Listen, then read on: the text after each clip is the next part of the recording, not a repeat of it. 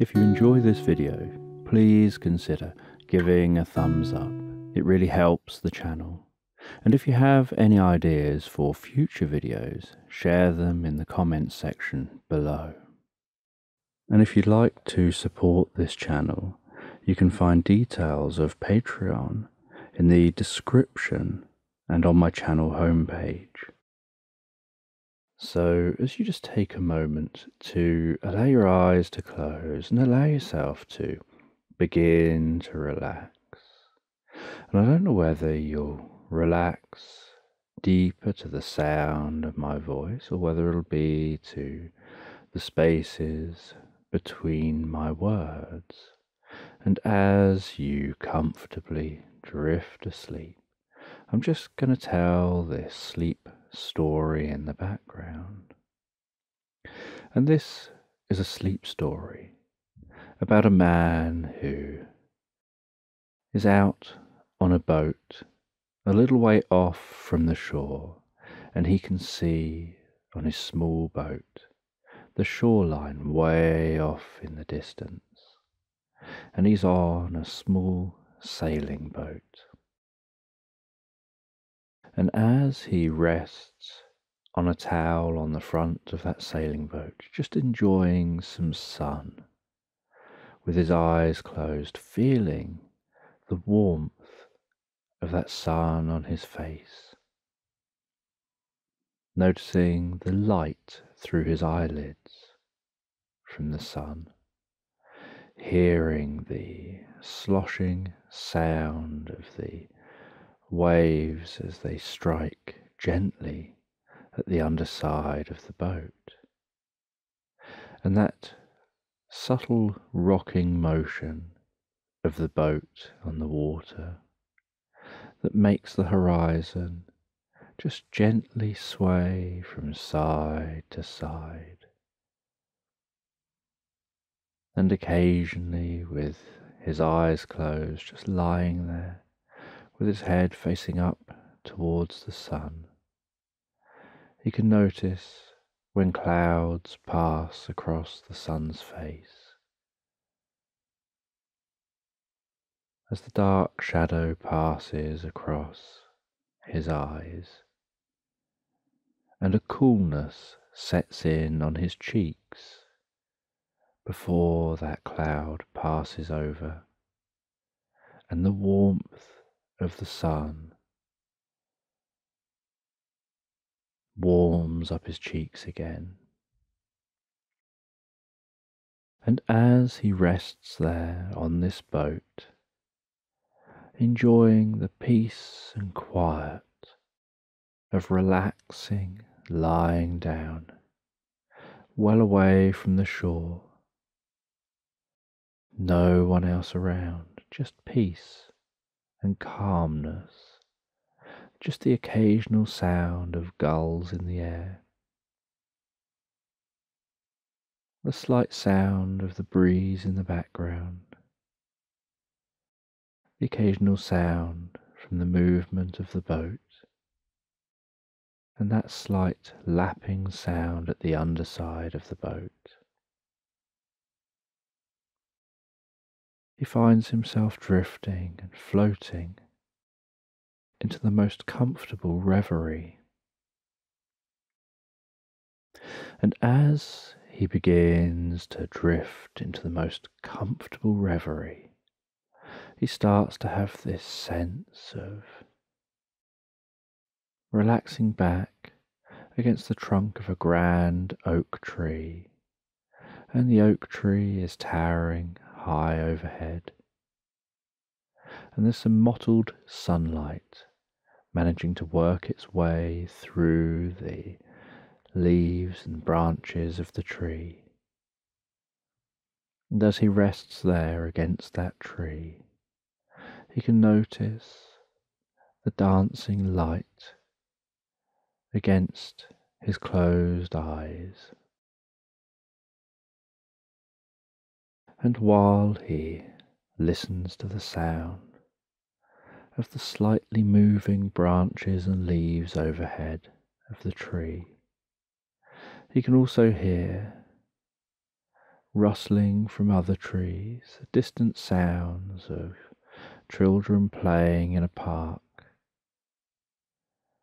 the sounds of birds, the occasional sound of distant dogs. And he finds resting here in this park so incredibly peaceful and relaxing.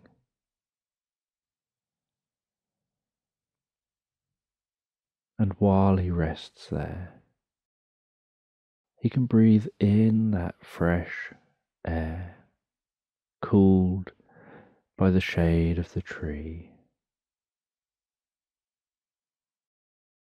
and breathe out any stresses from the day, finding himself almost breathing in peace and comfort and calmness. And after a little while of just resting here under this tree, he gently opens his eyes, and his eyes have to adapt for a moment to the brightness of the day, although he's largely sat in shade. And as he turns his head to face forward, so the mottled light is no longer in his eyes. It's just coming down towards his head and his forehead.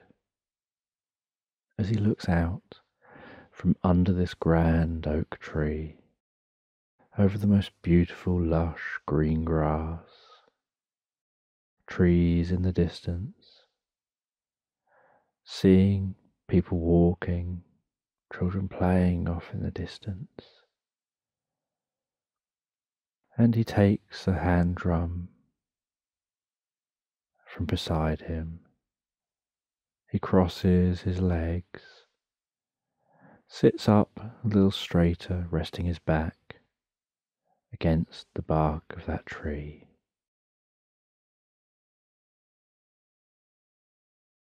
And starts gently tapping on the notes of the drum, feeling the sensation of each strike with his thumb on the different notes.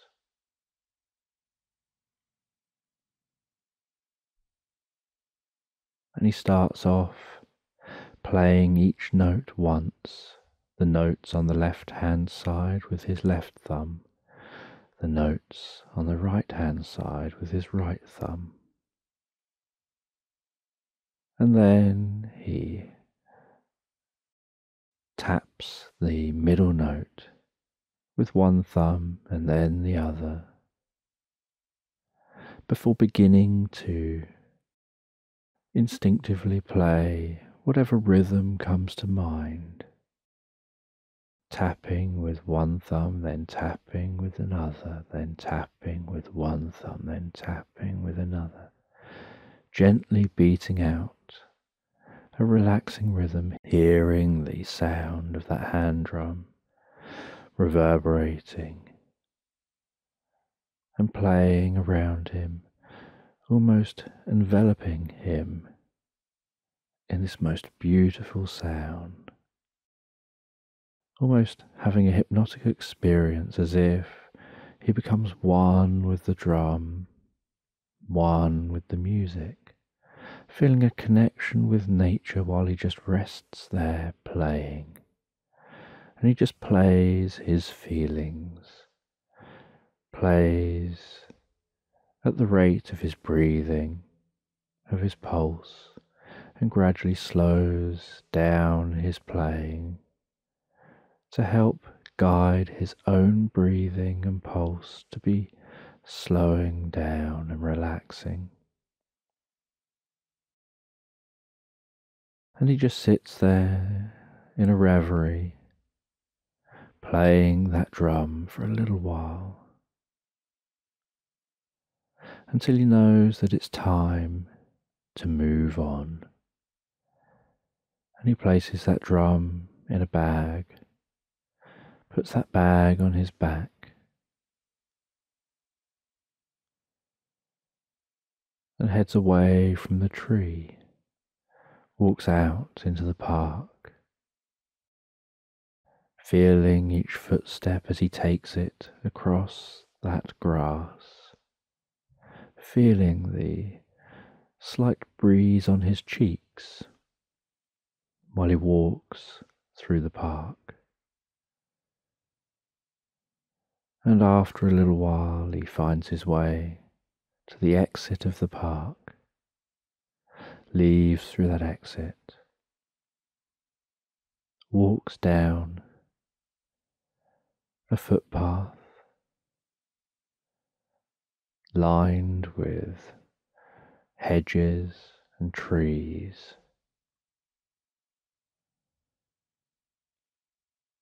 And he can watch as the butterflies and bees fly into the plants along the hedges, and birds fly down and grab berries from some of those bushes.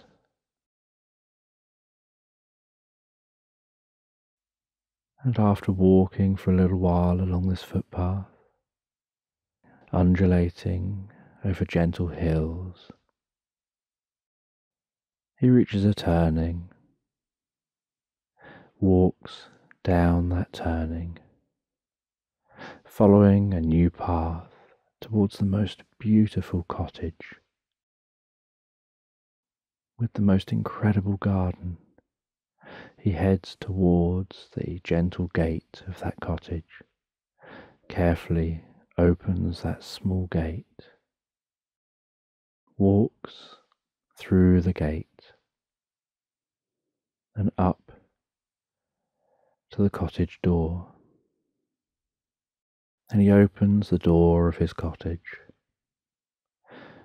places his drum down in the living room, heads through the cottage. He grabs himself a glass of water, drinks that water while gazing out over the back garden before heading out on this summer's day into the back garden. And in the back garden, he walks down one side, past an apple tree, and heads down to the rose bush at the end of the garden. He touches some of the petals of these roses at the end of the garden, feeling the waxy smoothness of those petals between his thumb and forefinger, touching so gently, so smoothly. With some of the other flowers, he runs his hand over them touching them with the palm of his hand, touching them so gently, almost imperceptibly with his fingertips, exploring the sensation of the roses, admiring the growth of those roses. Before sitting down on a bench that encircles a tree at the end of his garden. Taking an old fashioned typewriter out of a box where he has to pop it onto his lap, unclip the box from the left side and the right side at the base, and then lift the box up off of the typewriter to reveal that old fashioned typewriter. And with that typewriter resting on his lap, he inserts a sheet of paper. He winds that paper through and then starts typing.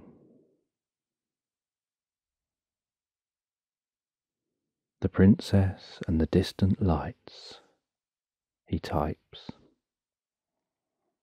Once upon a time, there was a princess, and she used to crave fun. She spent so much of her life having to be prim and proper. Now I say so much of her life, but her life has only been short. For she is only nine years old. But in those nine years, she's had to follow protocol. She's had to be punctual, attend appointments, when she's supposed to attend appointments.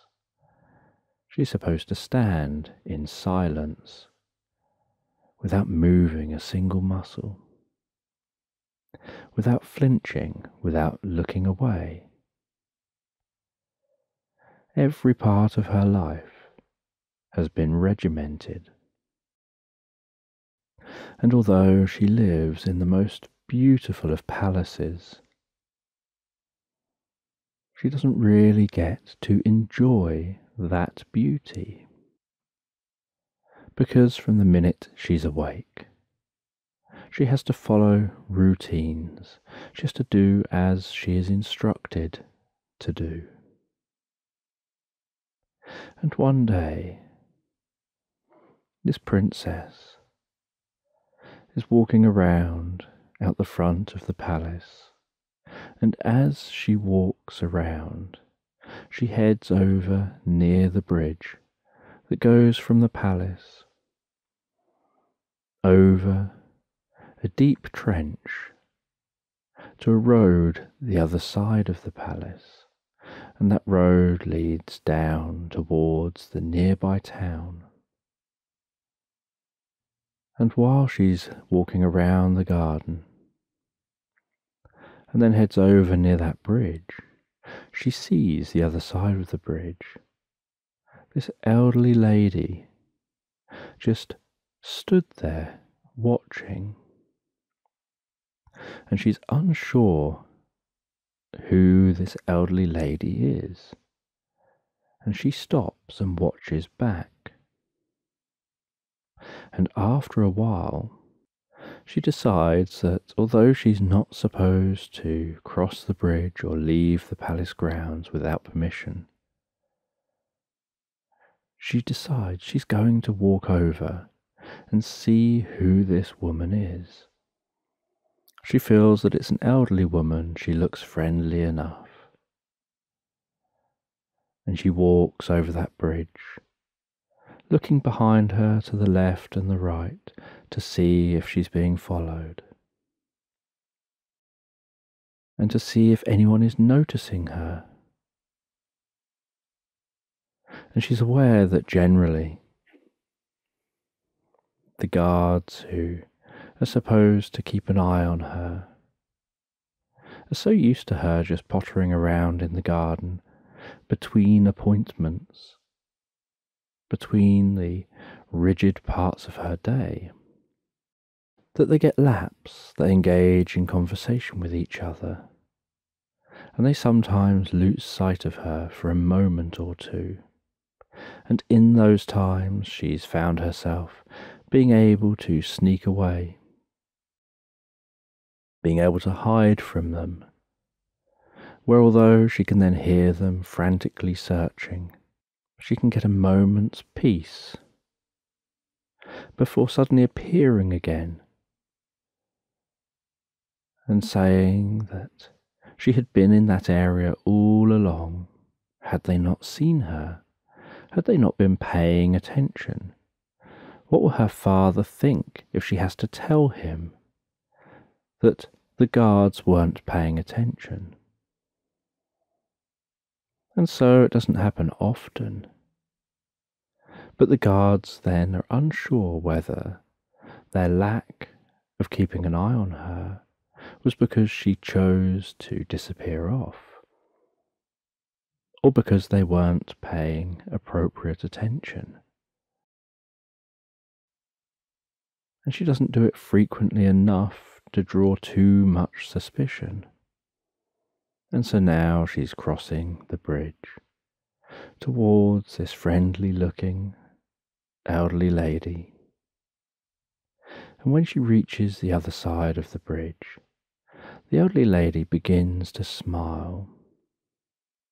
And as she smiles, so she begins to look so much younger. And she crouches down to the height of the girl.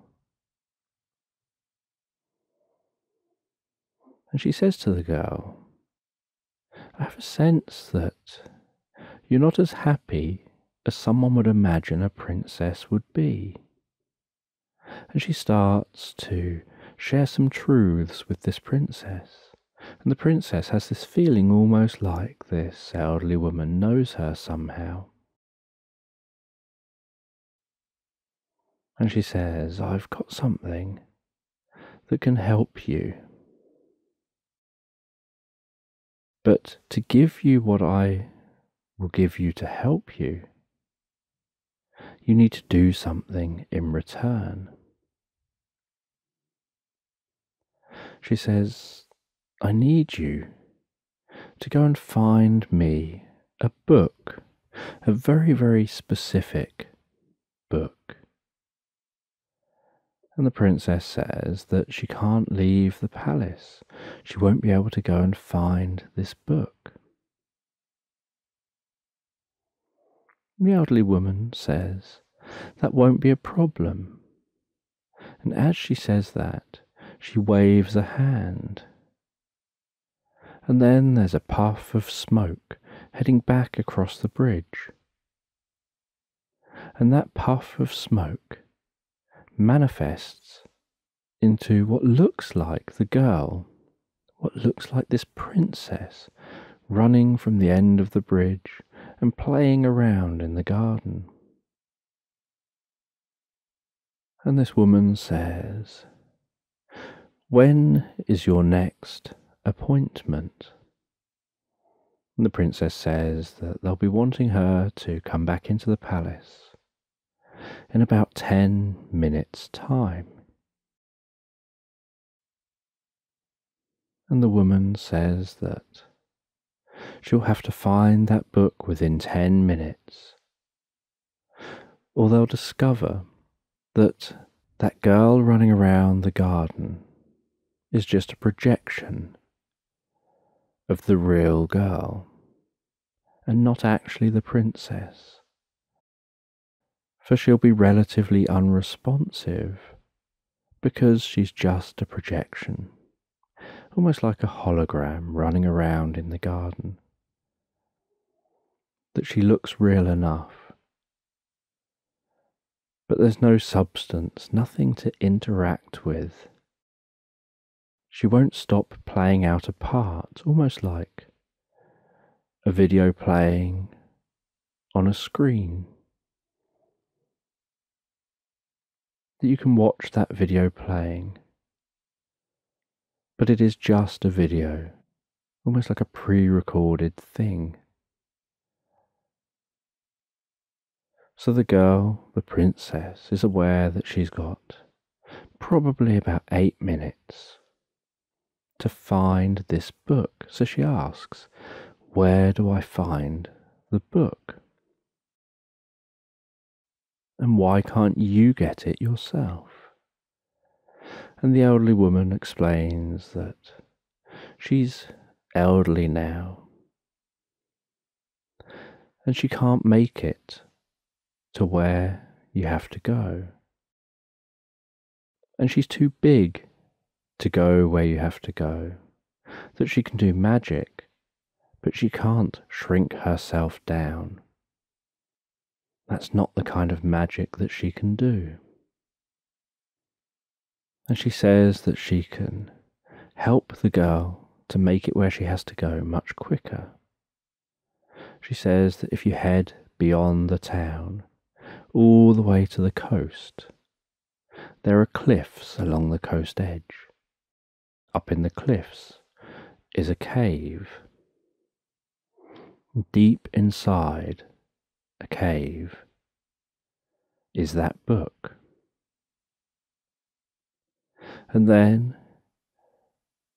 the woman twirls her hand, and some white smoke begins spinning around and spreading out. And out of the white smoke, as it clears, is the most incredible unicorn.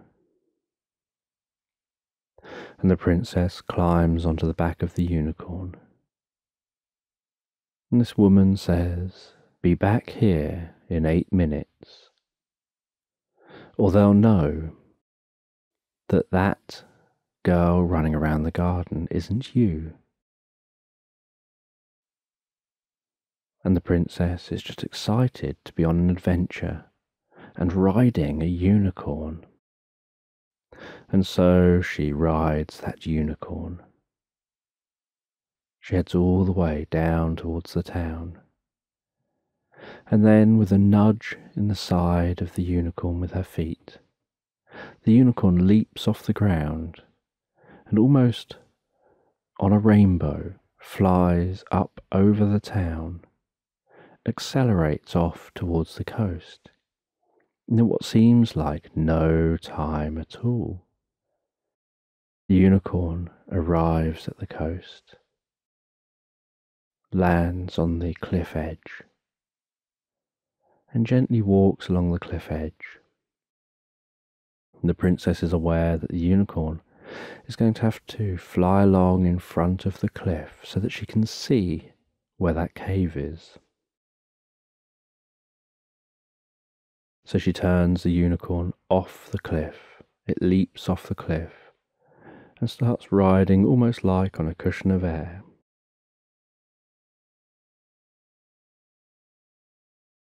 And it heads along the front of the cliff. And the girl can see this small hole in the cliff. And the unicorn pulls alongside that small hole and the princess carefully climbs over to the cliff and squeezes herself in that incredibly tight hole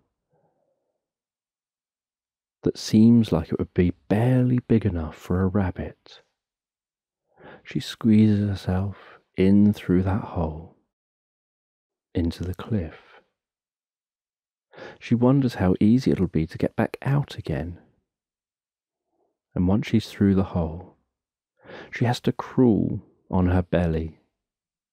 And she continues crawling and crawling on her belly, deeper and deeper in this cave. And she's aware there's no way the woman would have been able to fit in here. The only way someone could fit is if they were a child. And so she crawls further and further. She's aware that the time is passing by. And after some time, suddenly she reaches the end of this tunnel and it opens out into a larger chamber. And she drops down into this larger chamber with a bit of a thud she can hear the wind echoing around the chamber, blowing in through that hole. She can hear the distant sound of the waves, of the ocean reverberating into the chamber. And she walks around in this dark chamber, with only the faintest light coming in through the hole that she has just crawled through. and then she gets startled and jumps a little. And realizing what she was startled by and jumped a little by was her own reflection. And she notices that the walls of this chamber are mirrors.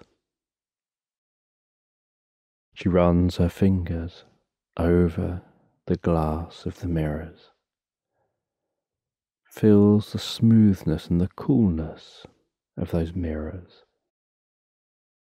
and then heads towards where the centre of the chamber would be. And in the centre of the chamber, she finds a plinth, and on that plinth, she can notice that there's a book, and she has to look slightly away from everything that she's trying to see so that her peripheral vision can see it better whenever she tries to look directly at anything. It's almost as if it vanishes. And she picks up that book and she's curious what it is that the elderly lady would want with this book.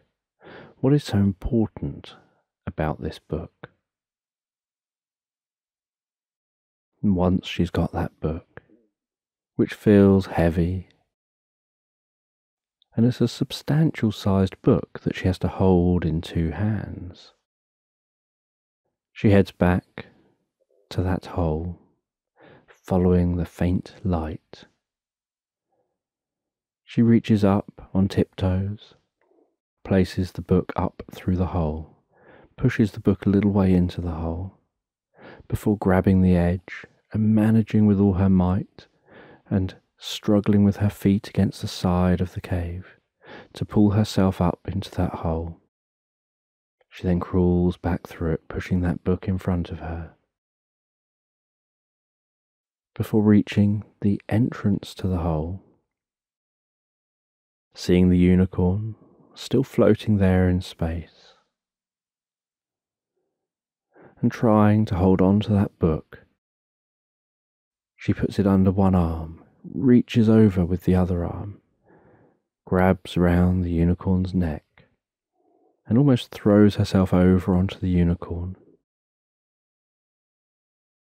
Drags herself up onto its back and nudges the unicorn to head back to that elderly woman.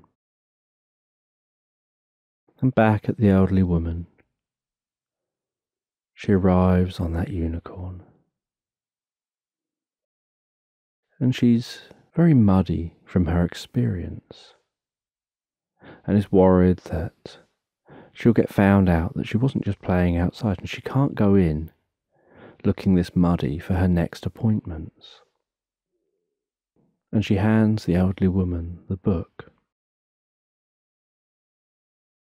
And the elderly woman smiles on receiving the book, waves a hand, and in a flash, the girl running around the garden disappears, and the princess's clothes appear clean again, and the unicorn dissolves from the head down into smoke, with that smoke then just dispersing across the ground. The woman opens the book, and she explains that this book contains all the knowledge and wisdom of the universe. And she says that she can teach the girl this knowledge, this wisdom,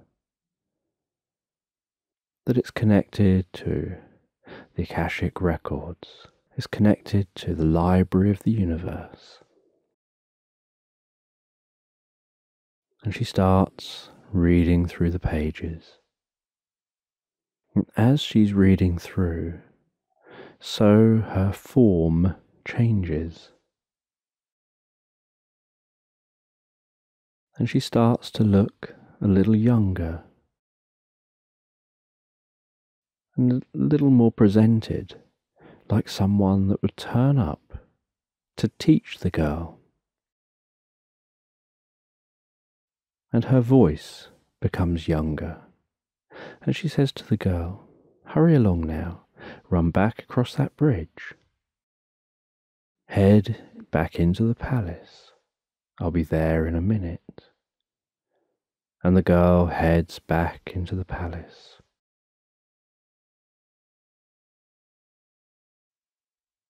And she's told that for her next appointment, she's got to see a tutor and then she gets ushered through to a room.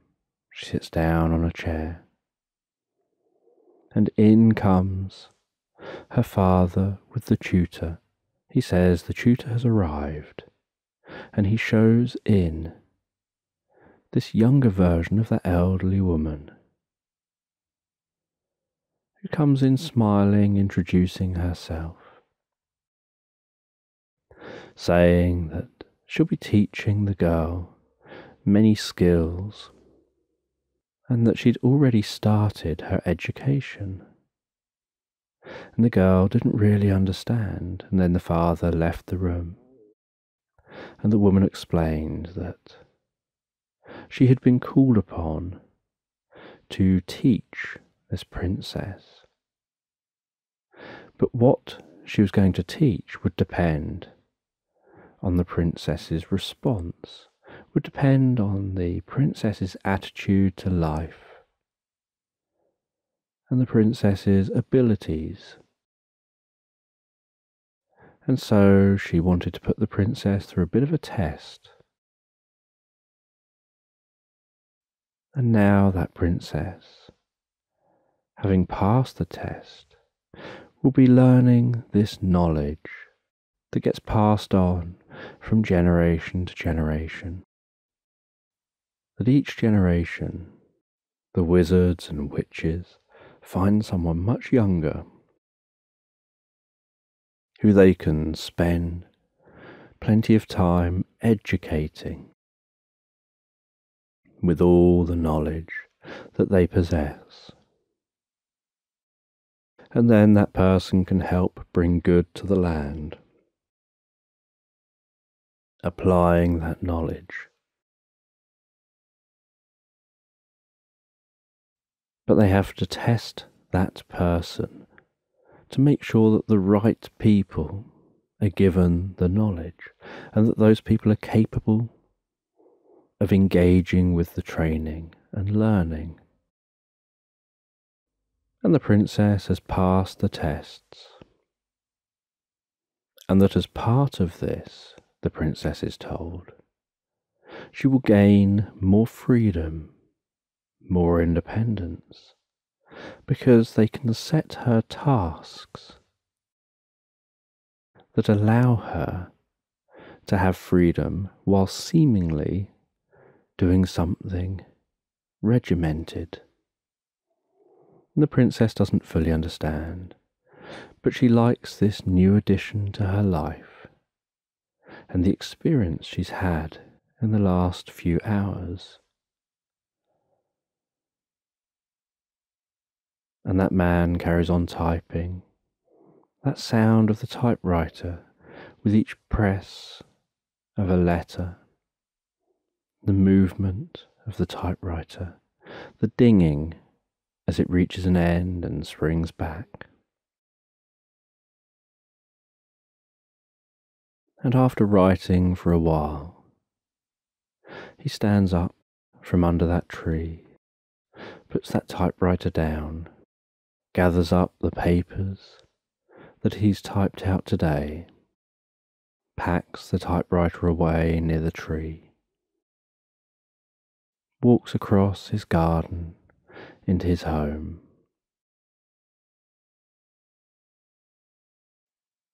He relaxes for the evening before heading to bed and drifting and floating so peacefully, so comfortably asleep. And the man on the boat drifts out of his reverie as he notices that the warmth on his face isn't so warm now, but it doesn't feel like it's just clouds passing by And as he opens his eyes. He begins to see what he came here for. He begins to see his reason for coming all this way on the boat out from the shore. He gazes up at the most beautiful blanket of stars. And highlighted in the corner of his vision is a comet that he can almost have a sense of hearing, just hovering in space, stretching across the night sky.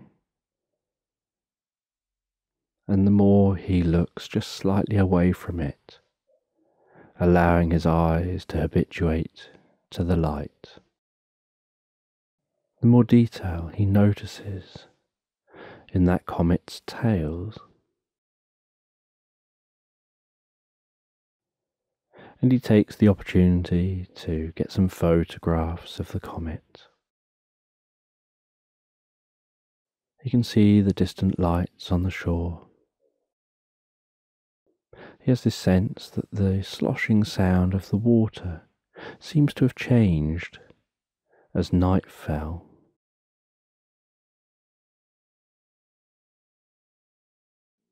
And after spending hours watching that comet, watching some meteors, just enjoying the twinkling of the stars.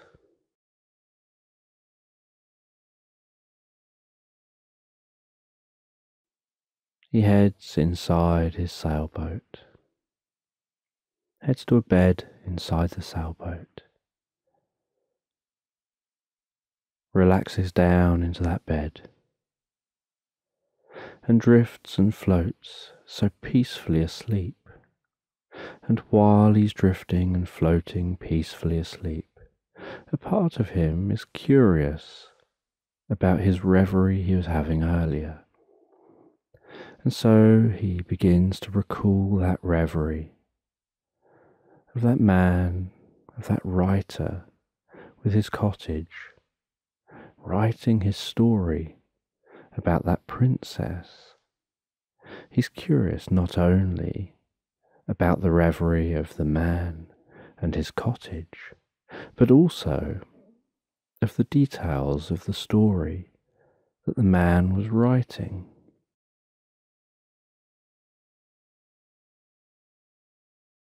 And so he gives that some thought. He allows his attention to be drawn to the details in the cottage, so that he can begin as he drifts and floats so peacefully, so comfortably asleep, to associate himself back into that experience, back into that man in the cottage so that he can continue while he sleeps to dream of that man in the cottage and to see where the story that he's writing goes, with the hope that he can be aware in the dream enough to encourage the dream to change so that he can head back out, sit back down, and carry on typing that story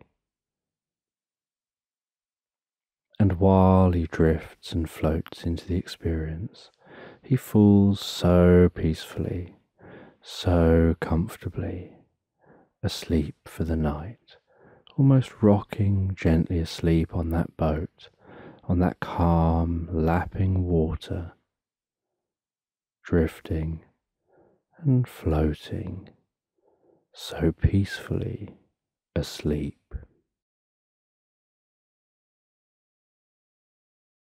So just take a moment to allow your eyes to close and allow yourself to begin to relax. And as you begin to relax, I'm just going to tell this sleep story in the background. And I don't know whether you'll drift asleep faster to the sound of my voice or to the spaces between my words. And as you begin to comfortably drift asleep, I'm just going to tell the story of a boy called Gareth. And Gareth awakens to find himself in a strange house. And as Gareth awakens in this house, he looks around the room. He stands up. And while he's looking round, this house is very dark. All he can see in every direction is black. And when he takes a step on the floor, the strangest thing happens. That the floor begins to move. and rise, and he starts to walk to try and get out of this house. And as he walks, so the floor gets steeper and steeper until it's so steep that he starts to slide back down again. And as he slides, so that floor lowers down, so that he stops around the centre of the floor where he started. And so he tries to walk the other way. But as he walks, so the floor seems to get steeper and steeper. Until eventually the floor is so steep he slides back down again. And it doesn't matter how many times he tries to walk left or tries to walk right. As he walks, so the floor just gets steeper and steeper, and he falls back down to the middle where he started.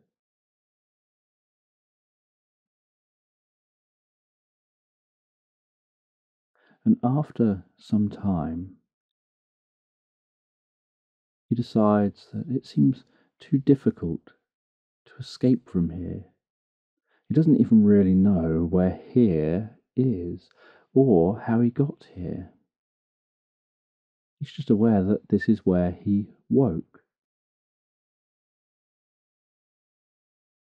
And then while he's just sat there in the middle of the room, he hears this gentle noise.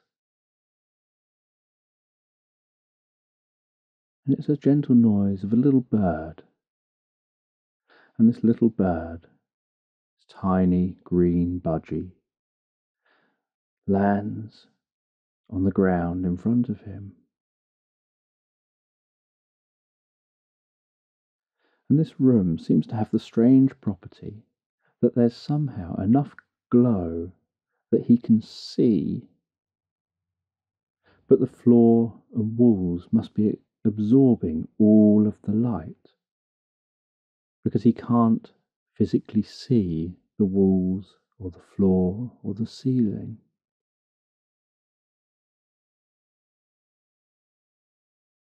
And he puts out a hand and a finger and that budgie jumps up, flutters up a little bit, and lands on his finger, and says, Hi, I'm Arthur. Little birdie told me that you could do with some help, that you've been here for a while, trying to find a way out of this puzzle of a box. And Arthur, the budgie, tells Gareth that there is a way out in the same way that he found a way in.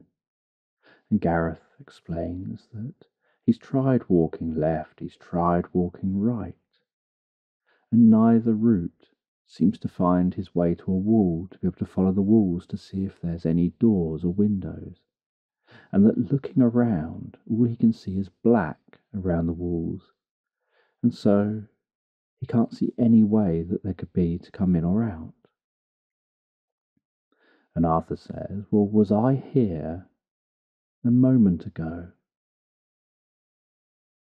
And Gareth says, Well, I don't think so. I don't recall seeing you or hearing you.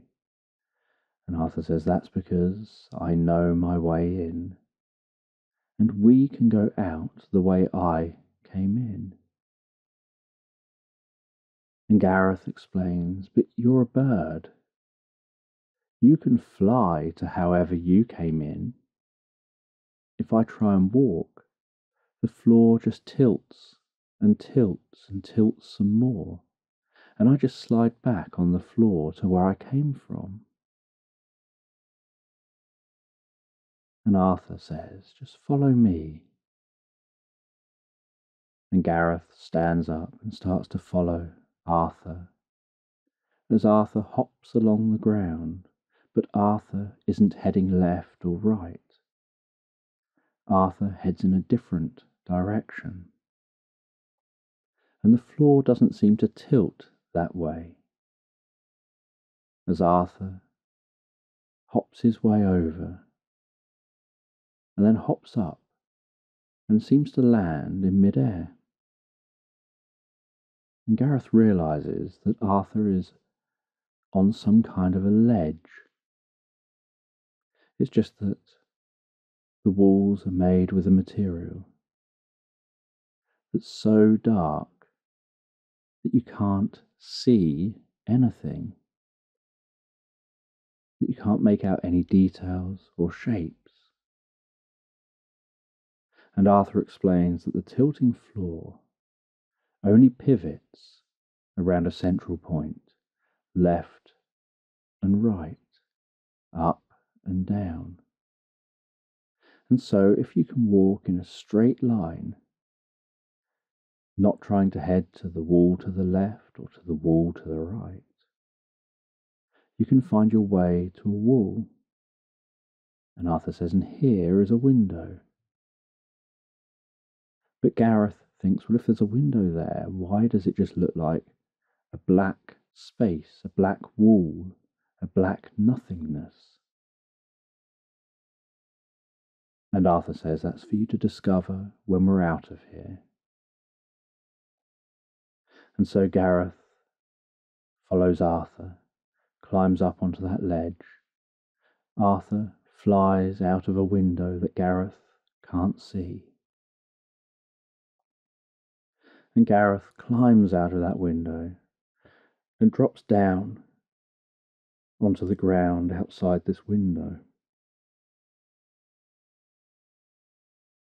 And realizes that this whole time he was in a brown building with the darkest black on the inside. But this brown building seems to be inside a larger structure. And Arthur explains that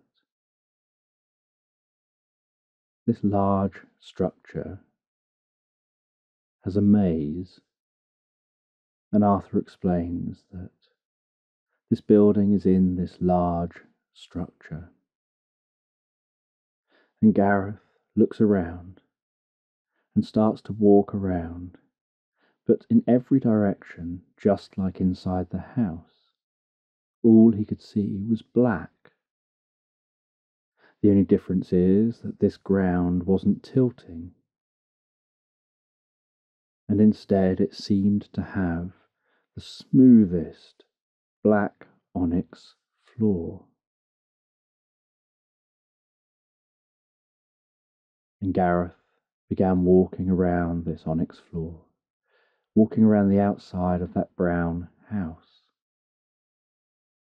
But in every direction he looked, all he could see was black, and so he asked Arthur,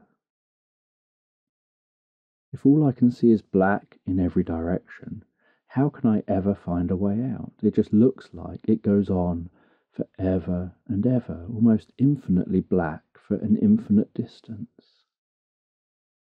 And Arthur says, Well, I came in here, didn't I? I'm here so there is a way out. And then Arthur flies with Gareth towards a way out. And Gareth is following along, saying, I can't see any way out. The further from the brown house we get, the blacker everything seems to be. I can't see anything. I can't see my hand in front of my face. There's just a very slight universal glow through this space, so I can just about see you when you're near my shoulder, but I can't see beyond that.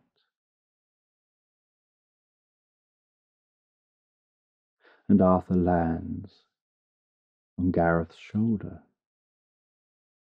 and says, just carry on heading forward. I know my way. And after some time, Gareth finds a wall, reaches that wall, almost walks straight into it, except that he had a slight sense that something was just there. And so he reached out his hand and touched the smoothest stone wall that had a certain coolness to it. That's what he had detected, that the temperature emanating towards him had changed, and he subtly detected that change. And he walked along that wall, holding his hand on the wall, until eventually he found a corner. And Arthur said, This is where we go. We're heading in to the Minotaur's maze. And Gareth asked what the Minotaur was.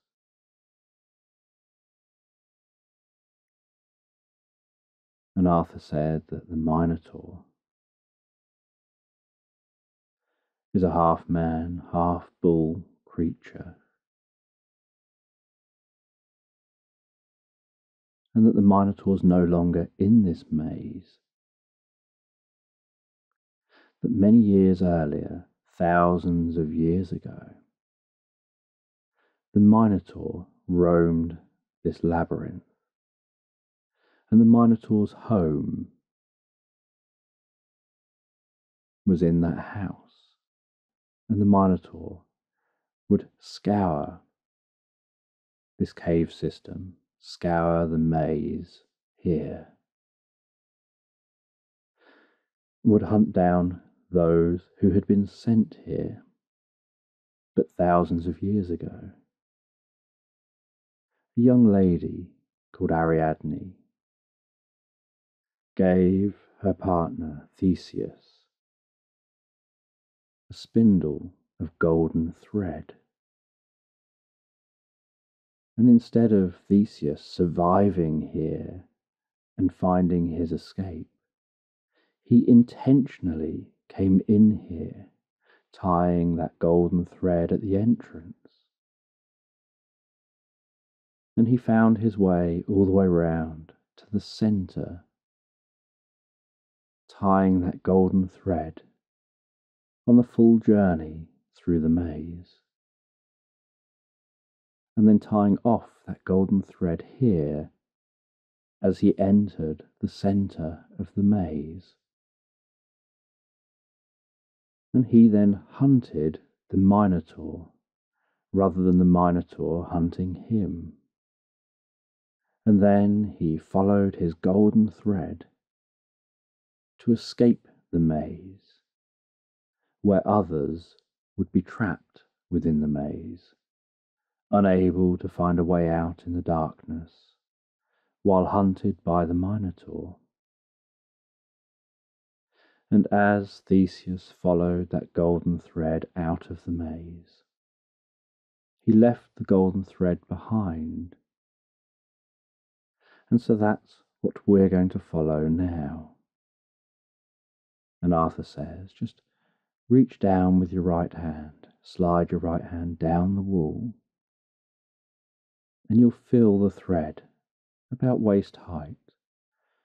And so Gareth slid his right hand down the wall until his fingertips touched that golden thread.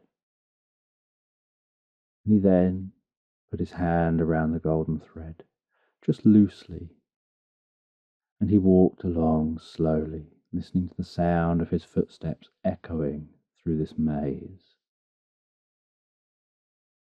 As the two of them walked around the corridors of the maze, following that golden thread, still walking in the dark, trusting the thread trusting that that thread is weaved through the maze to the exit. Just calmly, relaxed, breathing their way through the maze, giving all their focus to that thread.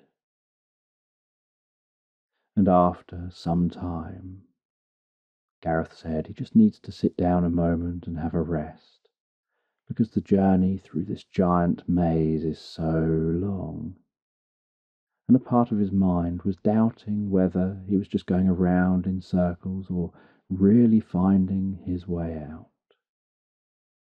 And Arthur could sense this and said, You've got the strength to carry on with this.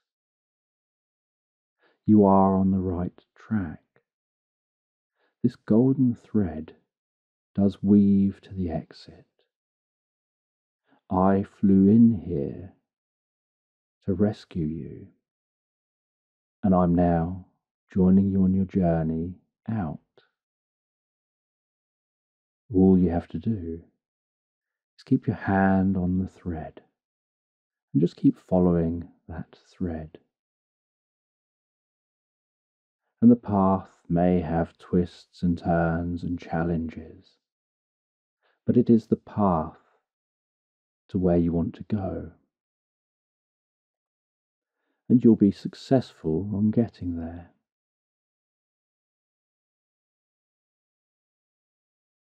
And after a brief break, Gareth stood up, took hold of that thread again, and continued walking through this maze until eventually he could hear a change to the sound of his echoing footsteps and started to feel the slight breeze on his cheeks. And then a while after that, he noticed the slightest glimmer of silver light off in the distance. And he picked up his pace slightly as he walked towards that silver glow and walked out into a moonlit forest and he took some deep, comfortable breaths of the fresh air out here as he turned and looked back on where he'd come from. And it just looked like a mound in the middle of a forest with a small entrance that was unassuming, that nobody probably would realize that inside there was a minotaur at one point, and inside there is an enormous maze and a strange brown house. And Gareth walked through the forest, out to a clearing where he sat down in a meadow. Arthur perched next to him as he looked and saw the stars in the sky, the illuminated wispy clouds passing through the sky and across the moon. He could see the silver light glistening on a distant lake, hearing the rustling trees as the wind blew through the leaves, feeling the tickling touch of the cool grass against the palm of his hand resting beside him. And Arthur asked, How did you end up in that room? How did you end up in that house? And Gareth asked, How did you know to come and find me? And Arthur said I was given a message. I was told that somebody needed help, that they were trapped in the Minotaur's maze. And I'm the only one over recent years who's been in that maze and out again.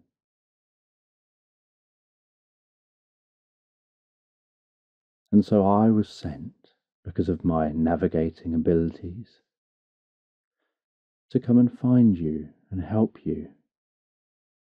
But I don't know why you were there. And Gareth said, Well, I remember falling asleep at home. And I come from a place and a time where birds don't talk to man. And as I fell asleep, the ground started moving underfoot, and I became aware that I was in this room. And at first I thought I was just dreaming because I had just been falling asleep. But then this whole experience happened. And it wasn't the first time I've been trapped in that room. That often lately, when I've fallen asleep, it's as if somehow I've ended up in that room, and then when I've woken up, I'm not in that room anymore. But does that mean I'm dreaming now and I've just found an escape? And Arthur says that's for you to discover. I've got my role in the journey and you've got yours.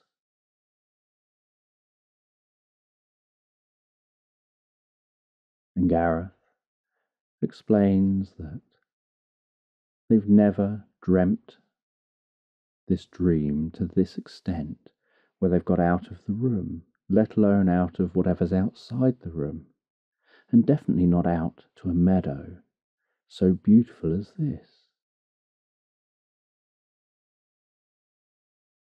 And Arthur says, Let's head down to the lake. And they head down towards that lake. And down near the lake, a mist with sparkling light begins to form over the surface of the water, almost as if the glistening silver moonlight is turning to millions of sparkling floating diamonds. And then an arm in the most beautiful white dress rises out of the water, holding a sword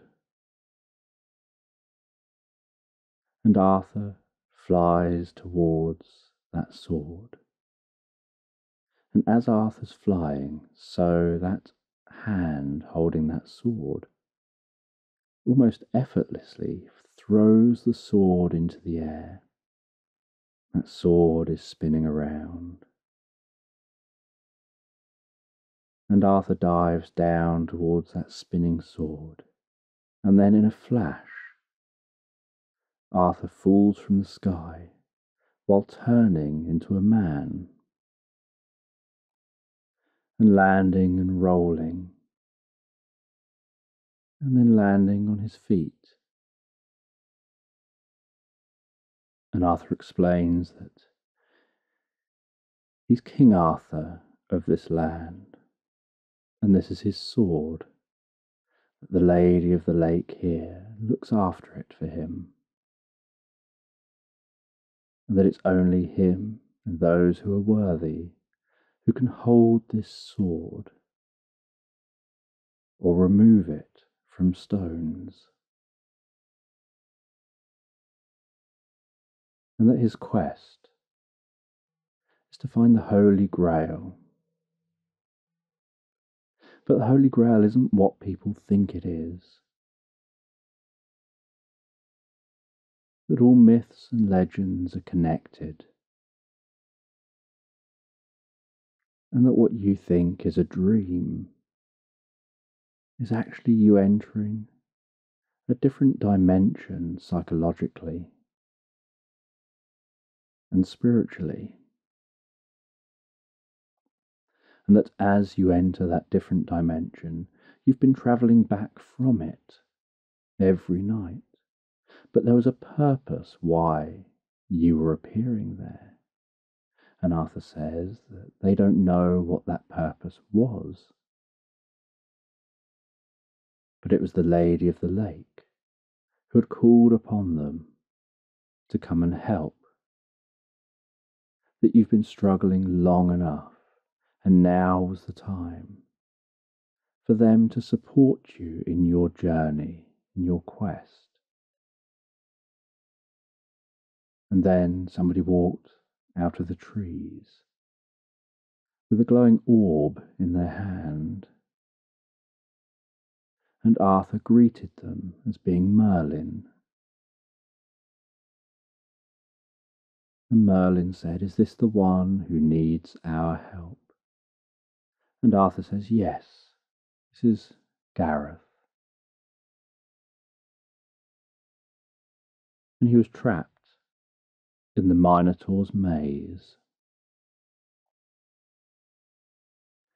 And I've helped him to escape the Minotaur's maze. But we don't know his purpose yet. But he keeps being sent here in his sleep, in his dreams. And so his purpose must be to be here for some reason. So we need to build him somewhere, to live here, a home in this land.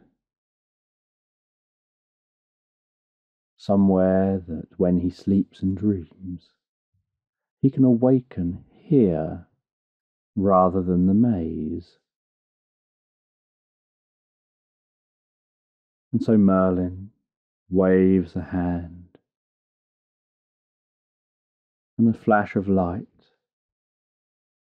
appears around Merlin, spreads out from Merlin, starts to glow and flicker purple and blue.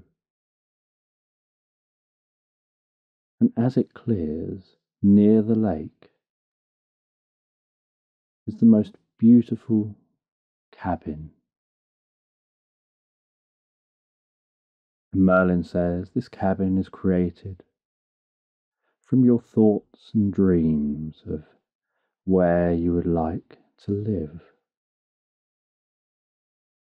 It has the most comfortable, relaxing bed and a meditation chair where you can sit down in that chair, drift inside and discover your purpose, your way forward and what it is you need to know about being here. And that you'll become one of the knights of the round table. You'll help on the quest to find the grail. And the Holy Grail isn't just a cup, but that's for you to discover. And Gareth heads into this cabin, settles down in the chair, feels instantly at home and so calm and so comfortable. And while settling down in that chair and closing his eyes for a moment to test out this meditation chair, he finds it so easy to connect with himself in bed in his normal reality and realizes that now this is where he will explore things, not in the Minotaur's maze. And that he knows his way in and out of the Minotaur's maze now, if he ever does go back there. But he doesn't see that he's likely to have a need to go back, to learn from there. Then he asks Arthur what the plan is, what he should do when he comes here. And Arthur says, just explore. The Lady of the Lake knows all, communicates all. And the Lady of the Lake isn't just in this lake. She's in and a part of every body of water. She's in the water, in the plants. She's in the water, in the sky. Her awareness is within every single drop of water. And she knows you, and she knows us. And if you need our help, or we need yours. She'll connect us, and we'll be together. And she can transport you from one body of water to another, almost teleporting you there rapidly. And everything you need to make your discoveries is here in this cabin. And Merlin then moves his hands together and pulls them apart, and in one hand is a puzzle box made of deep dark brown wood. And Merlin says, just look at that puzzle box. And when you've got time and you're here, just work on that puzzle, solve that puzzle box, open that puzzle box, and all the answers you seek will be inside that box.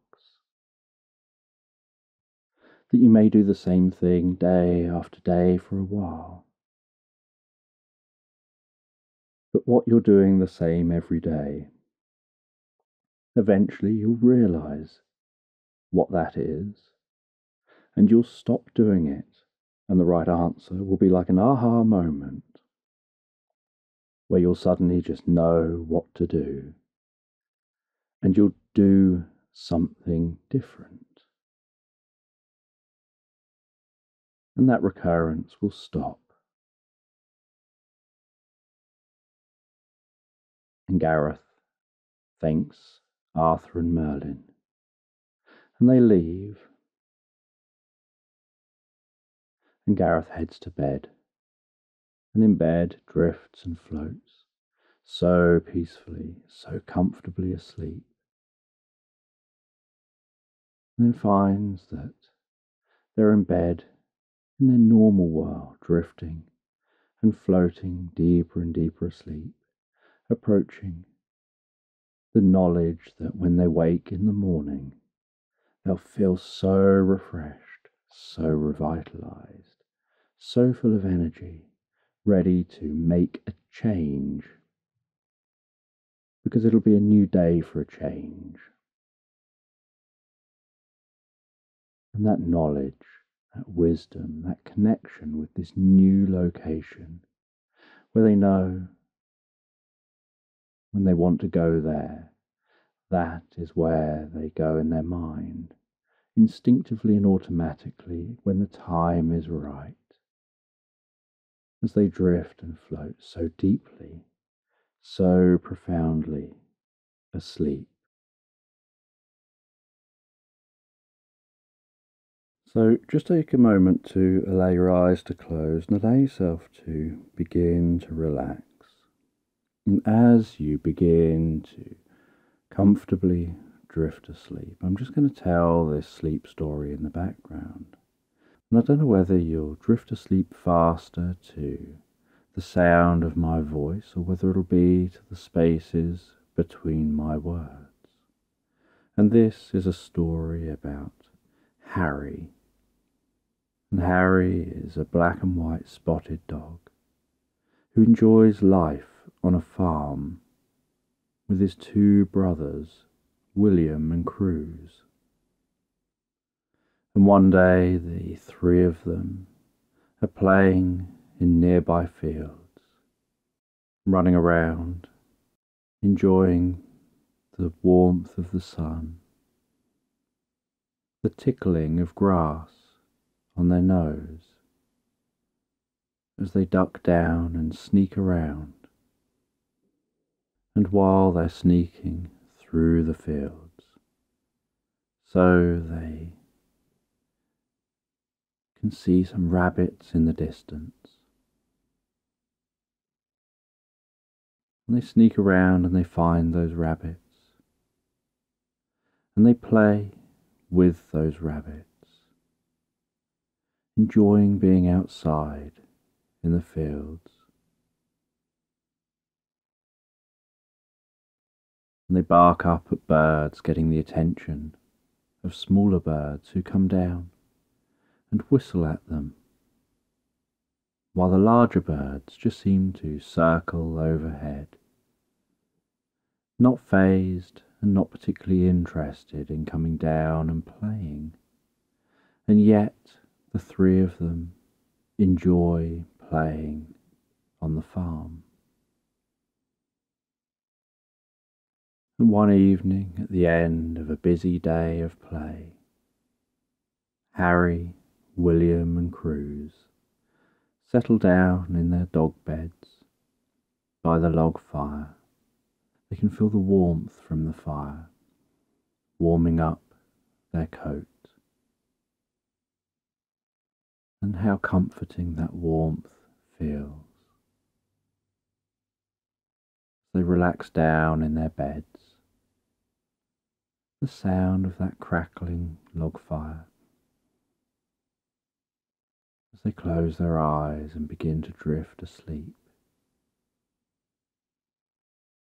With the dancing light of the fire being noticeable through the closed eyelids. And as they drift asleep, so Harry drifts even deeper and deeper asleep. And William and Cruz drift comfortably asleep for the night, while Harry continues drifting deeper and deeper, so deeply asleep. And as Harry drifts deeper and deeper asleep, so he finds himself walking through the farm, walking out of the farm, walking across the fields. And as he walks across those fields, he notices that he's going on a journey that he feels drawn on a spiritual quest. And he can see the sun rising across these fields, the slight mist over some of the lower fields, the morning dew across the grass, making cobwebs sparkle like they're full of diamonds. The slight coolness to the air as the sun continues to rise. You can see a deer off in the distance, going about its daily life. And Harry heads across the farm and heads to a nearby track and starts to follow that dirt track away from the farm and just feels compelled to go on this journey and so relaxed, hearing the slight crunch of the ground beneath his feet as he walks.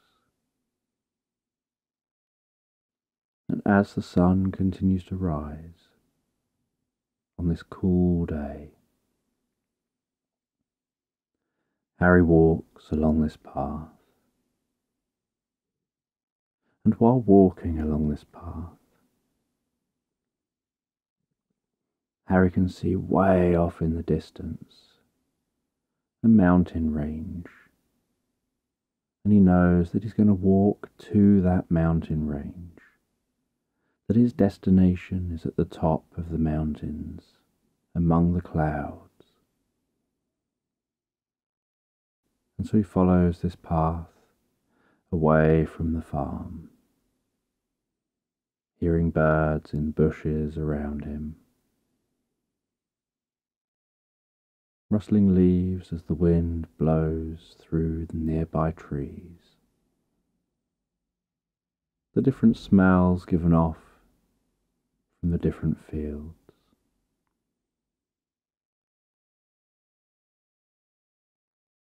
And this day is such a calm, crisp, cool day. The most incredible, clear blue sky. And as Harry continues to walk, so the day begins to change. The sun continues rising in the sky, and while the sun continues to rise in the sky,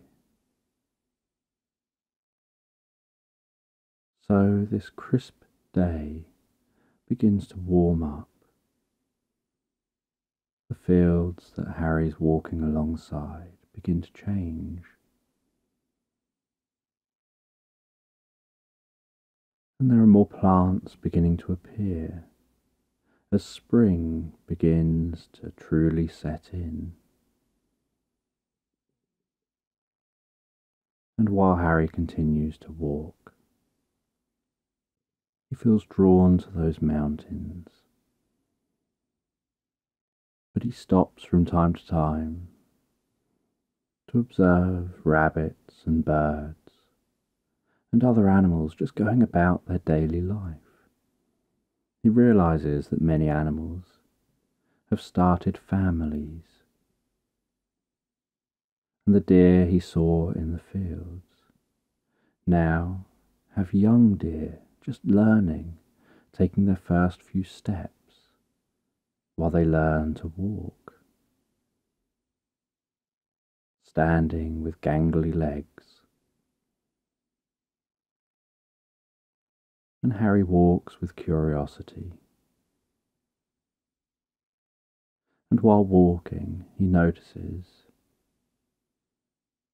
raindrops tapping him on the nose and clouds appearing in the sky overhead as April showers set in. He tucks himself under a bush for a while while he sees those raindrops pelting the dry mud, and the dry mud puffing up from the ground as the raindrops strike that ground. Before that mud begins to darken, as the rain seeps through the cracks into the mud. And Harry thinks to himself how this rain is bringing new life and helping this life to grow. And as the April showers pass, so Harry notices a rainbow and some shards of light breaking through the clouds, illuminating some of those raindrops making them appear like sparkling diamonds falling from the sky. And as the rain passes, Harry continues his journey. And while he continues to walk, he works his way round and heads into woodland and walks through that woodland, crunching on the occasional twig on the path. Very aware of the rustling of the leaves above him. And the way the light dances in front of him, breaking through the canopy overhead, and the coolness in here where he's a bit more shaded from that sun. And while walking, he notices how the leaves getting greener and greener, and the foliage is increasing in density, and the smells of flowers is increasing as more flowers are growing up around him. He notices he's almost walking through time as spring develops and enhances. And as he leaves the other end of the woodland, he discovers a stream that's joining him passing out of the woods. And he begins to follow that stream towards the summer. As the baby animals are beginning to grow up He can see deer, now more grown up. He can hear fewer baby birds and see more what are almost like teenage birds inquisitively diving around and flying around, and some birds circling overhead. And the rabbits being more grown up. He remembers how much he used to play with the rabbits and the birds in the fields and playing jumping over grass and hiding and creeping through grass.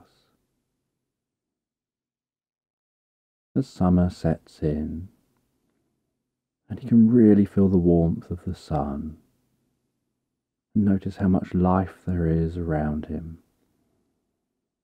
with dense plants and greenery overgrown bushes and grass and thick meadows as he follows that stream and sees fish swimming in the stream, poking their heads up to the surface, opening their mouths, and then disappearing back beneath the surface again.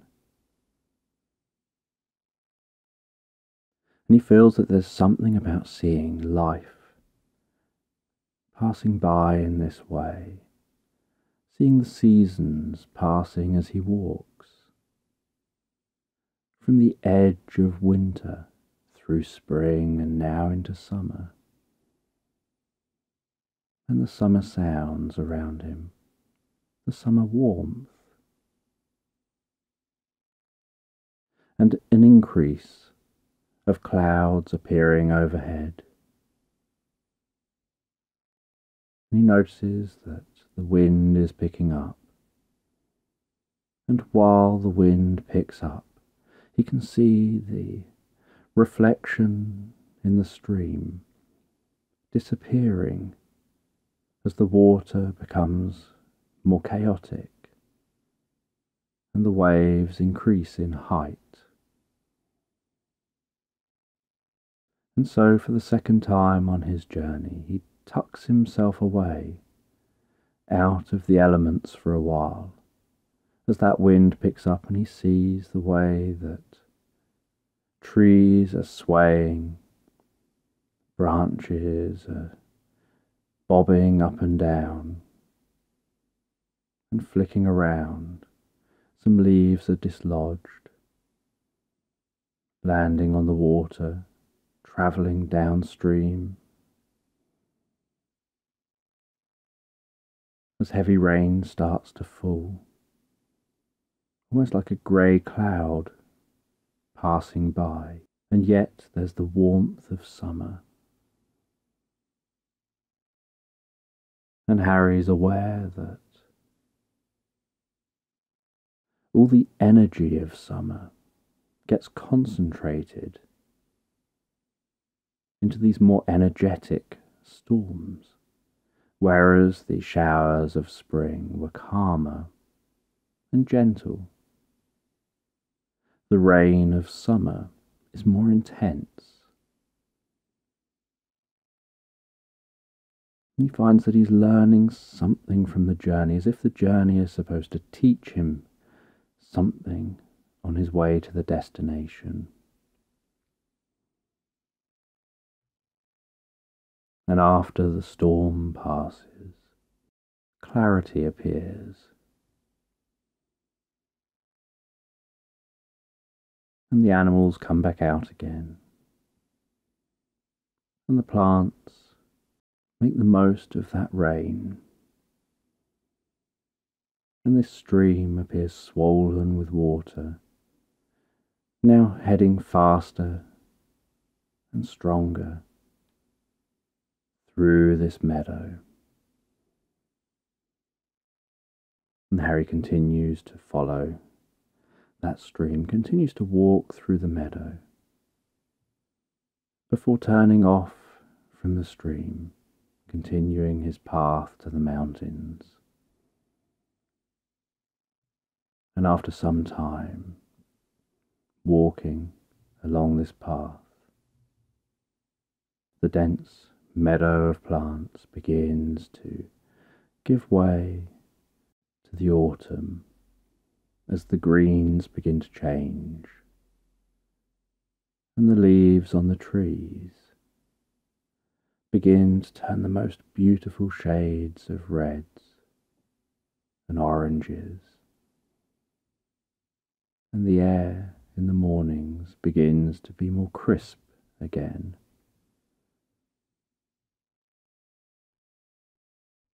The sun often hangs low in the sky.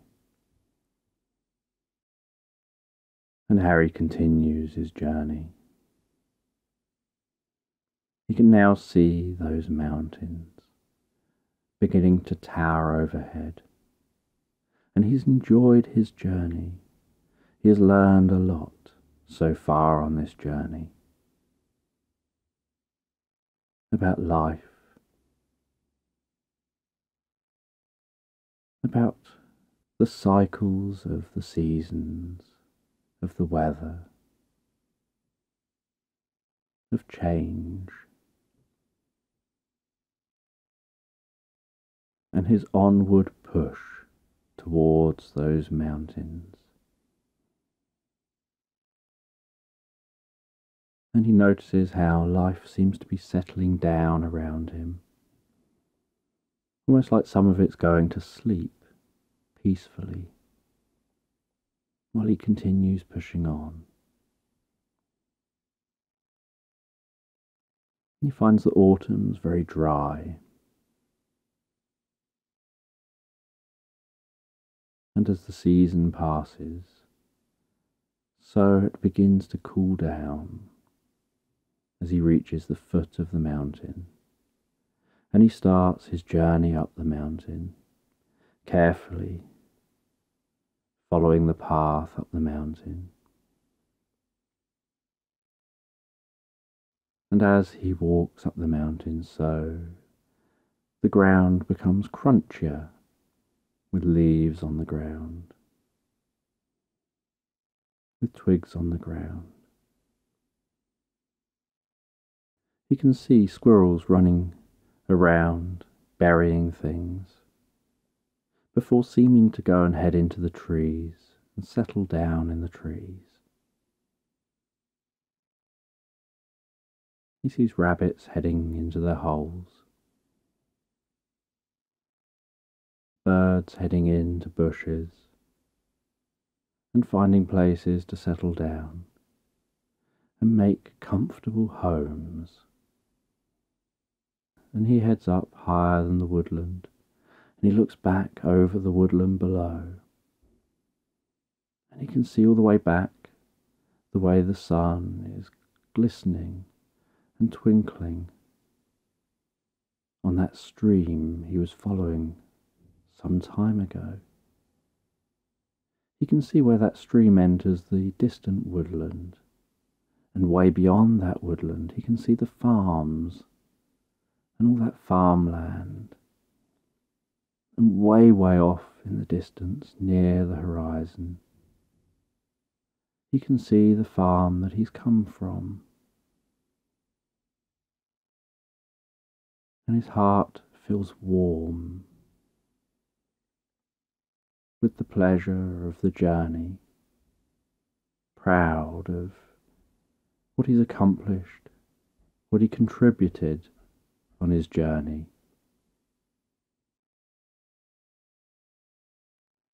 and yet he feels compelled to continue forward. And from time to time, as he continues forward, he turns to look back at how far he's come, how much he's achieved, and the lives he's touched on his way here.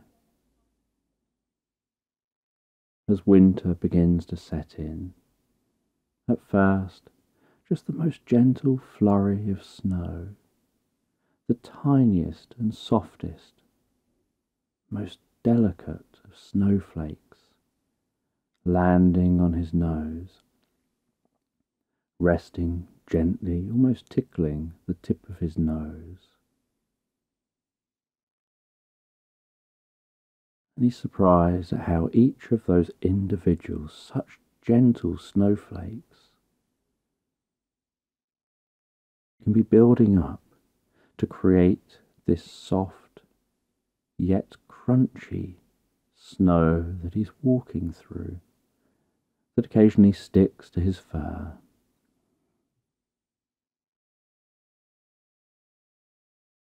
And he pushes through this snow. Initially more powdery, and then almost like it's got a crust on top. It becomes more crunchy. And then the snow seems to fall down more almost like the air is full of snow, like he's walking through a cloud of snow. And he continues to push on up the mountain.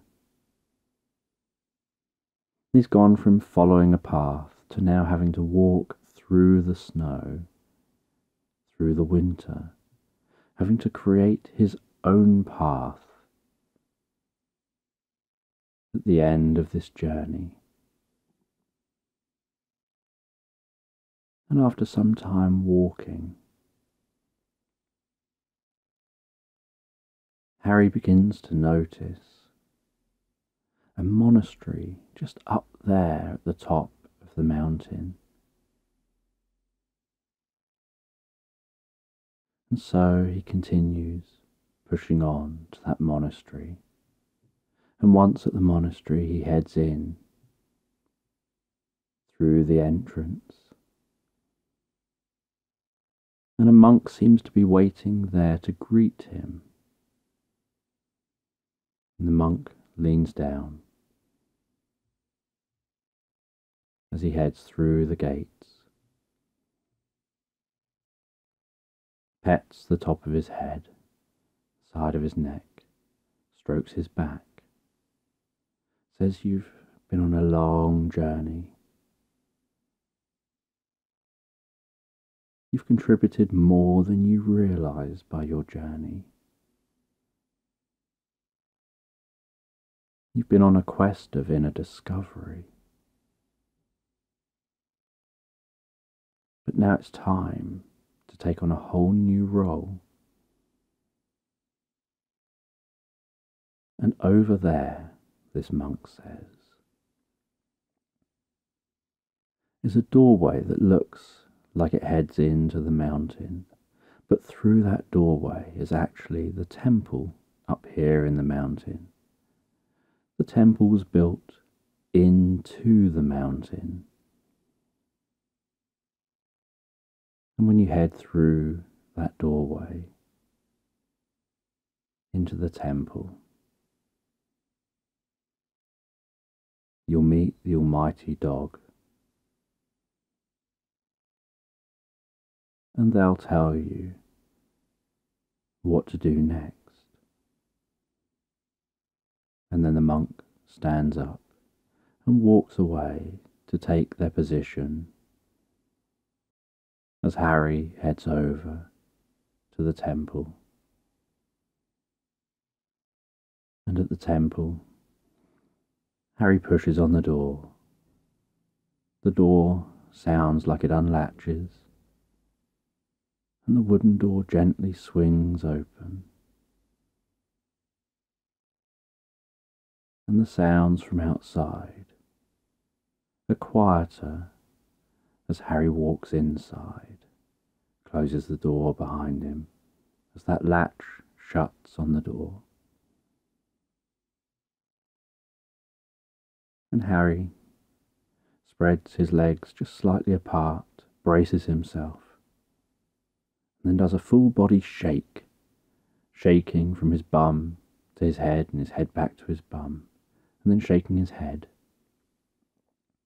shaking off the last of the snow. Then a couple of residual shakes before continuing to walk deeper and deeper into the temple. And the temple is quiet, with just the subtle echoing sound of his soft paw steps on the floor. And then Harry notices what looks like two candles either side of a golden bowl. And Harry walks up to that golden bowl in the centre of this temple. And the most perfect white dog comes over to Harry. And this dog has the softest looking, flowiest white fur. And the dog says to Harry, I'm the Almighty Dog. I'm the most wise being here. I look out from the top of this mountain over the land below. I oversee the dogs of wisdom, and I support the dogs of wisdom on their spiritual quests. And you have passed your lifelong quest, and now it's time for an eternal spiritual quest. where you'll be a spiritual dog, a dog of wisdom. And if you choose to accept this spiritual quest, you'll drink from the golden bowl of wisdom. and that'll allow you to pass into this spiritual realm as a dog of wisdom. And you'll begin a new chapter in your existence on a whole new plane of reality. Where your role will be to work out from this monastery spreading love and healing to humans and other beings, where you'll touch the lives of others in ways they don't even realize.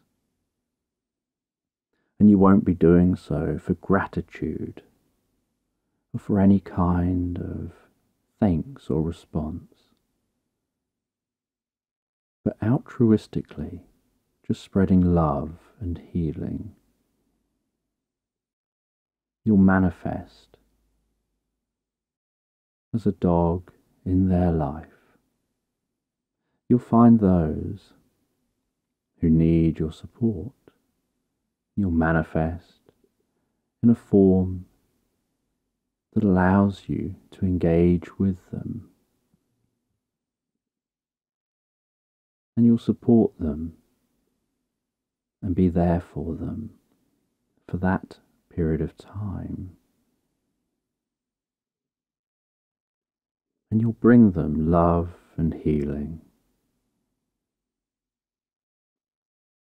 Before then moving on to the next being that needs your support. Almost like a missionary of love, carrying that healing through into the future. And Harry instinctively felt this was now his destiny. And he drank from that golden bowl. And that water was the purest lightest water Harry had ever drank.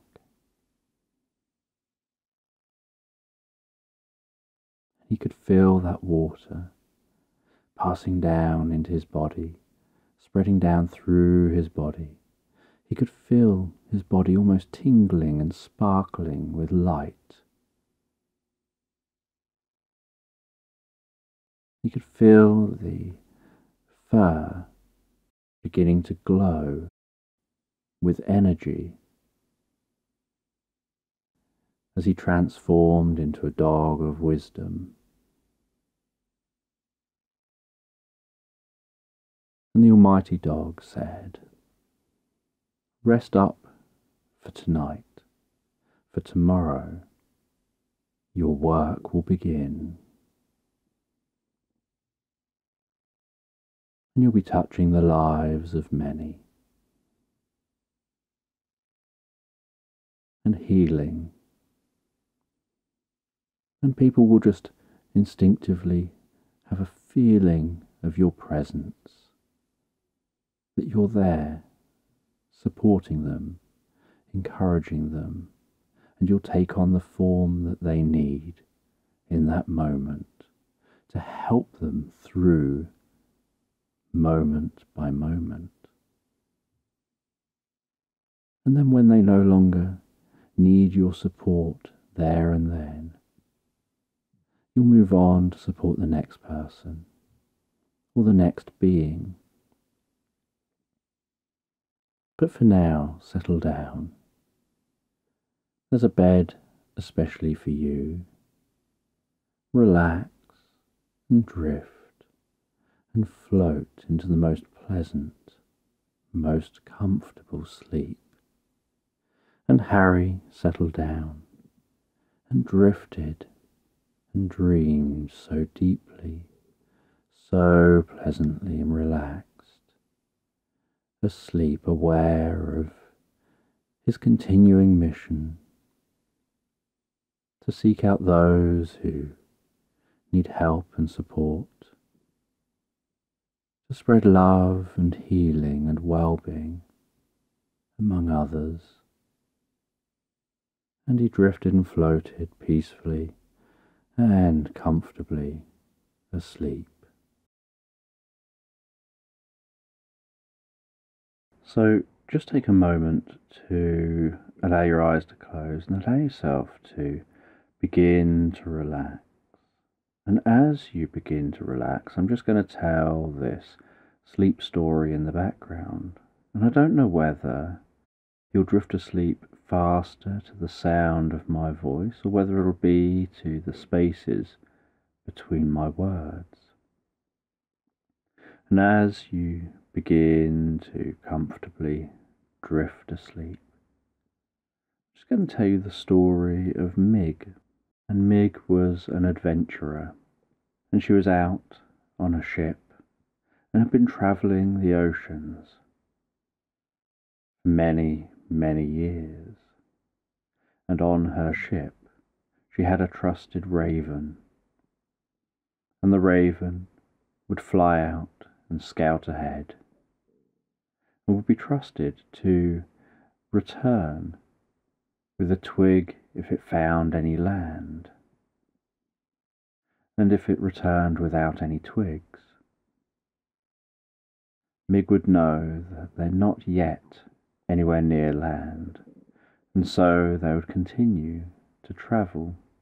And one day, after many years travelling, and sending out that raven every single day, one day the raven returned with a twig with a green leaf on it.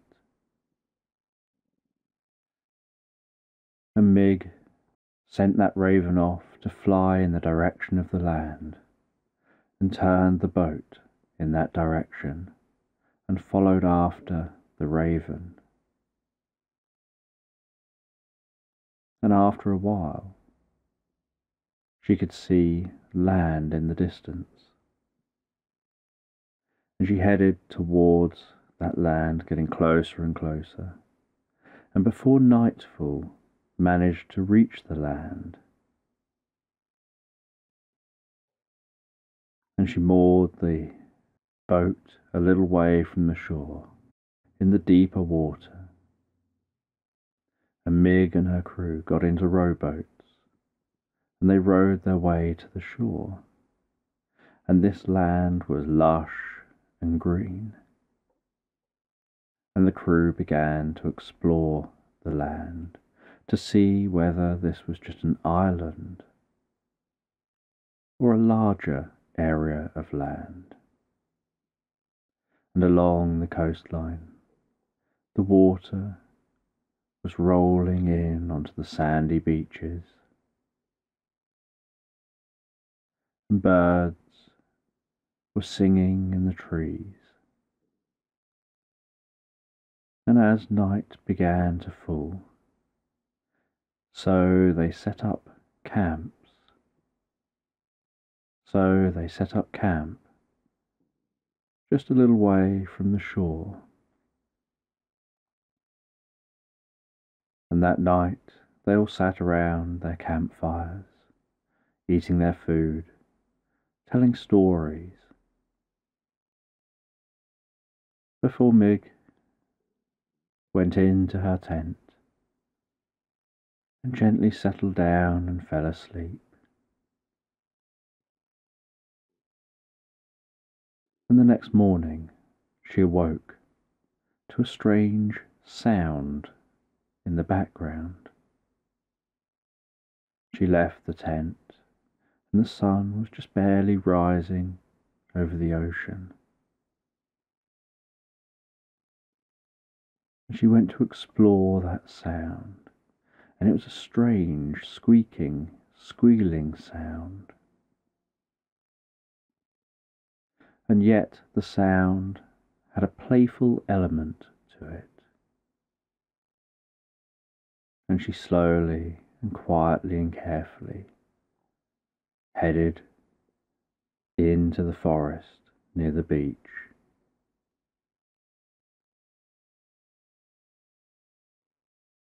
and followed that sound. And as she headed into that forest following the sound, she could hear movement and scurrying, pushing through leaves, running around, landing in leaves. Then she caught a glimpse of a silver coat of an animal and realized that there were some silver foxes jumping around and playing here in the forest, and that they are making all this noise. And she didn't want to scare them off, so she just carefully sat, crouched behind a fallen down tree trunk, and watched those silver foxes playing.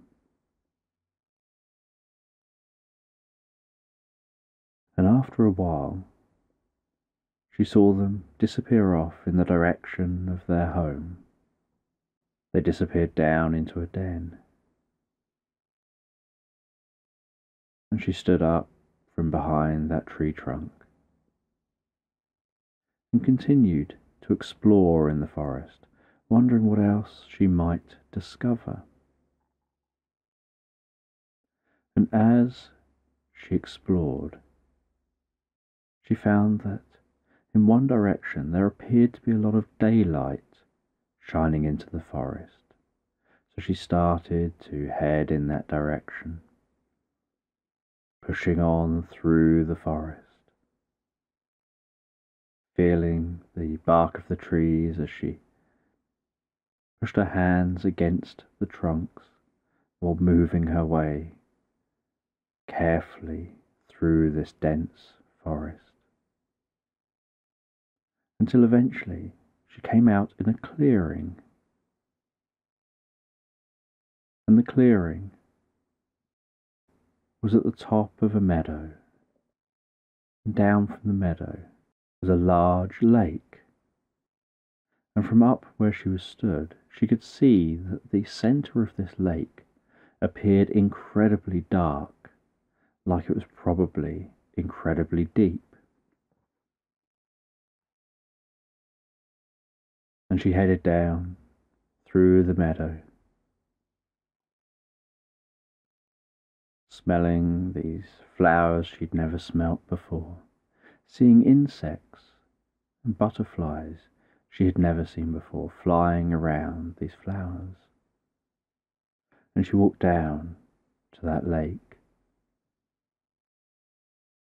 and she put her hand in the water. And that lake water was so incredibly cold. She was surprised at how cold the water was compared to the surroundings, compared to where her and her crew had been sailing. And that lake was just so gently and delicately lapping onto the shore. And it was so delicate, so subtle, that she was able to detect movement from out in the lake, a slight splash from a little way off. And she looked out towards where she heard the splash, and there was just the subtlest of ripples seeming to spread out, like something had passed the surface of the water and disappeared again. And so she watched and waited and waited and watched. And just then, she saw something breach the surface again. And at first, she thought it was a unicorn. But as she watched further, she noticed that it looked like a whale mixed with a unicorn. Almost like some kind of a whale or dolphin hybrid, and she was confused at what this creature was. And as she watched, she noticed it breach the water one more time before it dived back down and it seemed to just dive down into the depths. And she wished that she could somehow go under the water, look under the water to see what happened to that strange unicorn whale hybrid and see what's going on beneath the surface. And then she had an idea, and she went back to her boat. And with some of her crew, she fashioned a basic diving bell. And they were going to carry it to that lake. And they would push it out from the side with its makeshift frame. Some of the crew would be turning handles that would be pumping air through a tube, continuously cycling air into the diving bell and back out of that tube at the surface. And they pushed that diving bell and the frame out into the lake. And she decided that it was best for her to go down alone to make sure that this was safe she didn't want to put anyone else at risk. She also liked the idea of doing this alone, having this solitary adventure. And together they worked as a team to get that diving bell out into the middle of the lake. And Mig had to dive in the water and swim up into the diving bell and the water was freezing cold, and she was glad to be inside the diving bell where she dried off. Got herself comfortable, and she couldn't see from within the diving bell. The only direction she could see was straight down through the water. And she had light in the diving bell. She had some torches around the inside of the bell.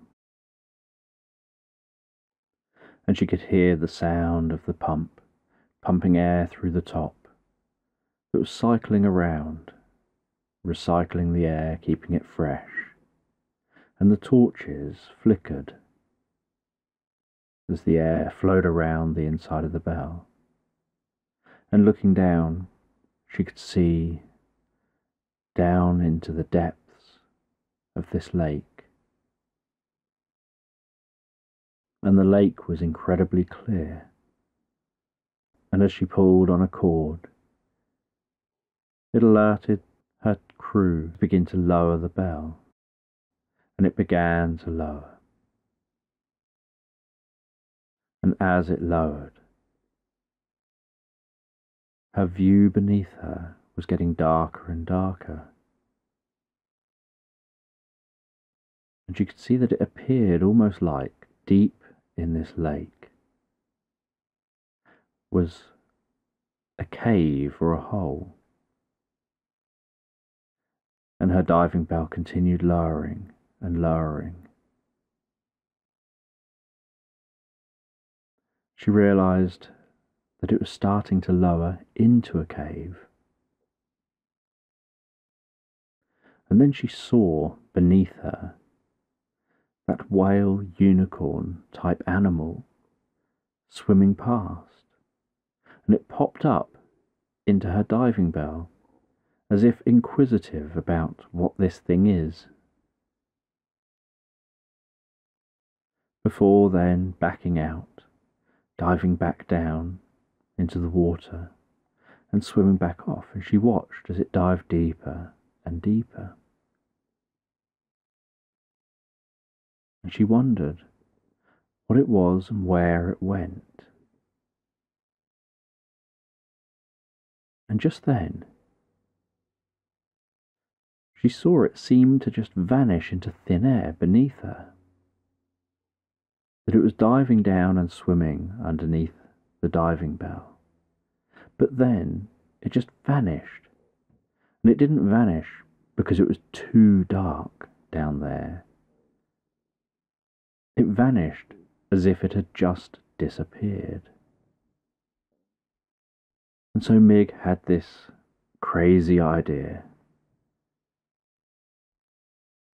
She had an idea that she wanted to exit the diving bell and swim down a little bit to where that creature was and see what happens. And although the water was freezing cold, she went to the edge. She rested her legs into the water. She could feel that cold water over her legs. She then dropped off the side taking a deep breath, and dropped herself down under the water. And as she did, she noticed that her legs almost looked like they were disappearing. So she turned face downwards and swam down deeper. And a few moments later, she noticed a slight change in water pressure and as she looked up, she saw that she was near the surface of the water. And she swam up and discovered that she was in a really cold environment. But she could see that whale swimming around. And she swam up to the surface, looked out from the surface, and saw that she was near the shore,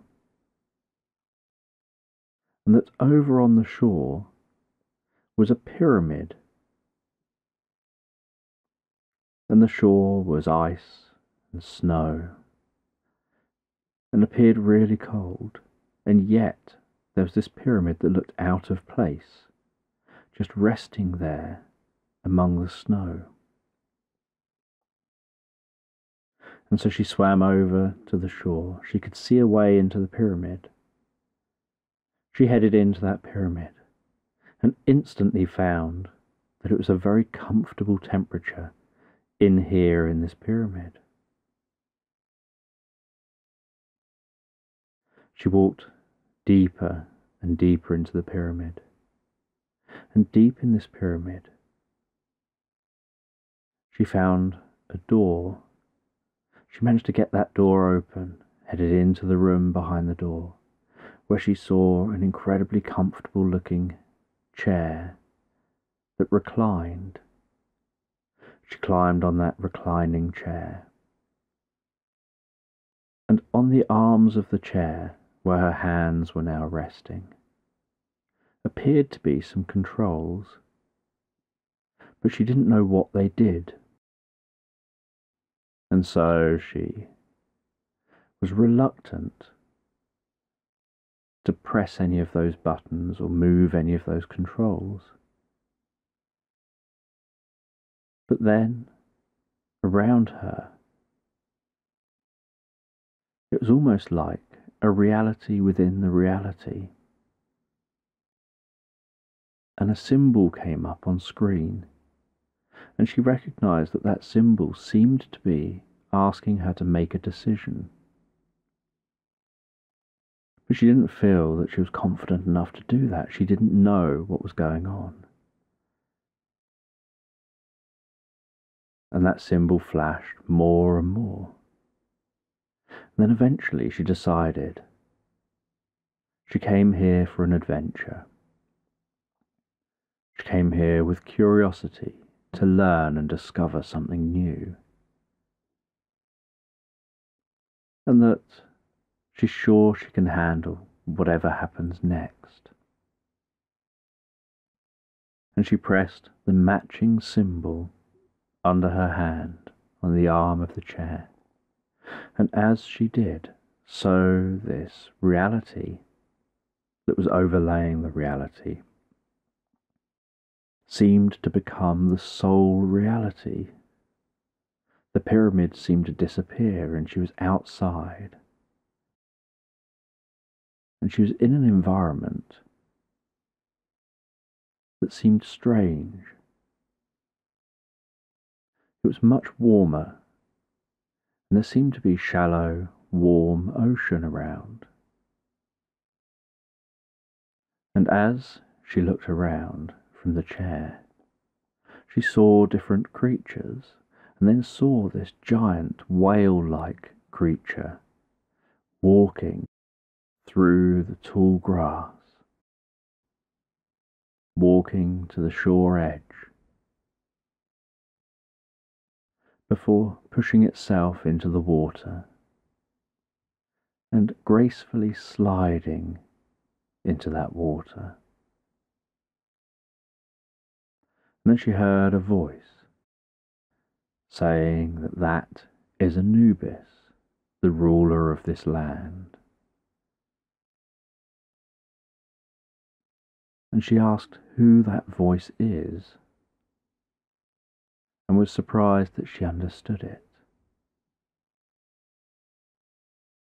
And the voice just said that it was the technology she was using, that it identifies what she's paying attention to, and tries to give her the information she's thinking of wanting to know. And as she looks around, she looks up towards the sky, and that voice starts saying about the sun. She looks over towards the trees, and the voice starts saying about the trees. And she ends up being irritated that this voice is saying everything. And so she assertively tells it to stop. And as she does that, so the voice stops. And she then asks the voice, If I stand up from this chair and explore this land, what will happen? And the voice doesn't answer.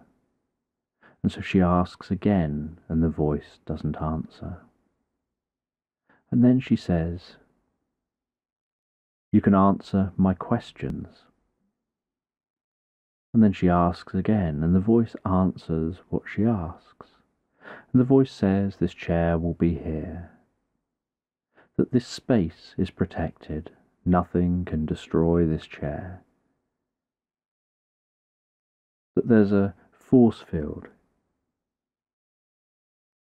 around this chair that's a little way from the chair that allows the traveller to have this experience, to explore a time period, to leave the force field and walk back through the force field, but nothing else can pass out or back through the force field, only the traveller. So you can explore here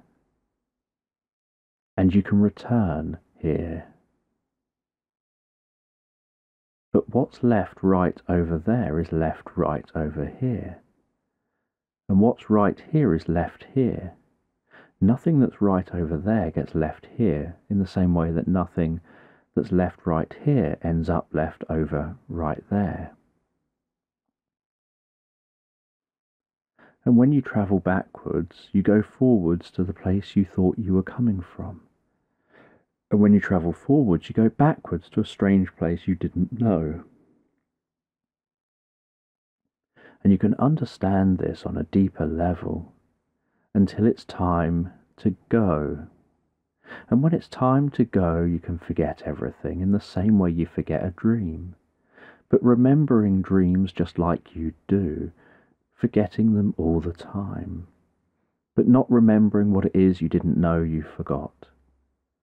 Because you forgot what it is you tried to remember, and knowing you remember some things, but not anything from the experience you've had. And as Mig became a little confused, the voice apologized and said sometimes my programming sends me on explaining things in too much complicated detail. All you need to be aware of is that you can't take anything from here back with you. And you can't take anything from the future to here. Just yourself. And she stands up from the chair. She walks towards the force field. She passes through the force field with a slight tingling sensation and heads out into the warmth of this area. She sees that Anubis swimming off and diving under the sea. She's surprised at how warm this area is. And then, while exploring, she finds what looks like an old pyramid similar to what she's come from. Only this one looks much, much older and overgrown, like nature here has tried reclaiming. And she can see that there are ten steps down into this pyramid, and she has to climb backwards down those steps, down that ladder. And as she can't see where she's going, while descending, she counts her way down those steps. On step ten, nine, eight, going deeper and deeper into the pyramid seven, six, five, four, three. She's aware she's reaching the bottom as she slowly and carefully descends deeper and deeper into the pyramid.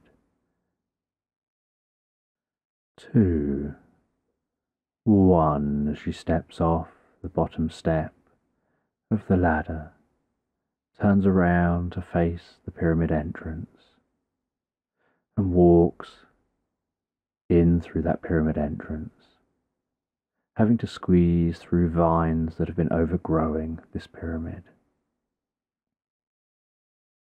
And as she walks into the pyramid, she can almost hear a voice in the back of her mind, almost reverberating, saying deeper and deeper, deeper and deeper as if to direct and guide her and instruct her on what she needs to do. And so she continues on deeper and deeper into the pyramid,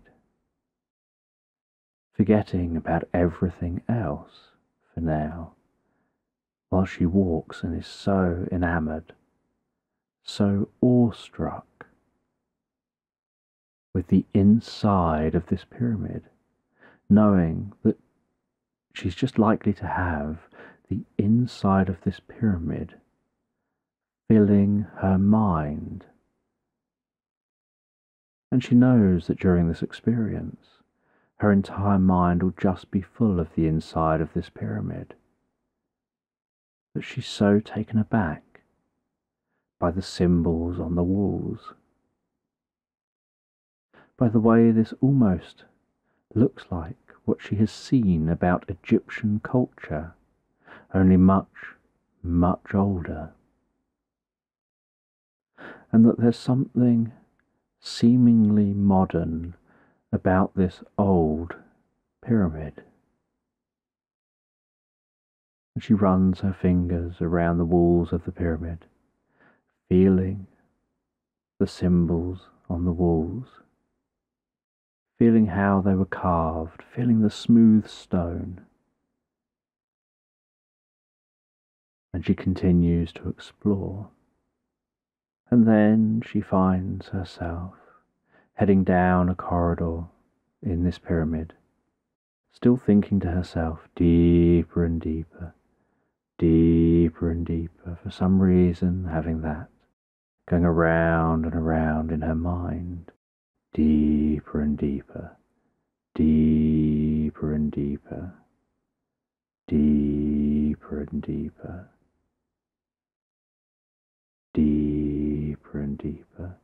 She realizes it seems to be deepening her state in this pyramid with each out breath that she takes. With each in breath bringing a sense of calmness, of peace. Breathing out everything from a moment ago and before, breathing in calmness and peace, breathing out the past moments, breathing in calmness and peace. And she continues walking deeper and deeper and starts following these different twists and turns into the pyramid. And after many hours, as it seems. She finds that she's lost in thought. She turns around and can see many paths to take and is unsure what is the right path. And while she's wondering what the right path is, she suddenly sees what looks like one of those silver foxes again. And it walks up to her, and she crouches down and pets that fox, feels the softness and smoothness of its fur, the warmth of its body. And the fox looks at her in a meaningful way and she says, I think I'm lost. And the fox surprises her by replying, saying, You think you're lost, you really do. But you're no more lost than you. Sometimes you can be lost and then you can be found, or you can be found while you're lost. But the one thing you know for certain is that you are here, and here is where you are.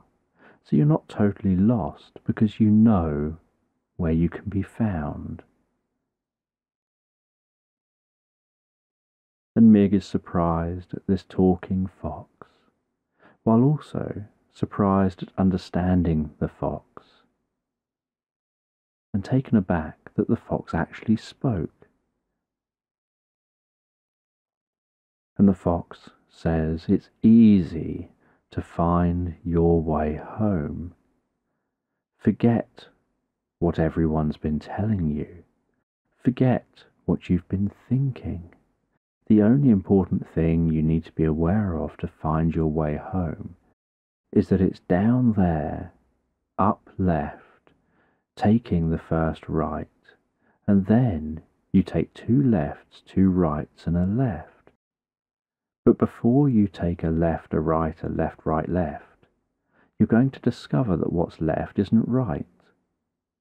And when you discover what's left isn't right, you're going to know that you're wrong. But when you find that you're wrong, you're going to want to be right. But the only way to be right is not to turn left. Because if you turn left, you're not turning right. And if you don't turn right, what's left is wrong. And I'm not meaning to be confusing by telling you what's left and what's right and what's right and what's wrong. All I'm doing is trying to be clear and make sure you know which way to go. I don't want you to take a left, a right, a left, left, right. I want you to take a right, a left, a right, right, left. But not the right, left, right that you think you take, because the right, left, right you think you take is the left, right, left for others and sometimes what you see in a mirror isn't right. Other times what you see in a mirror means turn left. So it's easy to follow the instructions. If you walk down here and you turn left, left, right, you're going to be in the wrong place. And the route that's left won't make sense. So instead of heading down that route and finding that wrong place, make sure that if you head down here, if you see this symbol on the left of a star, you know that that's not right and you've walked too far. But if you see the symbol of a boot on the floor, you know that you're near and close to the door. But don't walk through the door when the path isn't right turn around left and make flight.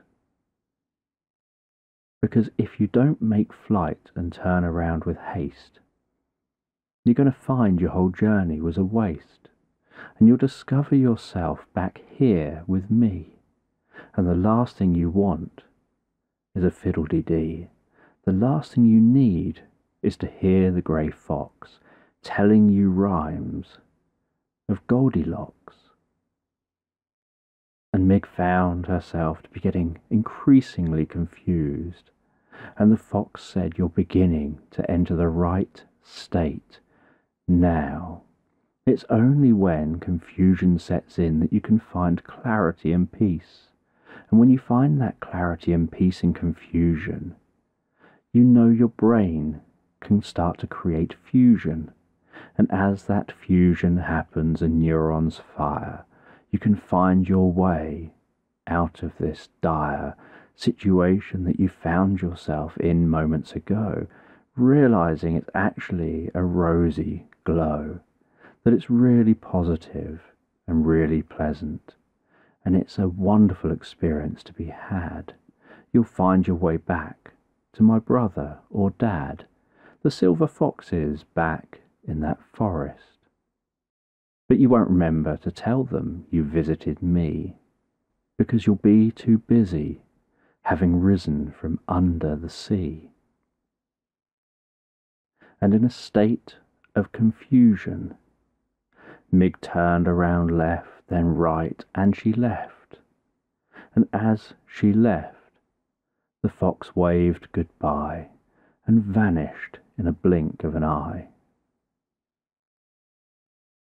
and magically So she thought, for she had no memory of what ought to have been. She found herself leaving that old pyramid and descending deeper and deeper while she climbed up those steps. From the bottom to the top, from step 10 at the bottom to 9 to 8, going deeper and deeper as she climbed up out. To 7 to 6 to 5 and 4, going deeper and deeper as she approached the door to 3 to 2 to 1 remembering no more.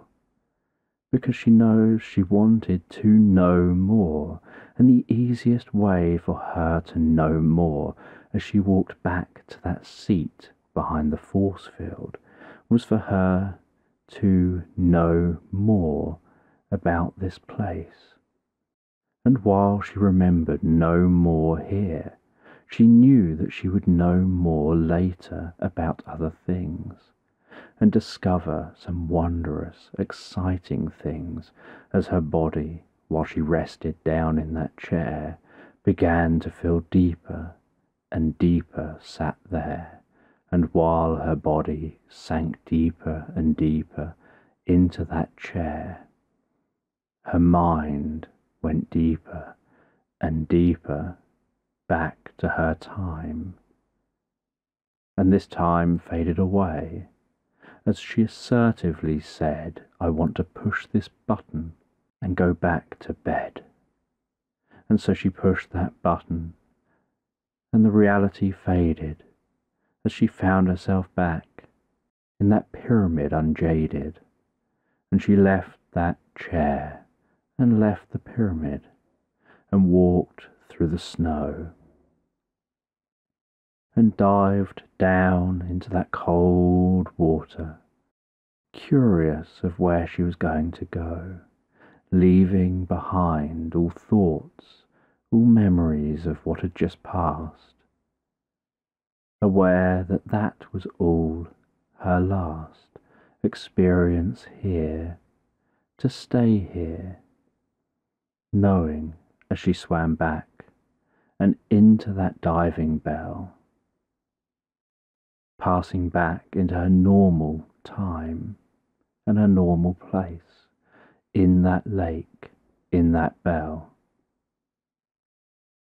That everything she had seen and experienced, everything outside of this bell, can stay outside of the bell, and she can leave all that there and she thought to herself, I will leave all that there and just rise up. No one will believe me if I tell them my experience. So I may as well just forget the experience, leave it there, and just remember to tell people that it was a good experience to be had. And there's no need for you to know what went on down there. And I'll remember to tell people there's no need for you to know what went on down there. And she pulled on the cord, and the diving bell rose and rose. And when it reached the surface, she could feel it bobbing and swaying on the surface. She carefully dived down out of the bell swam to the shore. Her crew asked what she experienced, what went on, that she was down there a long time. And she says, Oh, forget it. There was nothing important there. Let's just go camp on the beach. We'll find another island and carry on exploring. And she put all that out of her mind she walked back, and as she walked back through the forest, so she could hear those foxes playing, and one of the foxes stopped and looked over at her and made a noise, and she felt a strange connection with the fox before the fox turned away and carried on playing, and she thought to herself, forget it. It's nothing. As she headed to the other side of the forest, camped for the night, and that night drifted and floated to the most pleasant dreams before the next day going back to the boat and continuing the journey of discovery around the world, recording the adventures of Mig.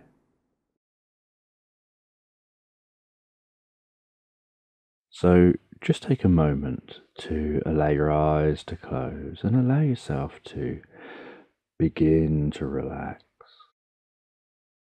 And as you begin to comfortably drift asleep, I don't know whether you'll drift asleep faster to the sound of my voice or whether it'll be to the spaces between my words. And as you continue to comfortably drift asleep, I'm just going to tell this sleep story in the background. And this is a sleep story about a woman who sets off one day from her log cabin in the countryside. She heads out from that log cabin, walking her small dog. And the two of them walk down the garden path, through the garden, where she can enjoy the smells of the flowers noticing the butterflies landing on the different flowers. And she can have a certain sense of curiosity about how the dog would be perceiving the smells around them as she enjoys the smells of her garden. And she reaches the garden gate opens the latch, walks through that gate, closing the gate behind her and her dog, and heading off down towards a path that leads deeper into the countryside. And she follows that path, initially heading down and then curving up slightly and then heading into some woodland. And she walks into that woodland. And as she heads into the woodland, so she notices the way the air changes, the way the breeze changes, and the temperature of the air, and the sounds of the rustling leaves around her as the trees blow in the breeze. And she lets her dog off of the leash, and the dog runs and jumps through loose fallen leaves, bouncing and springing and rolling in those leaves, and excitedly running among the trees.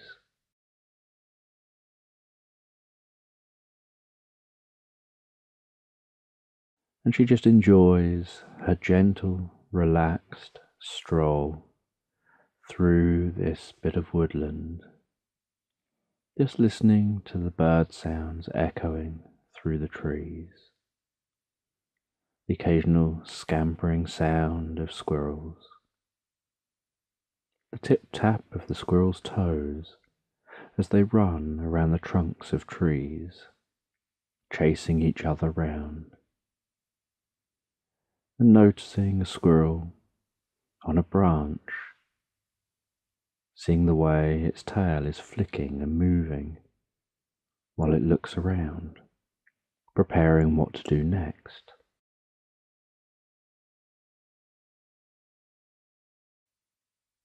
As her dog continues to run around among the trees, and play among those leaves.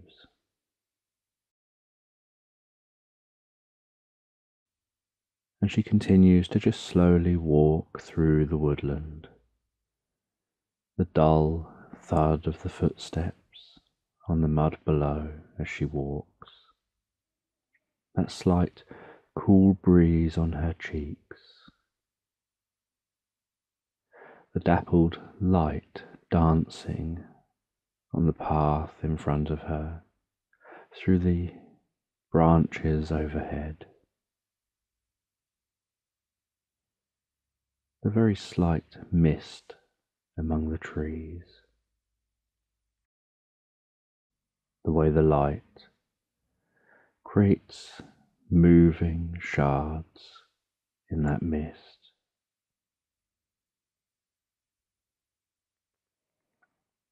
Then, after a little while, she approaches the exit of the woodland, climbs over a sty as she exits the woodland. The dog jumps up, pops its legs up, climbs up onto the top of the sty, and then jumps down the other side as she watches to make sure that the dog safely gets over beside her. And the two of them continue to follow a path.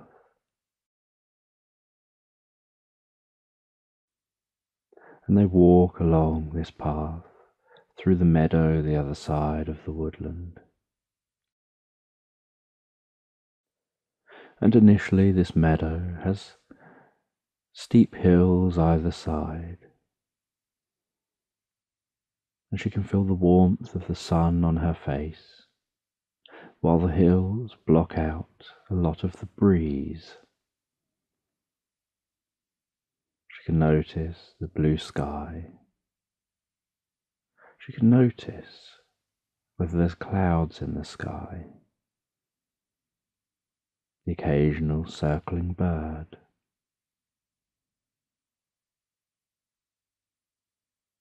the way the grass blows in that gentle, subtle breeze, almost like a dark and light band passing across that grass very slowly as it makes the grass just gently wave. And the wild flowers dotted throughout this meadow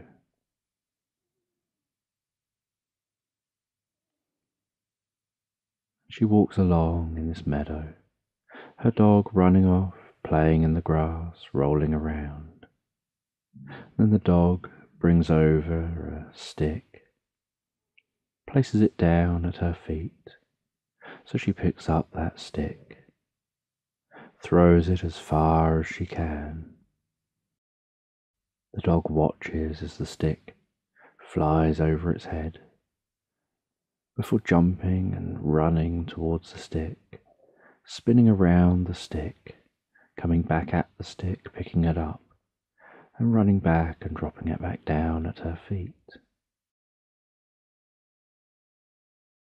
And she throws that stick a few times as she continues to walk through this meadow. She can see the bees enjoying the wild flowers.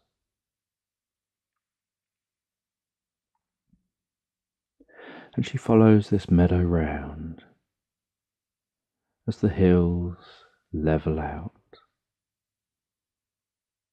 As she follows this path slightly uphill to a level point, she begins to follow the path with hedges along both sides. And the hedges are only low with a little ditch along the side of the hedges. And she can hear the occasional animal underneath the hedges. She can hear the cacophony of sparrows communicating with each other, hidden deep inside a hedge. And the interesting way that they go silent as she turns to face that hedge. Almost as if they suddenly think they're being watched, they better be quiet. And then they start to sing and talk again as she looks away and continues to walk. And beyond the hedges on either side are fields, and she gazes over the hedges, looking left, looking right. Looking over the bright yellow crops in the field, those bright yellow flowers that seem to be so bright, so vivid yellow. It's almost as if they're emitting light rather than just reflecting light.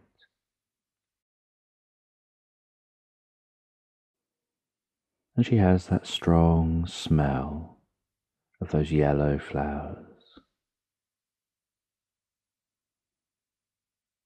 and she continues to walk along this path, which begins to turn slightly stony and a bit like gravel, and she can hear that gravelly footstep with each step that she takes,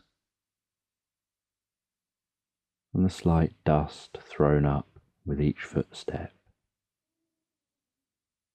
And her dog continues to run and play and seem to be enjoying its time out walking. And after some time, the hedges give way to just being able to look out over open fields in all directions. and beyond the near fields are hills with further fields, and then as she looks towards the most distant fields, she can see sheep grazing. She can see some lambs in those fields, the occasional tree standing in those fields.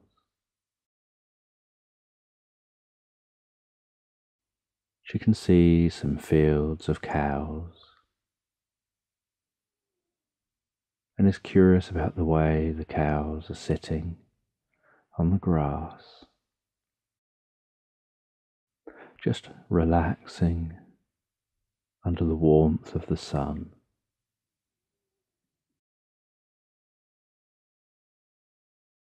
And then she starts to approach the lavender fields. She can smell that smell of lavender.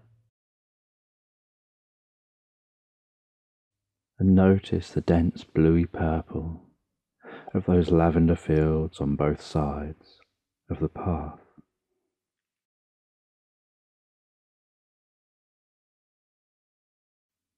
And can see the way the fields are so full of bees and other insects, butterflies, seeming to really enjoy that lavender.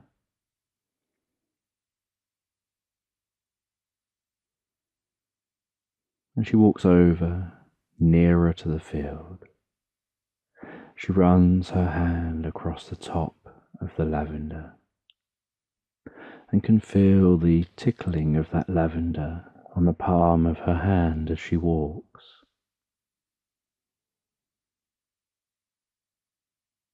Then she brings her hands up near to her face, cups her hands either side of her mouth and nose, and takes a comfortable breath in, breathing in that lavender smell.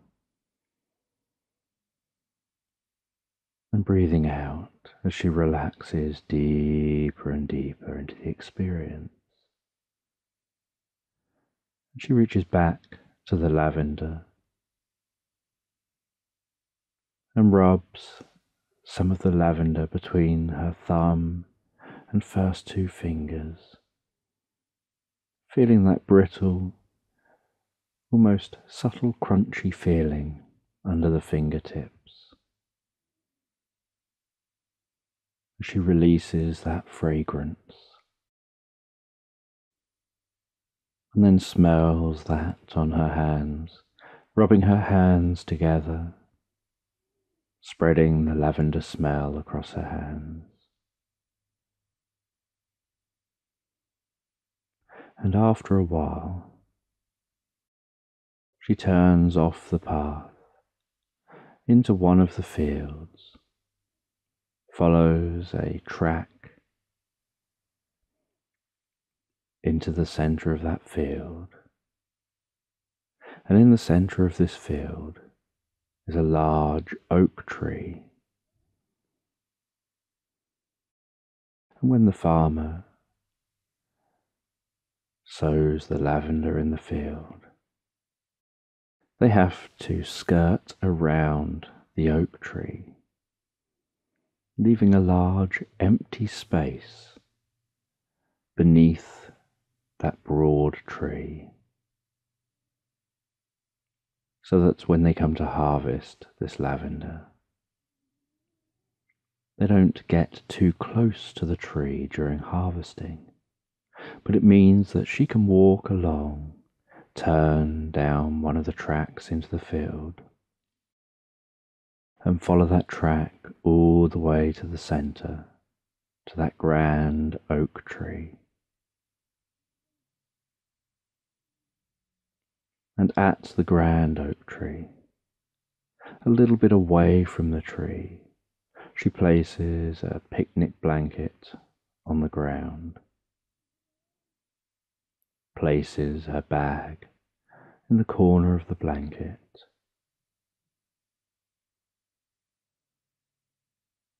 And relaxes down onto that soft picnic blanket.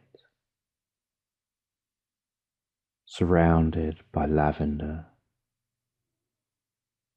with the most beautiful, elegant oak tree arching overhead on this small grass area.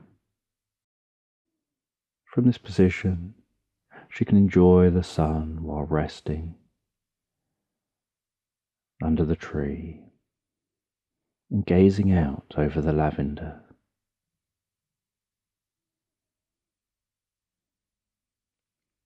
and she has something to eat while she rests on that picnic blanket.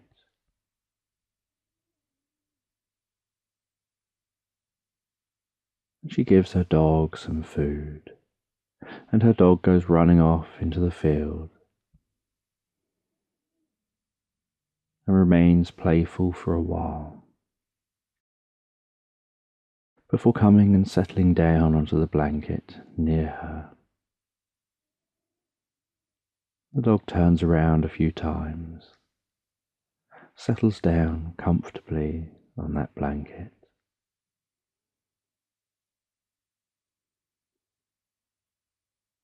And the woman takes a book from her bag.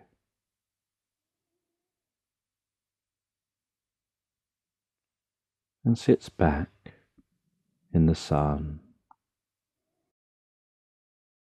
and begins to read that book and allow her mind to be transported, to drift off into the story in the book.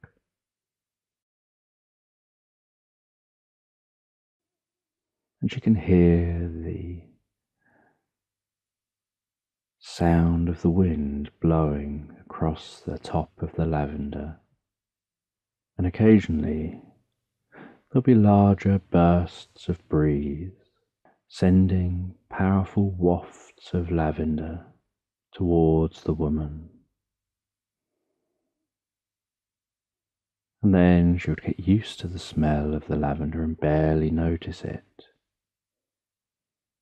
Before occasionally taking a deeper breath in, or having a stronger waft of air blasting slightly more smell in her direction.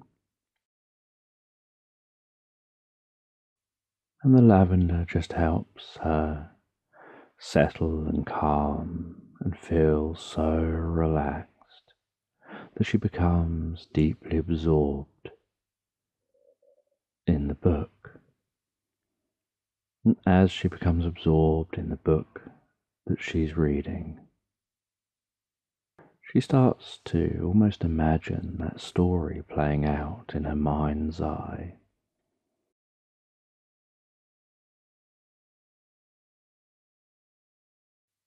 Imagining an old Western novel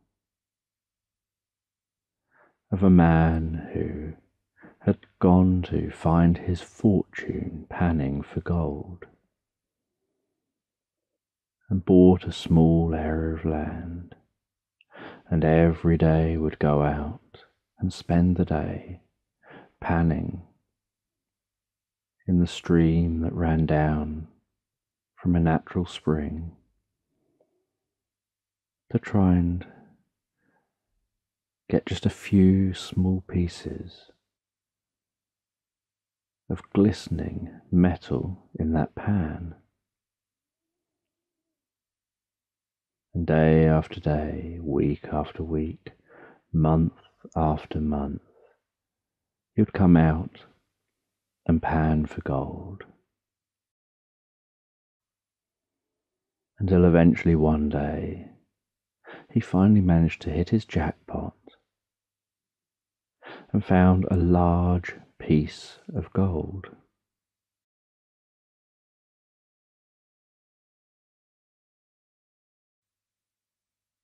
and that large piece of gold transformed his life. It led to him setting up a whole new life, where he met a woman and they fell in love. They had a family. They then went travelling as a family and they travelled in horse and cart, heading to a mountainous region.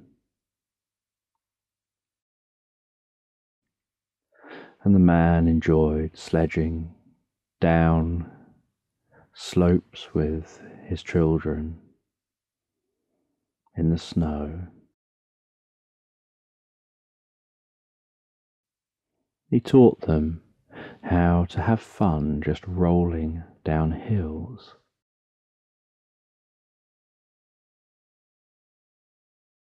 And this story that the woman was reading was a truly wholesome, feel good story where not a lot happened. It was just a gradual progression of working hard, of achievement, of falling in love, of enjoying family life, prioritizing experiences over materialism, and valuing those experiences, the memories created through those experiences. And the woman liked just being able to sit down in a relaxed place and read easy to read stories like this. And after reading for a little while, she put the book down so that she could just enjoy the environment. She laid back, resting her head on her bag, closed her eyes just listened to the sounds around her. Her dog moved a bit closer, rested its head on her leg, and snuggled up next to her, and she could feel the warmth of the sun on her face as she just lay back there, resting her head on her bag. She could hear the sound of the lavender blowing in the breeze smell the occasional smell of that lavender. She could hear the sounds of birds in the distance. and birds of prey circling overhead.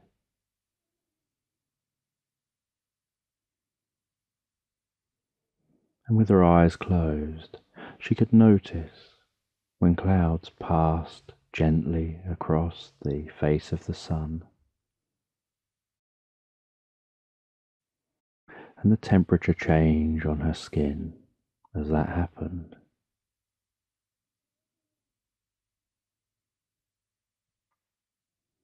And she just enjoyed being in the moment. No worries, no stresses, no anxiety, just enjoying being in the moment.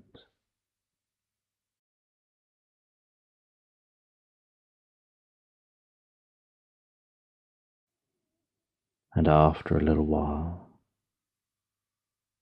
she knew that she had to head off from here. She had to walk with her dog back home. So she packed up her bag,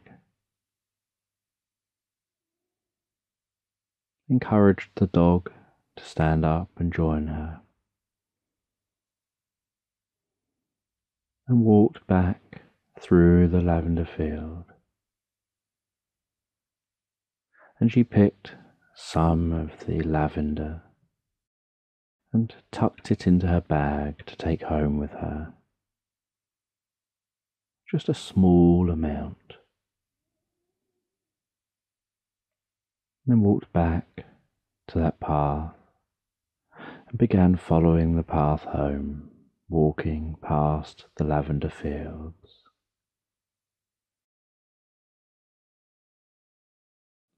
Then walking past those hedges full of birds and the bright yellow flowers in the fields.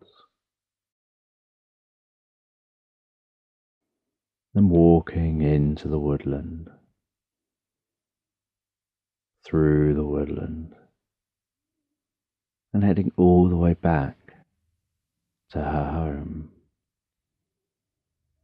And back at home, she walked through her gate, through her front garden, into her home, letting her dog in first, who ran in and jumped up on one of the seats, curled around and sat down on the seat. She put her things away and went and settled down in the seat opposite the dog.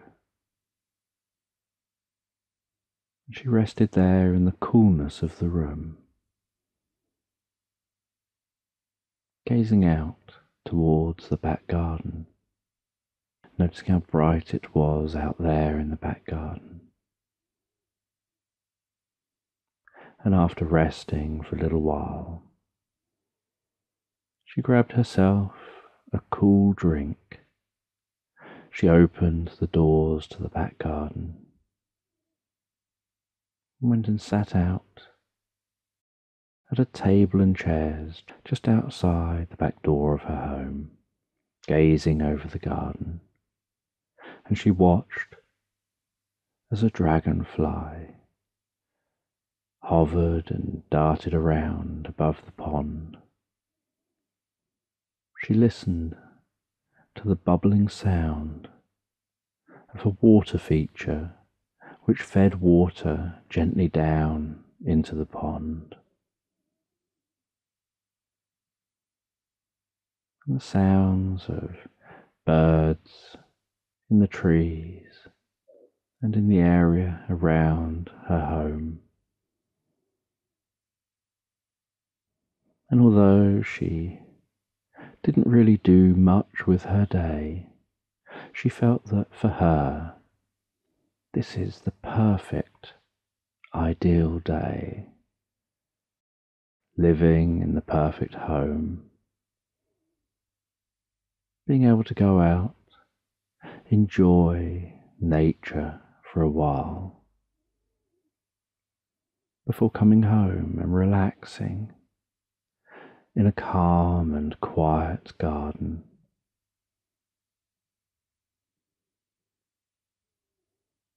And then that evening, she settled down in bed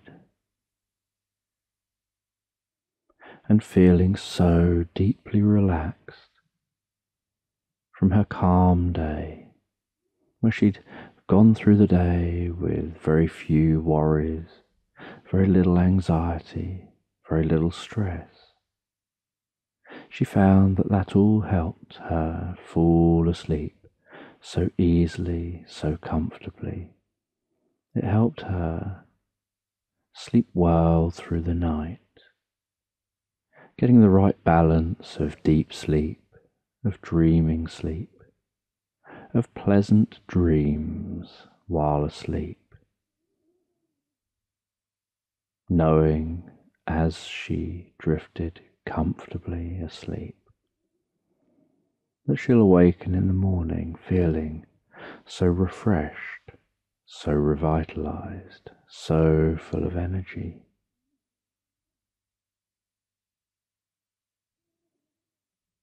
and looking forward to her next day and what she'll decide to do with that day.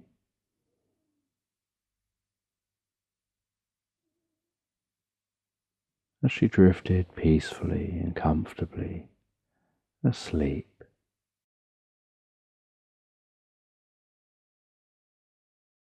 So just take a moment to allow your eyes to close and allow yourself to begin to relax. And as you begin to comfortably drift asleep, I'm just going to tell this sleep story in the background. And I don't know whether you'll drift asleep faster to the sound of my voice or whether it'll be to the spaces between my words. And this is a story about a young dog called Rosie. And Rosie is out one day walking with her human friend. And they're heading down to the nearby park. And as they walk down towards that park, so Rosie can follow different scent trails, noticing different and unusual smells following one scent, exploring that for a while. Before then, changing directions and following another scent, and occasionally stopping to explore a scent in a little more detail. And Rosie's world is an incredibly rich, scent filled world. And as Rosie and her human approach the park, so she can notice the smells of the different flowers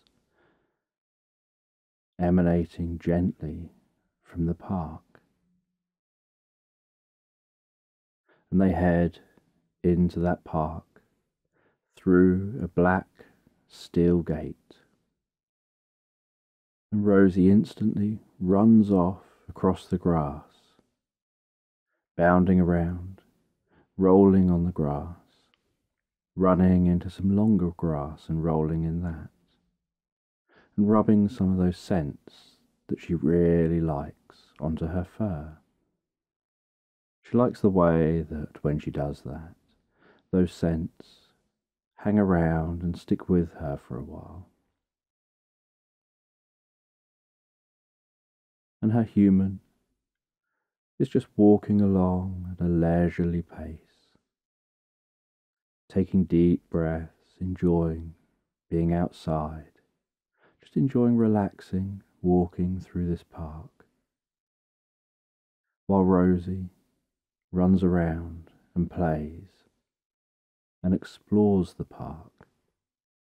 And she has been to this park many times before, but each time she finds new things to explore that she hadn't seen before. She finds it interesting how the park changes across the year. That when she first came to this park, there wasn't much green, it was mainly sticks, and the trees were bare, and everything was brown, and it was cold, and the ground was hard. And then, as she continued coming to the park, first there were some small, little delicate flowers popping up near the trees.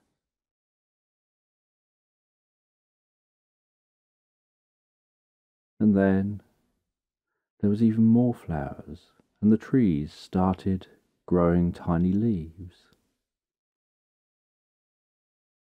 And then one time when she visited, there was insects and butterflies, and the sounds of more birds, more cheery bird sounds.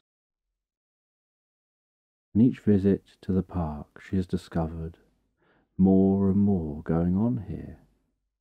And now even the short grass is longer than it was, and the long grass is very long.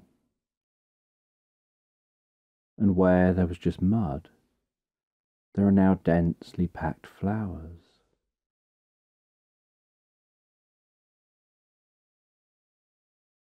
And while Rosie explores, her human finds a bench and sits down on a bench, shaded comfortably by the shadow of a tall tree.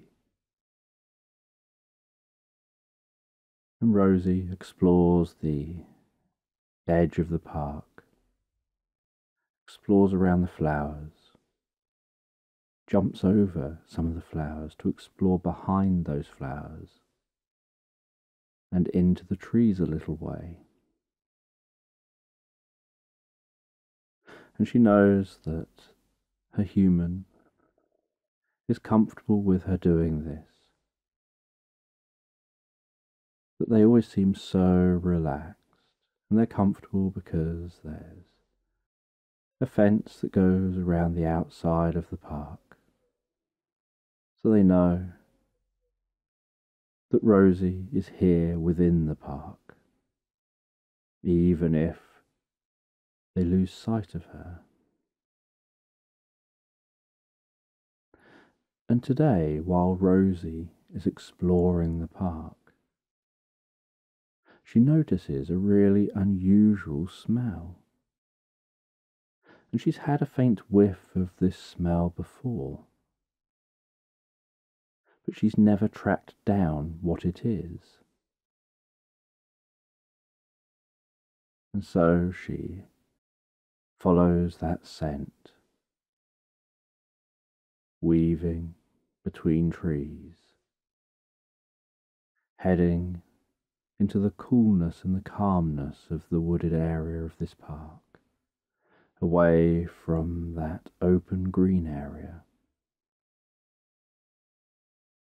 noticing the quietening down of the sounds around her, following that scent, just hearing the gentle steps that she takes as she walks through this wooded area.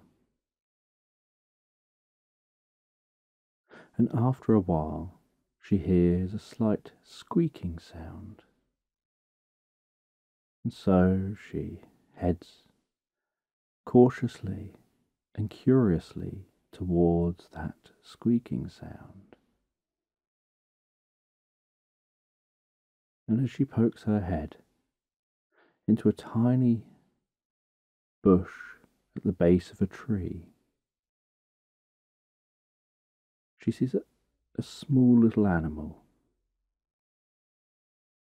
And that little kitten looks up at Rosie, making a few little squeaking sounds and jerky movements trying to stand and move. And buffs its head against Rosie's wet nose. And Rosie's curious about this little creature. Rosie pulls her head out of the bush and looks around. And she can't smell any other animal like this animal. And as she's looking around, she hears a twinkling, sparkling sound. And then, almost as if it's come out of the tree trunk, through the tree trunk. She sees some sparkling light that's incredibly bright. And as that sparkling light lowers down towards her, the brightness of the light begins to dim. And she notices what looks like a small person with wings. And this fairy hovers near to Rosie and says, I need your help. The mum cat of this kitten has entered the land of the fairies, and the kitten needs the mum, and the mum can't find her way out from the land of the fairies, and is lost in that land and as a fairy I can find my way out. Using magic, we come and go through magical portals that have us move from one realm to another. But we can't take someone else through that portal. We can just synchronize so that we pass through the portal ourselves and that mum cat can't find their way back. They accidentally stumbled into some entrance somewhere that led to our land. And I was just coming back here to check on the kitten because the cat has asked for my help. And I said that I don't know what I could do to help but I'd make sure their kitten's okay while we find out how to find the entrance that they passed through and find a way for them to come back. And Rosie discovers that she can communicate back with this fairy.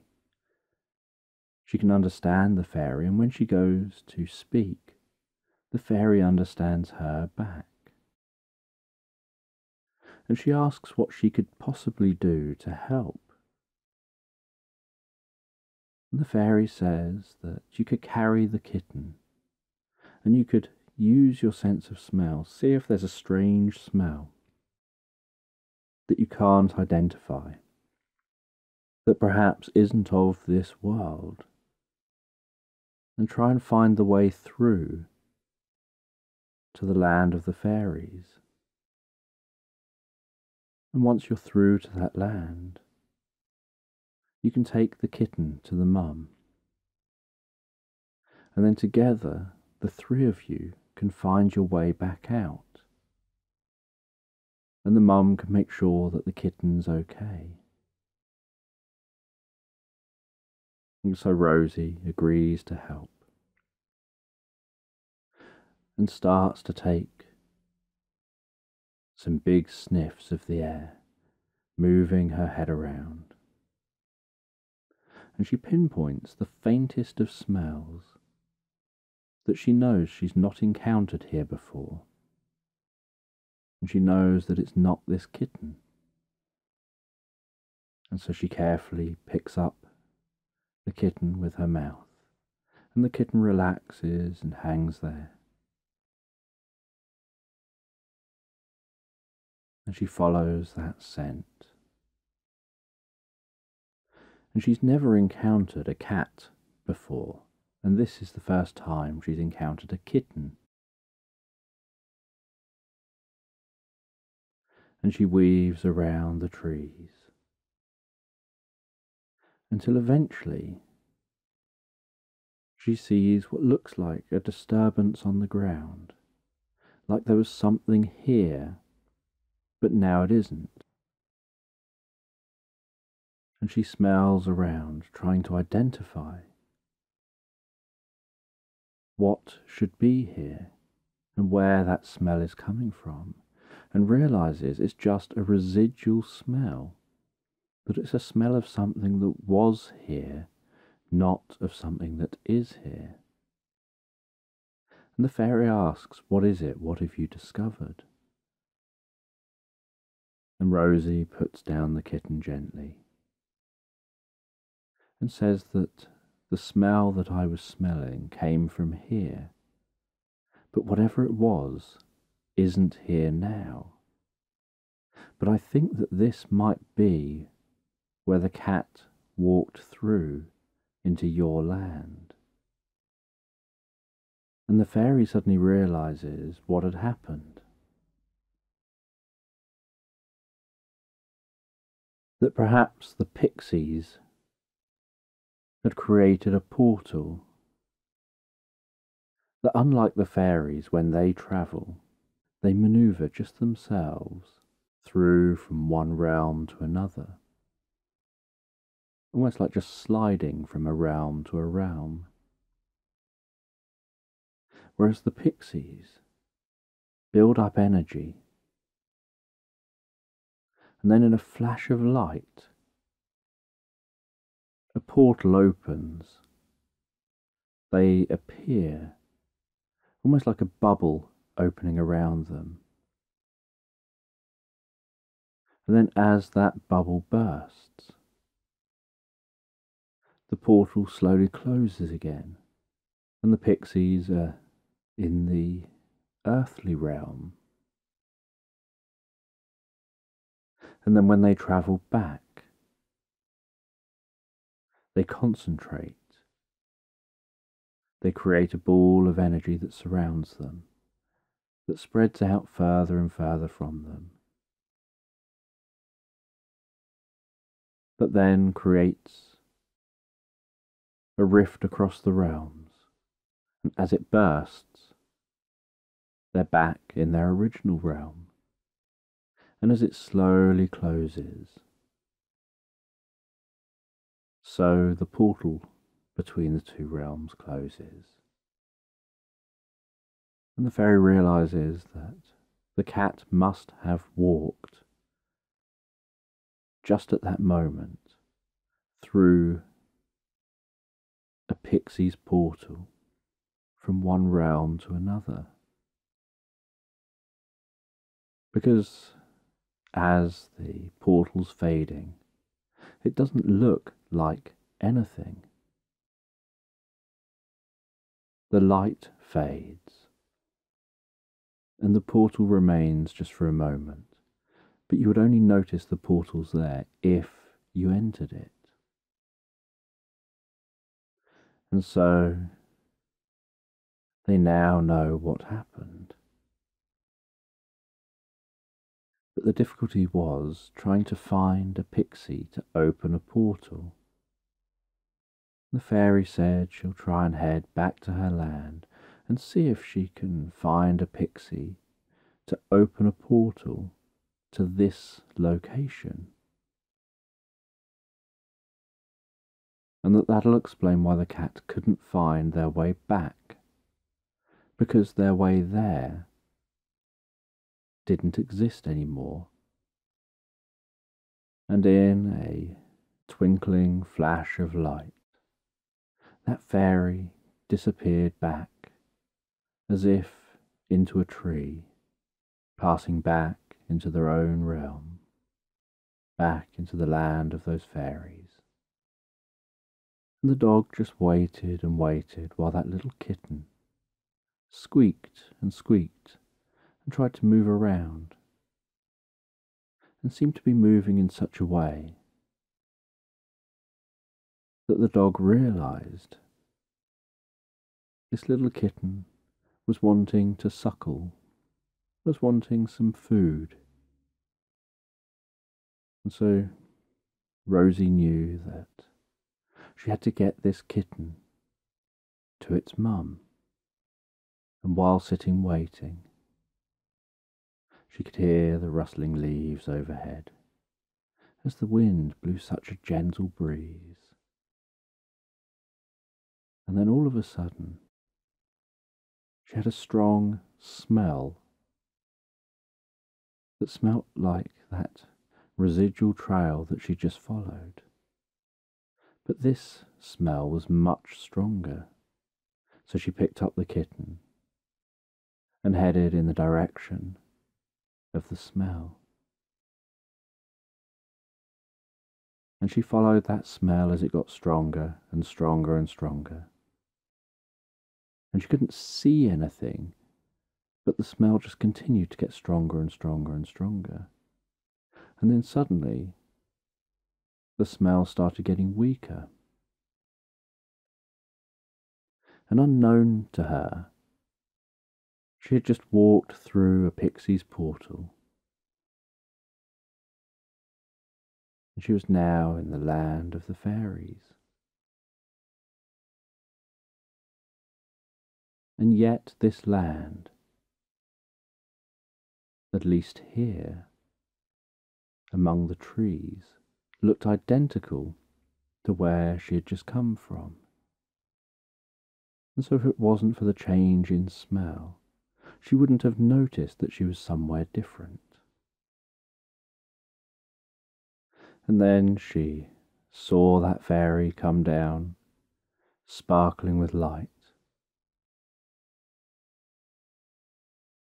And she could smell a stronger smell, a bit like the kitten. And that stronger smell seemed to be getting stronger and stronger.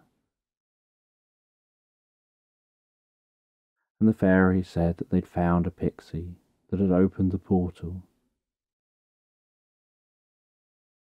But the dog couldn't see this pixie, and the fairy said that pixies are only visible to human children. That they're not visible to animals, they're not visible to adult humans.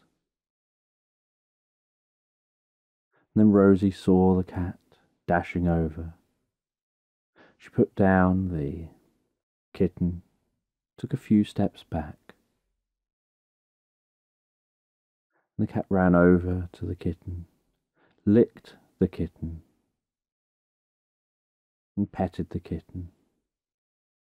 And the kitten nuzzled its way in to have a drink of milk, and the cat laid down gently on its side purring and licking the kitten while the kitten drank the milk. And the fairy said that it might be best for the cat and the kitten to take a little while before they leave here and head back out of this realm. So for now, why not come back to where we live? And Rosie was curious with the smells here and excited at the thought of being able to explore these new smells. And now they knew how they were going to get back. But Rosie also knew that she couldn't be too long because her human friend would end up looking for her. So she had to be back before her human friend would start calling for her.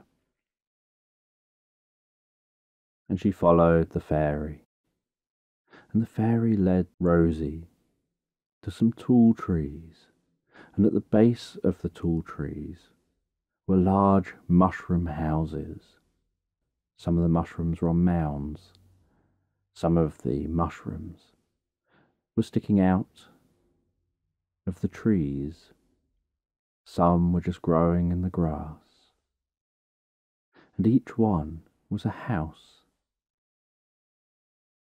that looked lived in, and some fairies came out of some of those houses, and some children fairies came out to see this dog. They've never seen a dog before. And the children fairies hadn't got their wings yet, so they ran over to the dog. They started petting at its legs, feeling the fur, grabbing chunks of the fur and rubbing their faces on it. Talking with excited, squeaky voices. And then some of the adult fairies ushered the children along so that Rosie could continue following and exploring. And Rosie was shown around the village, shown where the fairies live. And Rosie couldn't climb up into the trees, but looked up at the houses that were up in the trees and saw that these trees were full of different fairy houses with all these mushrooms of different kinds. And then, after a very short while, Rosie said that it was time for her to head back. And so the fairy went back with Rosie to the cat and the kitten. The cat picked up the kitten. And Rosie and the cat looked at each other, and then looked forward. And then, in a flash, the fairy said, There's now a portal in front of you, created by a pixie. So if you just walk through that portal, just walk forward, you'll find yourself back in your normal realm and so they walked forward. And the cat and the kitten and Rosie headed back to where the kitten had been found. The cat tucked the kitten back down, came over to Rosie as if to thank Rosie, rubbing up almost on tiptoes against the side of Rosie. And purring before heading back to the kitten.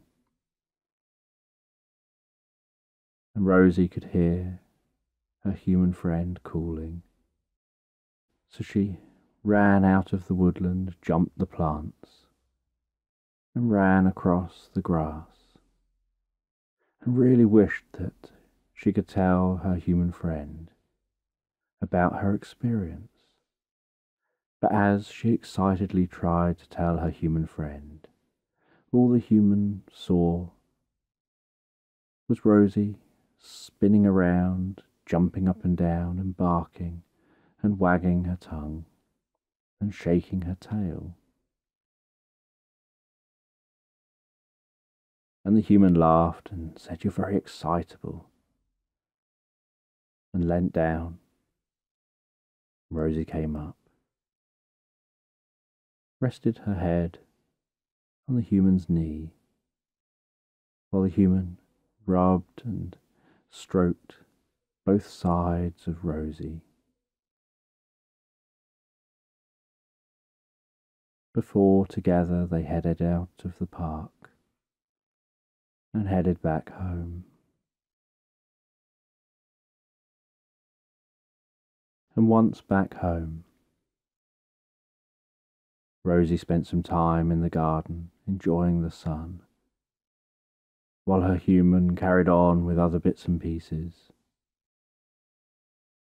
And then, as evening approached,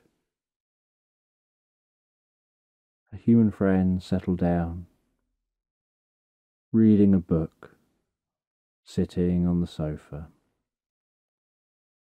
Rosie climbed up on the sofa, rested her head onto the human's lap.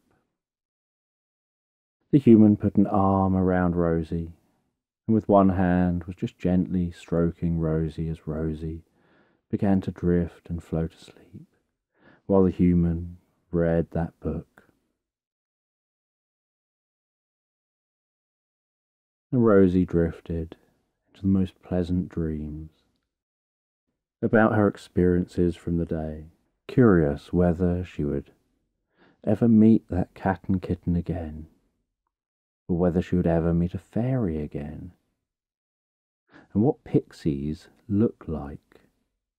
She hoped that one day maybe she would encounter a child and be able to figure out from that child what a pixie looks like.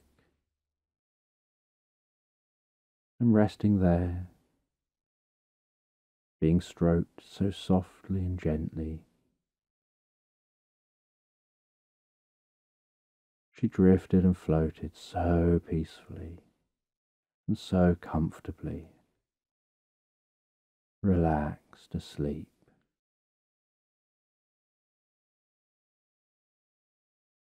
So just take a moment to allow your eyes to close and allow yourself to begin to relax. And as you begin to comfortably relax, I don't know whether you'll drift asleep faster to the sound of my voice or whether it'll be to the spaces between my words. And as you comfortably drift asleep, I'm just going to tell this bedtime story in the background. And you find yourself climbing a mountain. And as you climb this mountain, you can notice the wind around you. You can hear each footstep you take. And notice what each footstep sounds like on that path. digging in the soles of your feet and the ball of your toes as you push yourself up that mountain. With the wind rushing around the mountain face, clouds seeming to streak by high in the sky. And you climb higher up that mountain, well above the tree line below. And once high up in the mountain, you turn around to rest. You sit yourself down on a rock and you look out over the route that you've taken. You look at the path up the mountain from that forest below. and you can see way off in the distance the sun beginning to set over the forest and over a lake in the forest, with the way that from up here you can notice the golden light dancing and twinkling on the surface of the lake, almost like the lake is full of sparkling diamonds almost silently twinkling over there in the distance. And as that sun sets lower and lower, eventually it seems to almost touch the horizon and seems to almost have like a second sun climb up to meet it just as it's reaching the horizon. And although that sun appeared like it was moving so slowly and almost imperceptibly across the sky, now that it's down near the horizon, it suddenly looks so much larger. And you can notice its movement. You can see as it turns a deep red. The shadowy outline of the forest trees across the lower half of its face, and the slight shimmering and movement to those trees. As the sun continues to silently set over there. And while the sun is setting behind the horizon, you set up a tent up here on this mountainside.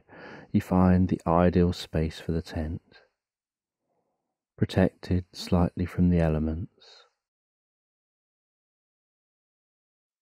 You set up that tent. You start a little campfire in front of the tent. You sit just inside the entrance to the tent making yourself some food and drink while you rest and relax deeper into the experience. And the sun has now gone over the horizon, and yet there's still sunlight illuminating the sky, creating the most beautiful red glow. And you know that down at the bottom of the mountain, it's probably already a darker blue, and the sun will have set a few minutes ago. And while that red glow gradually fades to blue, you can see an ever increasing array of stars arched overhead, twinkling, dancing. And then while the darkness increases and you gaze up at the sky, you can notice colours just faintly in the sky. But the longer your eyes begin to adapt to the light, and you keep them looking in a direction away from the campfire, you notice the moving light almost dancing in the sky of greens, a little bit of yellow, some blue, some red. Almost like someone's shaking out some sheets. And you start thinking to yourself about mythology, how certain stories perhaps would be told around a campfire, and how sights like this could be turned into myths as a way of trying to explain what it is and what's going on. And you imagine to yourself that perhaps someone could be sat looking at a similar scene. Maybe a child or someone else asks what the lights in the sky are. And maybe the person responds by thinking that it's perhaps a god shaking out the sheets from the day. Shaking off the dust, and that the dust is perhaps the stars and the twinkling is that dust becoming static in the sky as you just see a glimpse of the God's world. And all you can see is the faint colours of the God's garments being shaken out and hung out to dry for the night. Their day clothes, their party clothes, their bright coloured clothes with that dust appearing in the night sky, hanging in the sky until morning, where time for those gods moves so slowly that the dust just slowly ebbs across the night sky, falling down to earth as the night goes on. And that all night long they shake out those clothes, constantly shaking out more dust that settles through the night.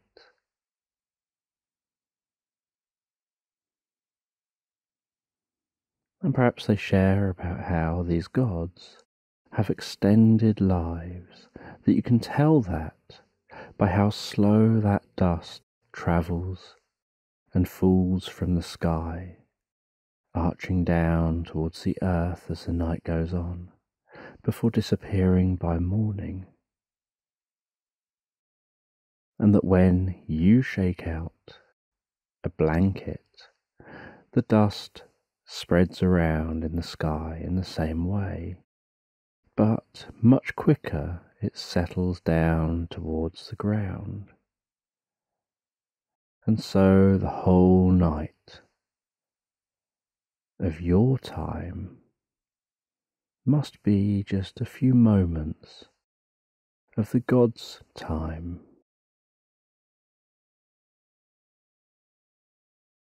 And you think to yourself about what it would be like to be told stories like that and have no other context no other explanation, no other understanding. And so buying into the stories, initially not necessarily believing them. But when someone comes to you and asks you to explain the same thing, you share the same story you were told. And then the next person shares the same story. And over time, perhaps some of those stories become more elaborate. Perhaps someone asks why they're cleaning their clothes at night and shaking them out at night.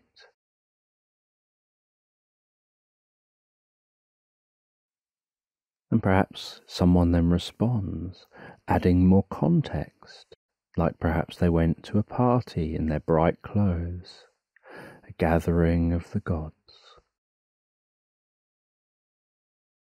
And then someone asks about the party, who held the party, and so you now have some names of the gods, of who held what party, who attended, and whose garments these must be. And then, within a few generations, you have these stories carrying on as the only logical explanation, and just following on to believe what's being told. Because you believe that gods must exist, because you see evidence of them everywhere around you, in the life that you see, in the beauty of nature, in every sunset and sunrise. You see that every time the sun rises, it must be because the gods blessed you again and blessed humanity, giving them another day. And as the sun sets, it must be the struggle, the fight that takes place, where the darkness wants to rule and reign. And perhaps in some parts of the world, you imagine,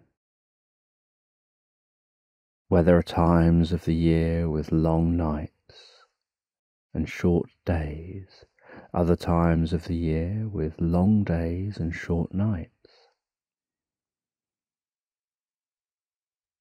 Maybe the gods are battling it out, and the helpful gods are winning at some times and struggling more at others and that part of that time of struggling has the planet suffering because of the struggling, where crops struggle, where it gets freezing cold. But then, when it's incredibly hot and the gods are winning, maybe they need to be asked to just tone things back a bit. That they're giving too much light. And so, while you begin to comfortably drift asleep in that tent, you have all these thoughts about mythology, about how people develop their beliefs over time, how stories and myths begin, how events can become myths and legends, where there was a grain of truth at the start, but then to make it easier to remember the story you're telling. People begin to make alterations, they begin to neaten the story up they begin to add elements that make the story more memorable, like the use of threes and sevens. they begin to give it a clearer structure, a beginning, a middle, and an end. They begin to add in good and bad, and they make various changes to make it easier and more compelling to tell. And they don't do this out of any way to deceive. Just realizing that if they make a few changes to how they're telling it that time, it's easier to remember, and the moral of the story, the messages being conveyed, are conveyed in a more potent and powerful way that grabs the listener, has more of a hook, is able to be grasped by the younger generation It makes the stories less boring and more engaging. And while you think about these things, you drift and float so peacefully and so comfortably asleep. And the next day, you awaken. You open your tent, take a deep, comfortable breath of the fresh, cool mountain air and feeling so refreshed and comfortable when you wake up. You have yourself some food before packing everything away while the sun's still rising. You continue your journey to the top of the mountain and then begin to descend down the other side. and as you descend down the other side, so you find it a little more treacherous underfoot, and yet so much quicker to descend than it was to ascend. You just have to pay more attention to what you're doing. And you manage to make it all the way down the mountain without slipping or sliding. and at the base of the mountain, you head over to the edge of a river. You begin to follow the river. Initially through the meadows this side of the mountain, aware of how lush these meadows look, the wild flowers, the bees, just so gently flying from plant to plant, the butterflies almost haphazardly leaping from one plant to another, and occasionally spiraling around each other before separating off from each other and continuing their journey. And the running, flowing sound of the river alongside you. And you think about the contrast this side with the meadow, to the other side of the mountain with the forest, and how dense and dark the forest is compared to this open, bright meadow. And you can see off in the distance some deer just enjoying the grass in the meadow. And then you hear this sound, and you see a small cat meowing and running over to you. And it begins to weave itself between your legs, rubbing its head, the side of its neck against the side of your leg, lifting one leg off the ground while it does that, as it pushes itself against your leg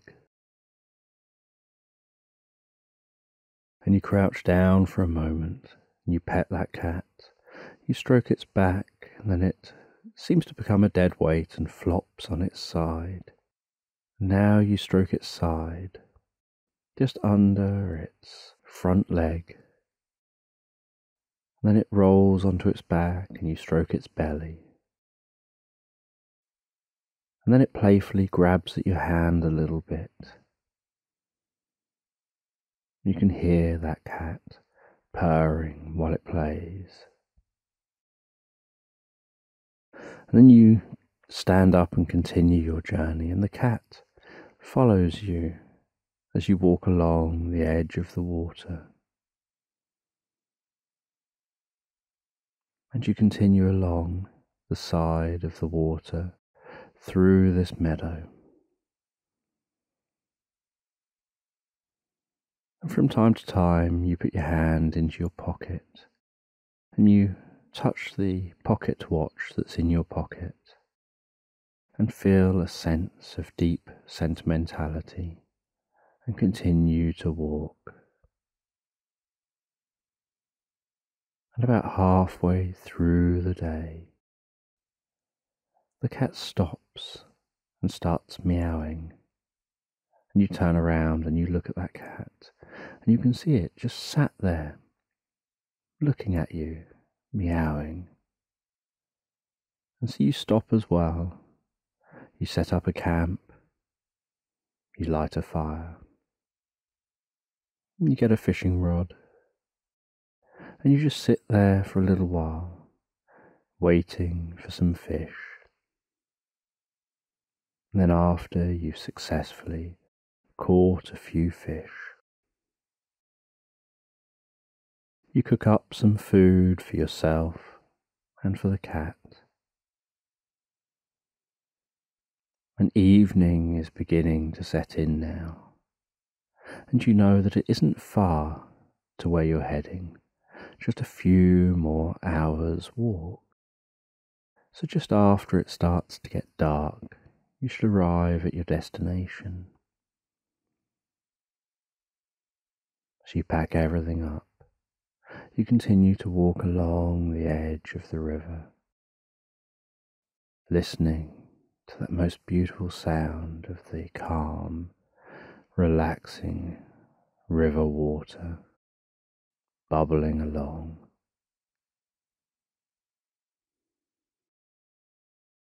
Hearing the sounds of nature around you, and that cat walking along with you. Sounds of birds, sounds of each footstep that you take as you walk along the edge of that river, and you can see in the distance lights of a small village. You follow the river round towards the village, and as you approach the village, so night time has set in. You have to cross a bridge to the other side of the river. You walk along the road into the village. Walk through the village past a couple of taverns, a few places to stay, a few different places to eat. You find your way to a clockmaker, the only clockmaker in this land that knows how to fix your pocket watch. You take your pocket watch into that clockmaker's, opening the door, hearing the bell ding as the door opens, and ding again as the door closes. The cat, at this point, climbs up to avoid the closing door onto your shoulder and is perched across your shoulders and you walk through the clockmaker's shop, the sounds of ticking clocks all around you. Noticing as you look around clocks on the walls, their pendulums swinging and ticking. Many of them ticking out of sync with each other, making a cacophony of ticks and tocks. and the echoing sound of each step on the wooden floor. As you walk over to the counter, you ding a bell on the counter and then wait. The cat climbs down your arm and onto the counter and lies down on the counter. And then you hear a voice saying, Hello, can I help you? And the voice is coming from right in front of you. And you say that you would like to have your pocket watch fixed. You'd like it repaired, and you get that pocket watch out of your pocket, place it on the counter. And you see that watch lift up off the counter, pop open, turn over, looking at the back side, turn back to the front side. The chain just hanging down, shaking a little and dancing a little as the pocket watch is moved in front of your eyes. And then the voice says, I should be able to have this fixed by morning. You can check in to the nearby hotel and return in the morning and it'll all be done. And you thank the voice, and the cat climbs back up onto your shoulder. And you leave the clockmaker's shop. You head to a nearby hotel. You grab yourself something to eat book a room for the night, and the cat joins you for the food and for the room. You settle down in the room and drift and float so peacefully and so comfortably asleep. And while you sleep, the clockmaker gets to work. And back in the clockmaker's shop, the invisible clockmaker puts on some gloves, puts on some glasses, and the glasses appear to almost have multiple glasses, like glasses in front of glasses in front of glasses, getting smaller and smaller. And the invisible clockmaker then gets incredibly small tools out and starts to work on that clock. They carefully pop the back off of the clock. They begin to clean it up, carefully removing dirt and grime before they even start work on fixing this pocket watch.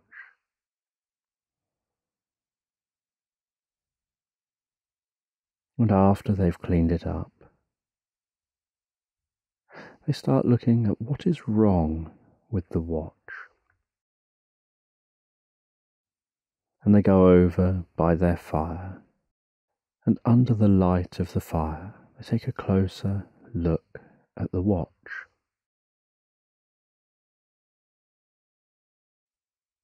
and they realize that the stones in the watch, the stones that imbue the watch with its magical properties, as all watches in the land have, that one of those stones has fallen out, and that that's what the problem is. And all pocket watches in the land and all clocks in the land are imbued with a specific magical element so that they don't just keep time, but they keep purpose. And some can help to read emotion, some can help to speed up and slow down time. Some can even stop time to everyone who's not holding the watch.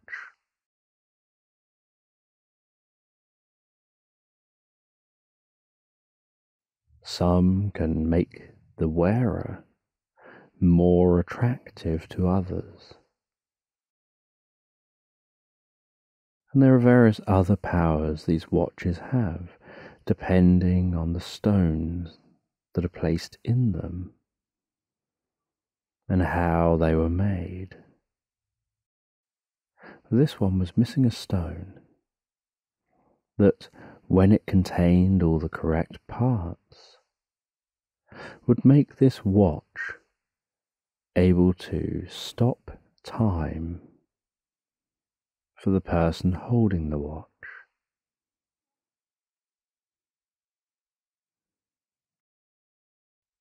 And so the invisible clockmaker went over to a large wooden bucket of water. They took some powder. They sprinkled that powder into the water, which fizzed and popped and bubbled as it dissolved in that water. And then that water became incredibly still, the surface of which was almost mirror like. And the clockmaker carefully, just very gingerly, moved around that water, trying not to disturb the stillness. They then reached down towards that water with a tiny little pair of tweezers and stretching down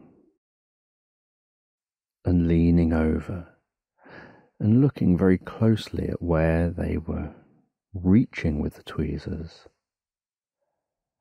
they carefully picked up this incredibly small almost diamond looking floating gem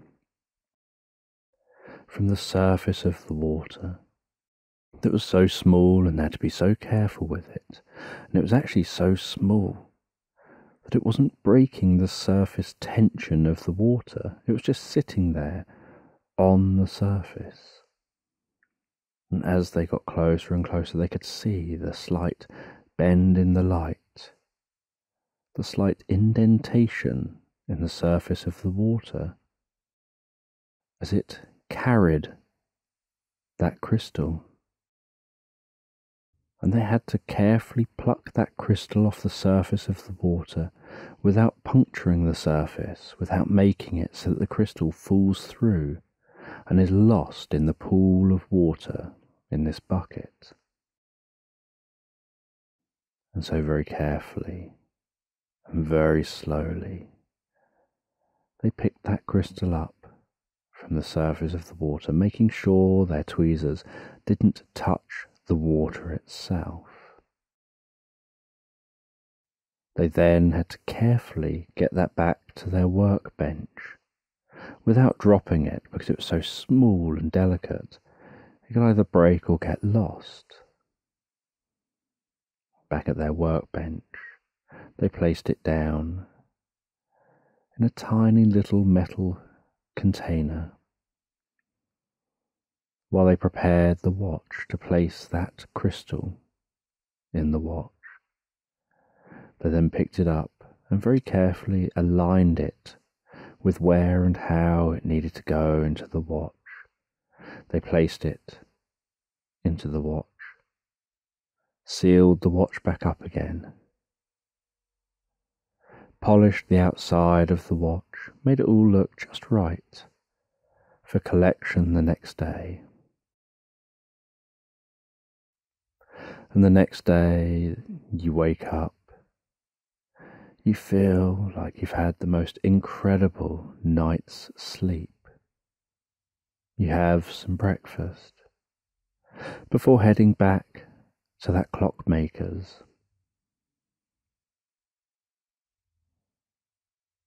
and you arrive back at the clockmakers. Enter their shop, and you can see your pocket watch hanging on the wall, looking almost like new. and you hear a voice telling you that it's all done now. And then they get that watch down for you and put it on the counter for you to see closely. And they tell you what was wrong with it, what had stopped it working.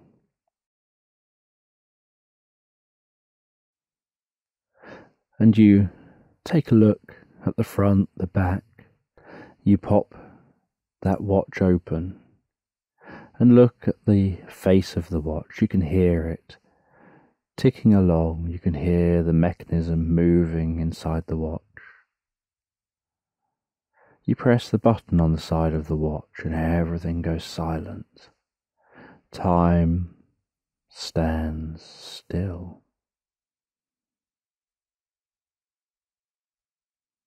And then you press the button again. The ticking comes back. And you can hear the sounds outside and the sounds around you again. And you're always amazed when you stop time how silent things really are when there's no propagation of sound waves. That even when people are in places that they think are silent, they're really not as silent as they imagine.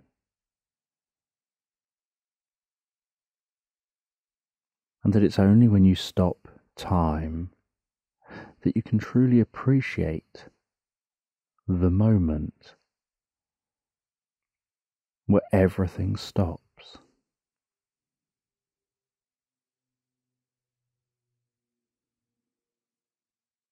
And you know that you need to pay the clockmaker. And so you pay the clockmaker you head out of the shop, and this cat seems to want to hang around with you. And so they start heading back with you on your journey back the way you came. You know you've got a long trek ahead of you. You head back through the meadows, up and over the mountains, this time with a cat joining you on the journey, resting on your shoulders, sometimes climbing into a bag. You head through the forest, all the way to that lake. You head beyond the lake, following a long road. You head to a small little monastery. Head into that monastery.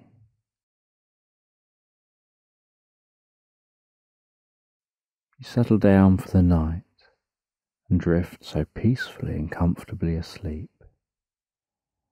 And then the next day, you go out into the gardens of the monastery and like every day here where you live in this monastery, you sit on your rock, the rock that you meditate on. And the cat relaxes onto your lap, using your pocket watch. You press the button you freeze time. And with time frozen, you watch that nature around you. You see birds mid flight. You see a waterfall stretching down towards a pool and not quite touching it. You see a fish mid leap out of the pool. And you begin to just take a moment of learning about the moment, about being in the moment, by pausing and extending that moment.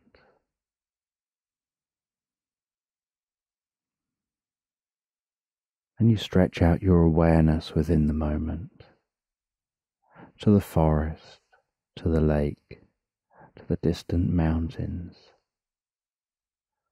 And everything is silent. You just stretch out your awareness to connect consciousness between yourself in the moment and everything around you.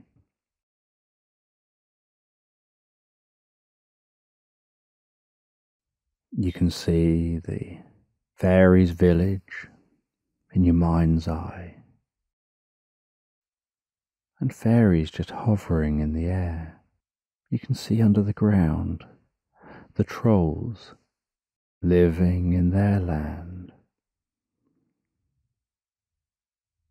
You can see the distant land of the giants. Your consciousness can connect with the beasts of the sea. And every day you come out here and sit on this rock. You pause time for what to you is just eight or ten hours. And yet, to everyone else, when you restart time, no time has passed. And in that time, you practice connecting with the world around you. And all the other monks in this monastery do their own different practices. Some use watches to travel back in time and observe the past. Others travel forward in time and observe the future.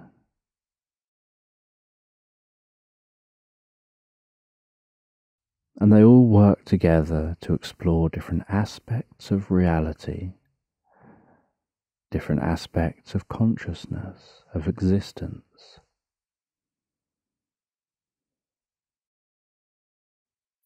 And frequently they then share their knowledge, each becoming an expert in their one area, and then sharing their knowledge to be able to help each other to increase their overall knowledge and skills.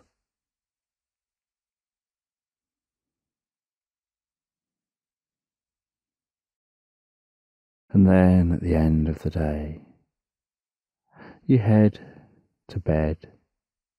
The cat curls up on the bed at the foot of the bed. You settle down and you drift and float, so peacefully and comfortably asleep, drifting, floating, deeply asleep all night long, knowing that you'll awaken feeling incredible in the morning, feeling full of energy and positive looking forward to what you'll be doing tomorrow. So just take a moment to allow your eyes to close and allow yourself to begin to relax. And as you begin to comfortably drift asleep, I don't know whether you'll drift asleep faster to the sound of my voice or to the spaces between my words. And as you drift comfortably asleep, I'm just going to tell this sleep story in the background. And this is a sleep story about a monk sitting in a monastery and in front of them is a quantum singing bowl. And they hold a soft hammer in their hand. And they rest that across the palm of their other hand.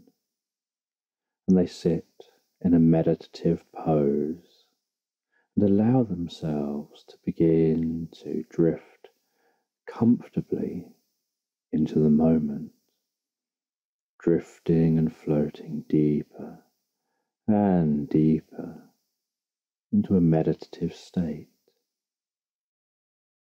And as they drift deeper and deeper into meditation, they find themselves connecting with the world around them.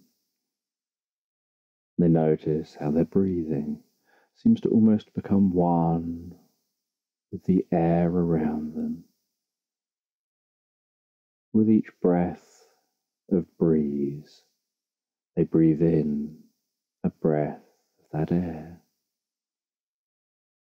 And then they breathe out the air joining the breeze as it passes. They can hear birds in the distance,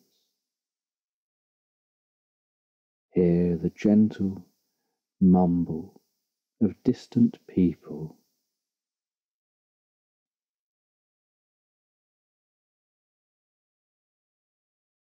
and after a little while, they stop noticing their own body, as if their body has become one with the world around them.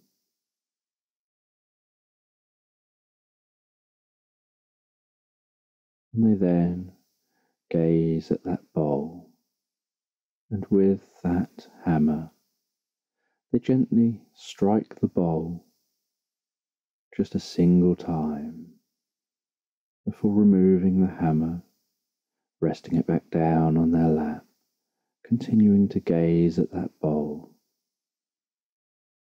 And as they gaze at that bowl, so they can hear the ringing of that singing bowl, the note the bowl is creating, and they can see what looks almost like pulses in the air rising and dancing from that bowl.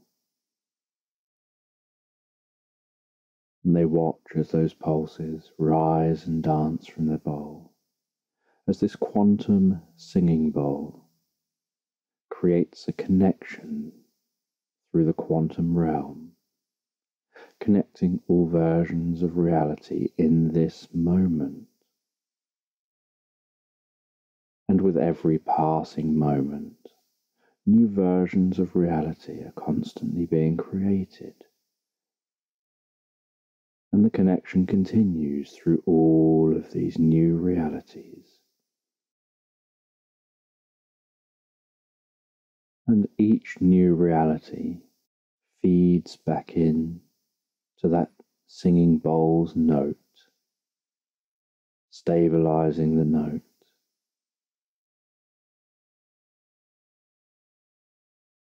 And as that note stabilizes, so this quantum realm stabilizes.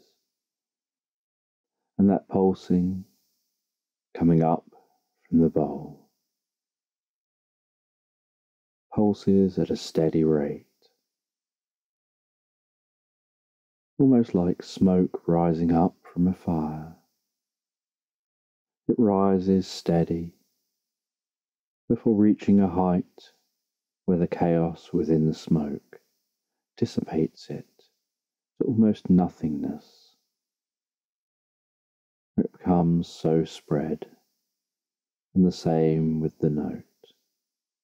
That pulsing rises, at some point in the air,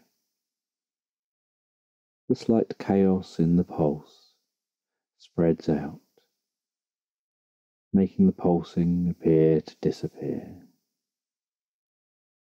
And the monk just continues to stare at that bowl.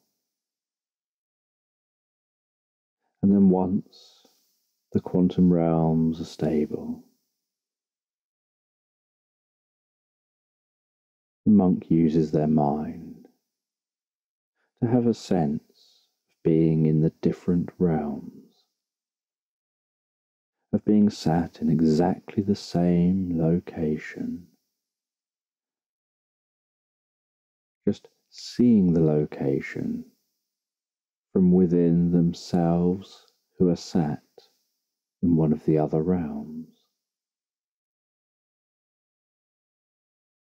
And as they rest there, and the neurology synchronizes across the realms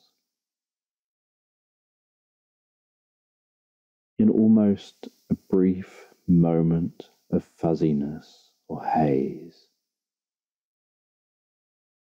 Reality around them seems to lose focus for a fraction of a second, so quickly that it's quick enough to almost question whether you really saw what you just saw. As they find themselves in a new reality, still sitting in the same location. But now they are in the them who is in this reality.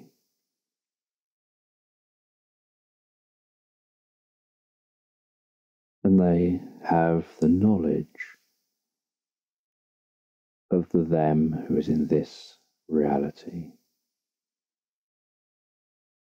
Because this is who they now are in this moment. And because they are traveling through the quantum realm and they're aware of what they're doing, as they then continue to think and focus on traveling to a different reality. They maintain their awareness of what they learned from this reality.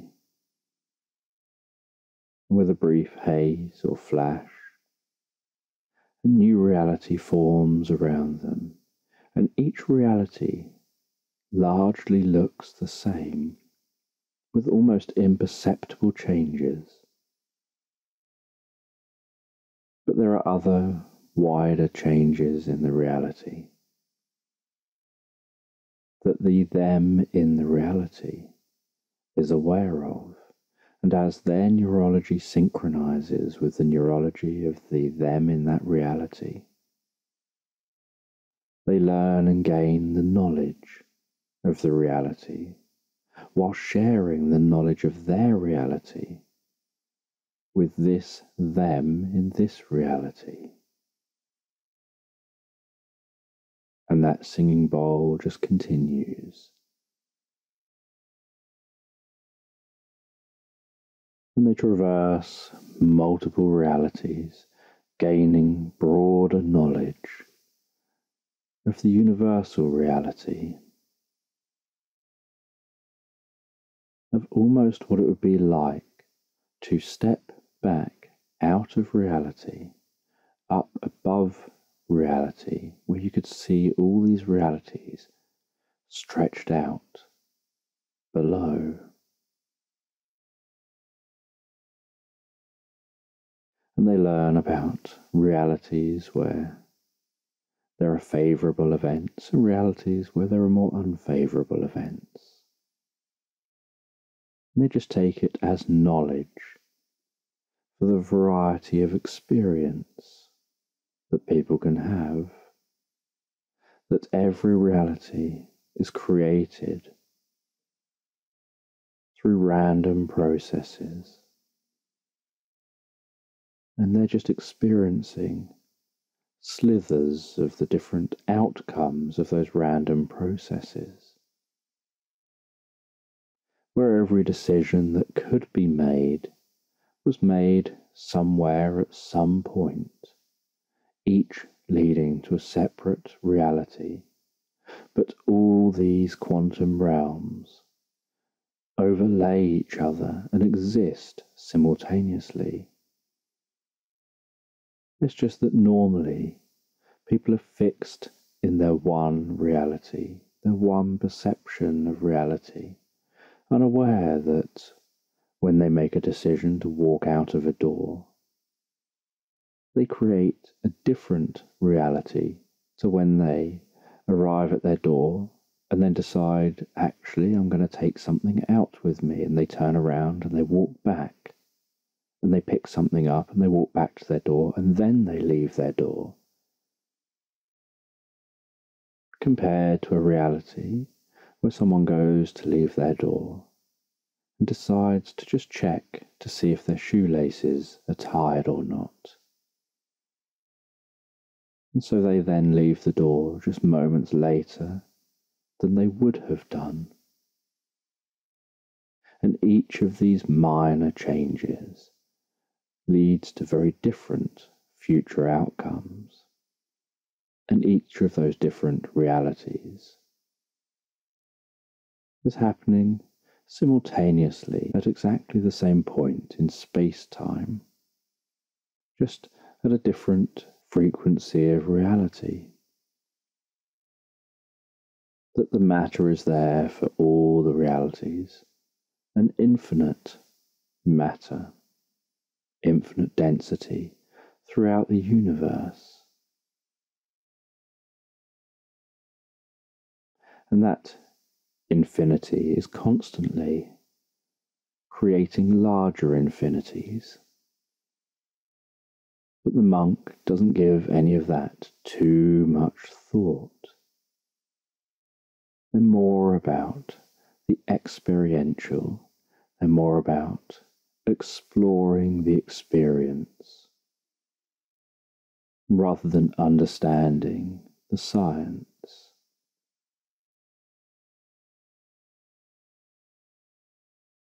And it's very rare for people to reach this advanced stage of meditation where they can use the quantum singing bowls to traverse through the quantum realm from one reality to another. And with all the changes that can occur and have occurred in the past, each reality contains slightly different knowledge.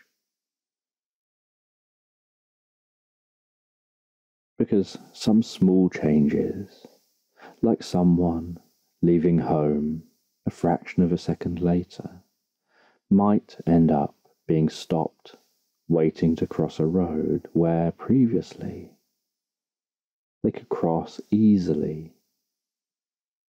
And so now that fraction of a second delay leaving home perhaps becomes 10 or 20 seconds on their journey.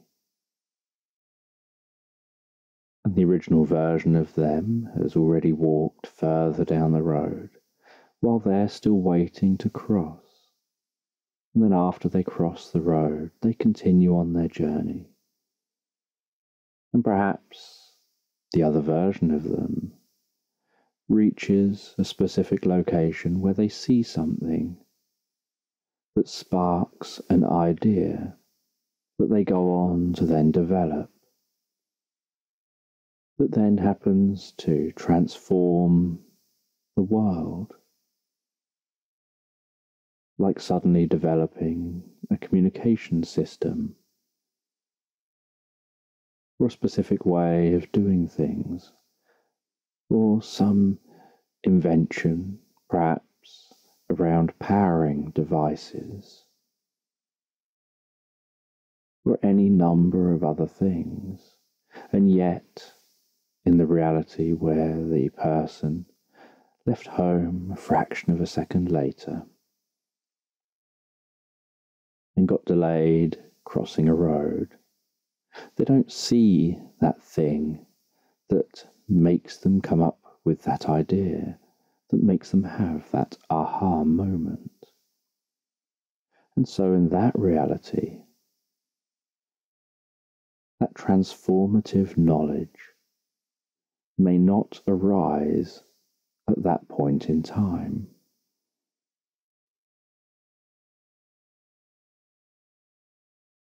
In the same way that there could be a reality where Alexander Fleming doesn't discover penicillin.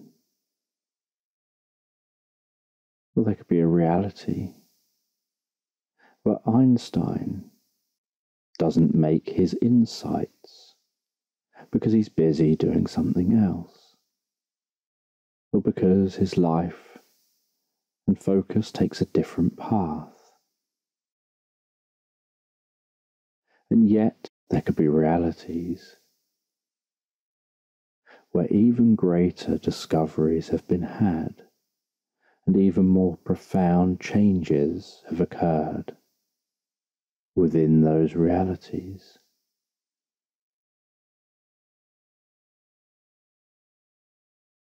And so this monk traverses through the quantum realm to themselves in each different realm and explores the different realms. And then, after their period of exploring the realms and almost having a light-headedness from the amount of knowledge suddenly thrust into their mind,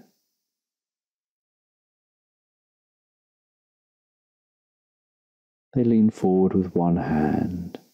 They gently touch the side of the singing bowl. And feel the vibrations from it, and those vibrations slowing down as their fingertips touch the bowl. To the point where the bowl goes quiet, where the experience comes to an end and they can place the hand back in place on their lap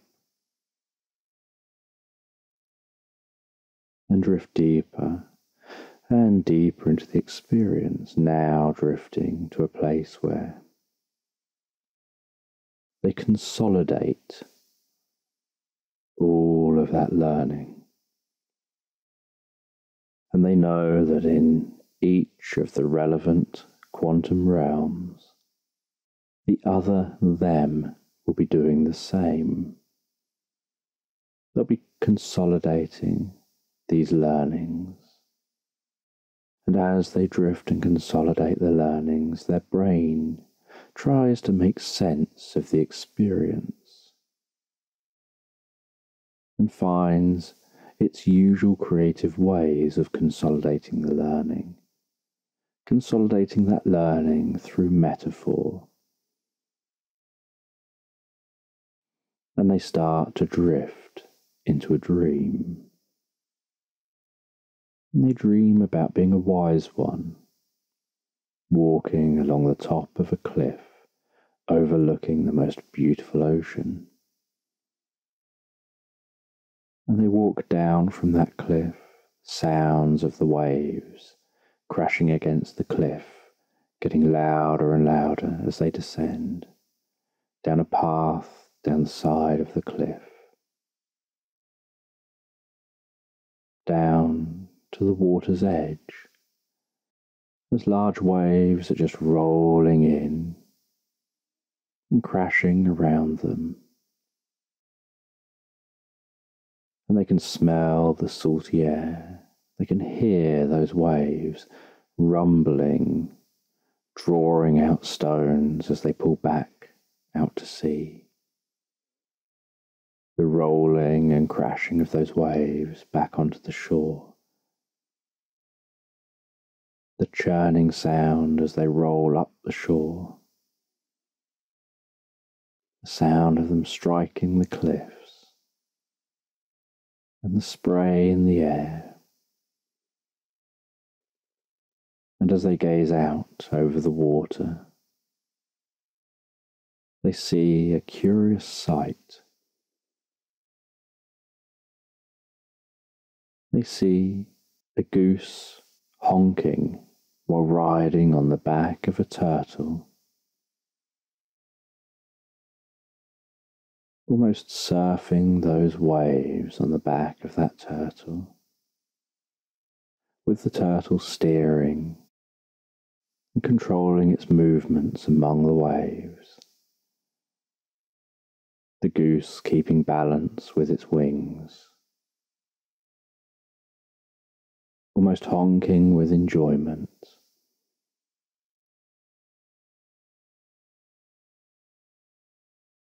And as the waves that the goose is surfing on that turtle on reach the shore, the turtle turns sharply to the side to head across the wave before pulling back out to sea again.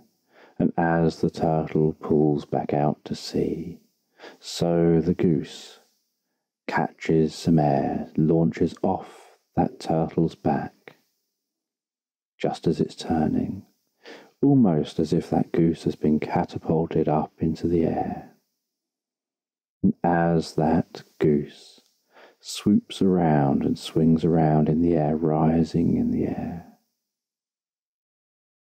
it seems to morph into a dragon, flicking its tail, flapping its wings, stretching its neck, almost glowing and launching higher into the sky, circling and circling, almost like it's circling in an updraft, rising, growing into a larger dragon. Flying and circling high overhead.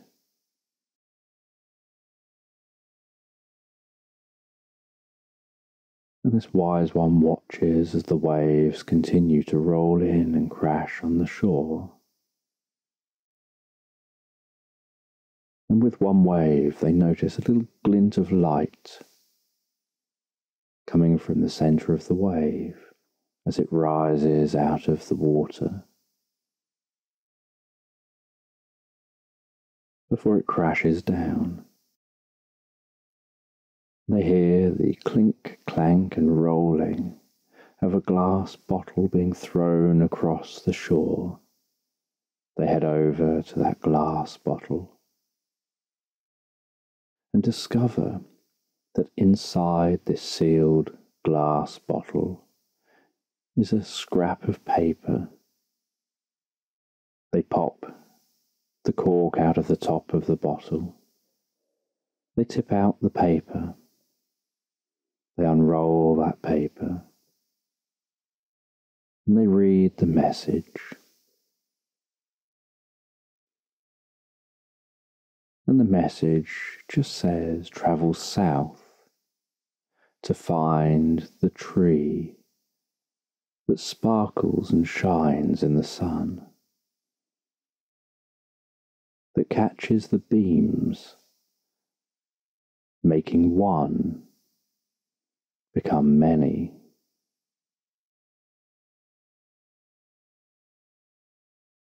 And they're curious what this means. And so they climb back up the cliff again. They gaze south over the ocean. They can see off in the distance what appears to be a small island back down to the shore.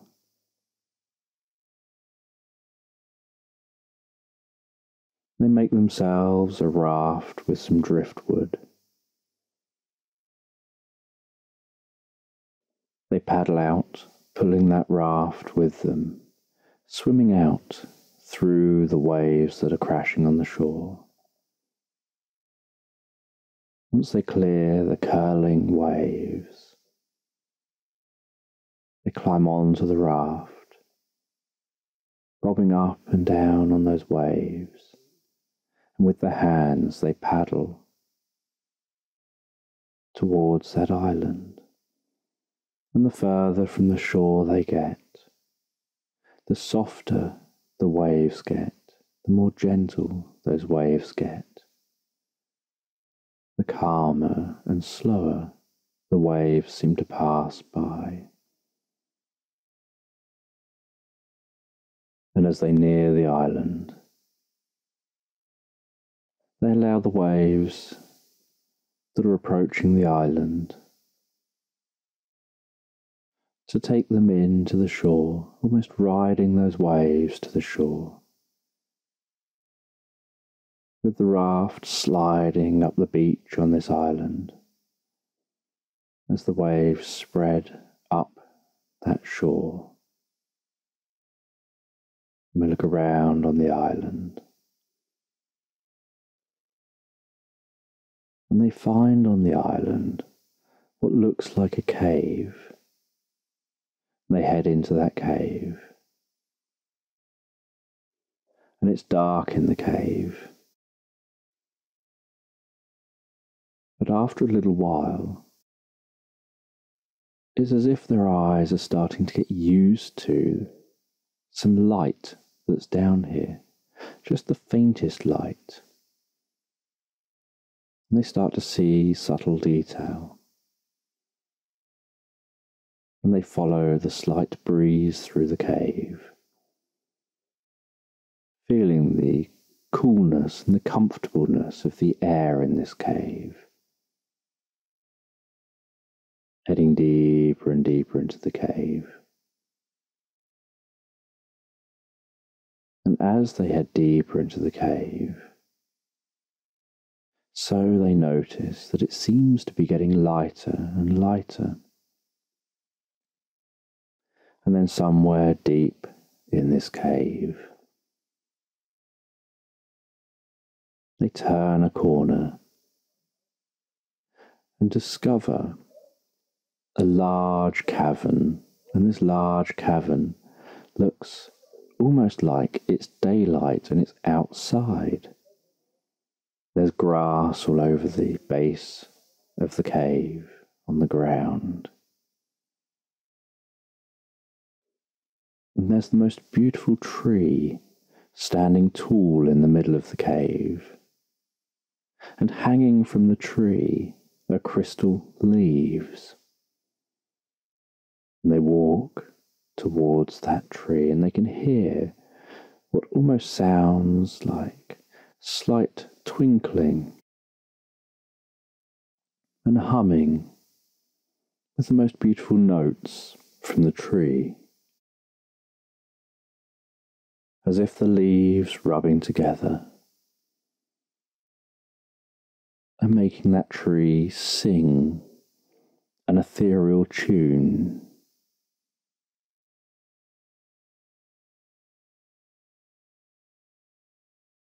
And the tree has a reasonably narrow trunk with the softest and smoothest bark, and they run their hands around that soft, smooth bark of the tree.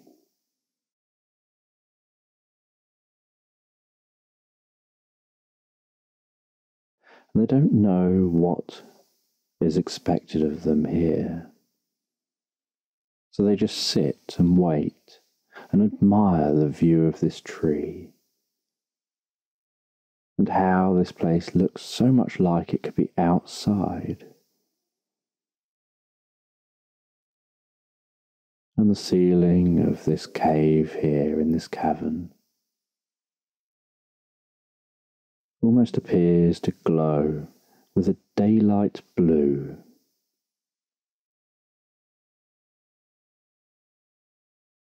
Then, as they wait and wait, suddenly they notice a shard of light appear from the ceiling. And they can see that that shard of light, which is reaching the ground, seems to be very, very slowly moving across the ground in the direction of the tree. And they realize that somewhere up high in this cavern is a single hole out to the outside world, and that the sun passing across the sky has reached a point where the sunlight is shining down through that hole, almost focused by the hole, to create a line of light, a shard of light that's moving towards that tree. And the wise one stands up and watches as that light gets closer and closer, incredibly slowly, moving closer and closer to the tree. And as it reaches the tree, so the first leaves that it reaches start reflecting and splitting that light, making rainbow colours spread off from those leaves. And they start chiming even more as if the light has some pressure to it. And a little bit later, that light eventually reaches near the middle of the tree, and as it does, the most incredible thing happens. That the way the leaves are laid out makes that light reflect around from the middle of the tree out to all the leaves, bouncing around between the leaves, but for projecting around the inside of the cavern, off in all directions, down, left, right, in front, behind, and all around upwards as well, just reflecting that light, the most beautiful rainbow patterns. And the wise ones unsure what this all means, what they should learn from this. and that light is reflecting across them as well as they stand in this cavern. And for a while, as the sun slowly moves across the sky, the light slowly moves around the inside of the cavern. And they watch this experience aware that this probably only happens at most once every day.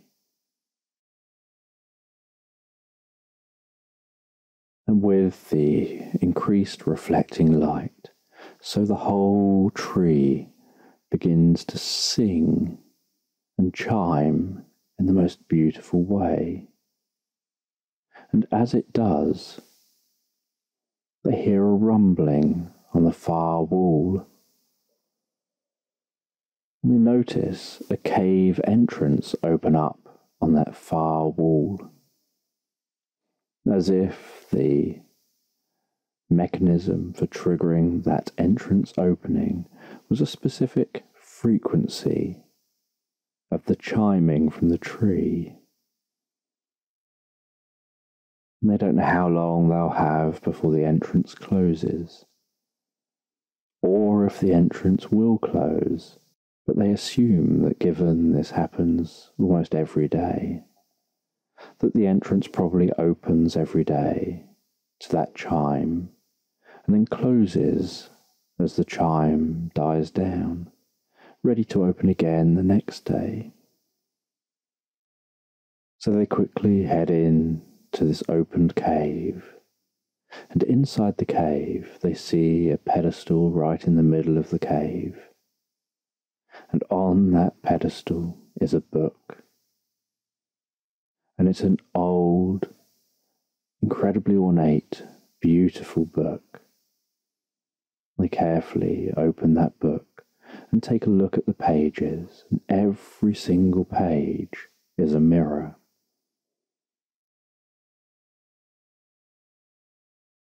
and they look at each page carefully before closing the book, placing it back on the pedestal, aware that they've learned what they came here to learn, what knowledge this had to share. They could hear the cave entrance beginning to close, so they dashed out back into the room with the tree. They watched as the sunlight finished passing across that tree, before then heading back out of the cavern, back through the cave, back from the island towards the mainland on their raft. Then heading back up onto the cliff gazing out over the ocean towards that island, aware that this is an inner experience, like a dream guided by their unconscious mind to educate them on the experience that they had had during meditation. And so they just gazed out over the view as the sea began to calm and the sun began to set.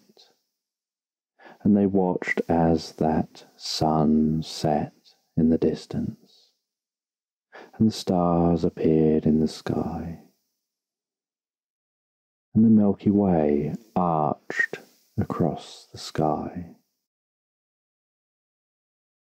And then, as nightfall deepened here and darkened here, so they drifted almost into a place of nothingness in their mind, a place where there was no backwards, no forwards, no left, no right, no up, nor down.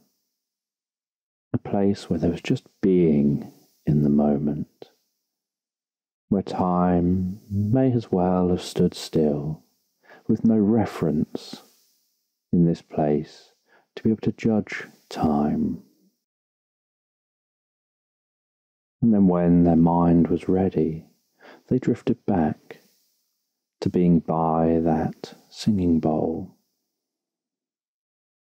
where they finished up their meditation.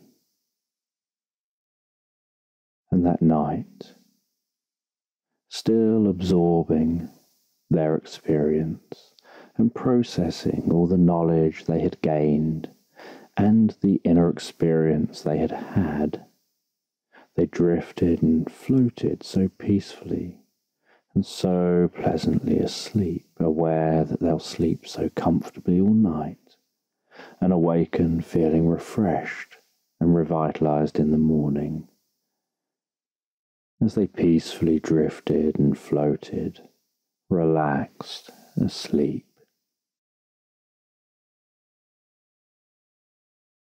So just take a moment to allow your eyes to close and allow yourself to begin to relax.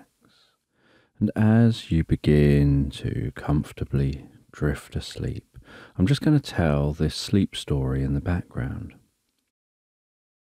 And I don't know whether you'll drift asleep faster to the sound of my voice or whether it'll be to the spaces between my words.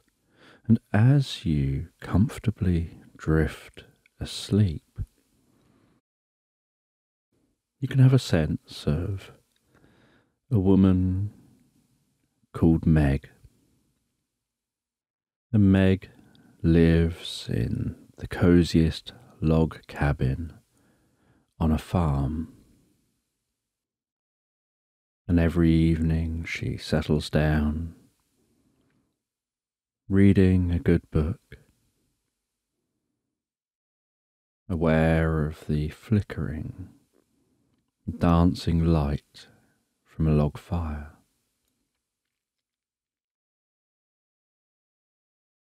and she absorbs herself in that book before heading to bed. And every day she heads out onto the farm with her sheepdog Milton.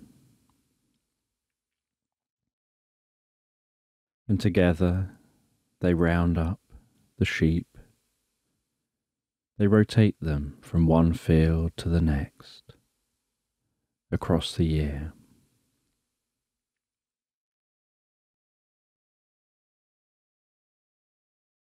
Meg enjoys the change of the seasons.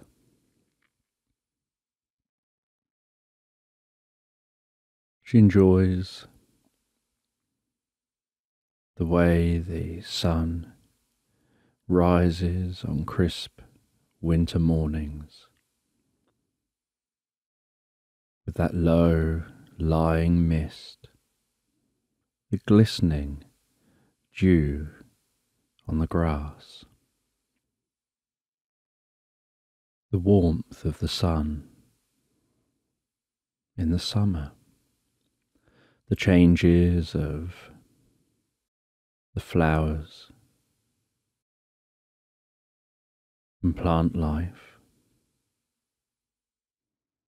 as the seasons change from browns and very little colour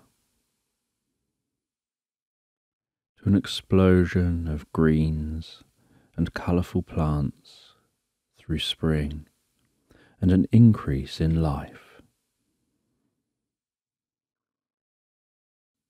With butterflies and bees,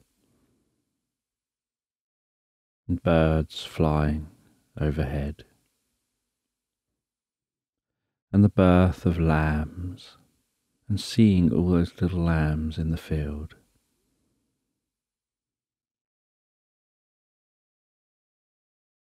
And then, as summer approaches, a peak of dense plants and leaves and greenery, where the woodland is at its most dense. And then approaching autumn, where that woodland changes colours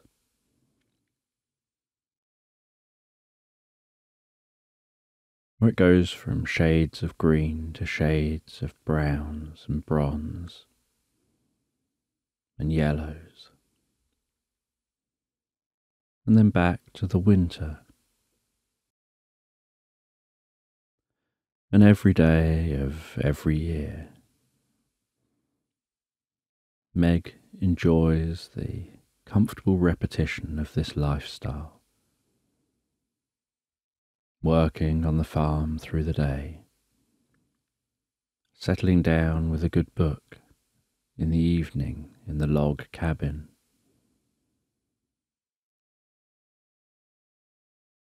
Watching the changing seasons as each year progresses. And then one day, while Meg is out in the fields with Milton, moving the sheep from one field to the next, enjoying the peace and the comfort of the experience of just encouraging Milton to herd those sheep. And watching as Milton does such an incredible job of that. Meg notices somebody sat on the fence of one of the fields. And so, after the sheep are herded into the relevant field, she heads over to that person, and it's a person wearing a fitted, full length purple jacket. And as they jump down off of the fence, the jacket flows around them before closing around them as they land.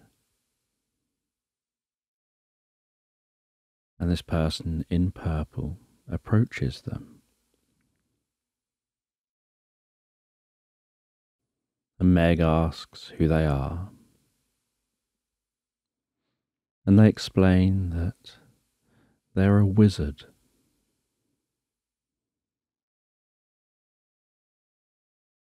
that they're the wizard of this environment,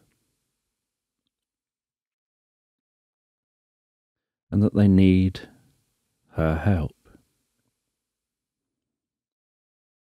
That they're always watching how the different farmers and the different people in all the villages interact with the environment. That they come from the nearby forest. And now they need Meg's help. And Meg expresses that she doesn't know how she could be able to help. All she's ever known is this farming life. And the wizard explained that there's a desert coming, that if they're not careful, all this land that's lush and green in the summer and the spring will turn to just being desert, that it'll all turn to dust, and that they need Meg's help put a stop to this. That a portal between a desert world and this world had been opened up accidentally by someone who was experimenting with something they didn't really know. But the only way to seal the portal and save this world from becoming a desert planet is to head through that portal into the desert world to find the temple in the desert. And to activate the switch that will seal the portal. And once the switch is activated, it sets in motion a process that leads to the closure of the portal. and that there'll be time to activate that switch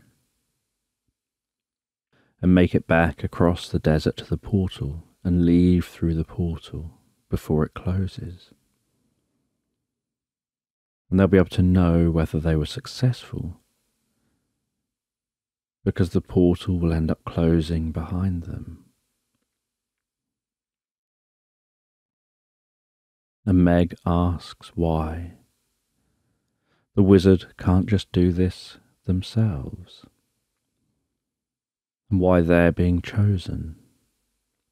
And the wizard explains that the portal has opened up in the nearby woodland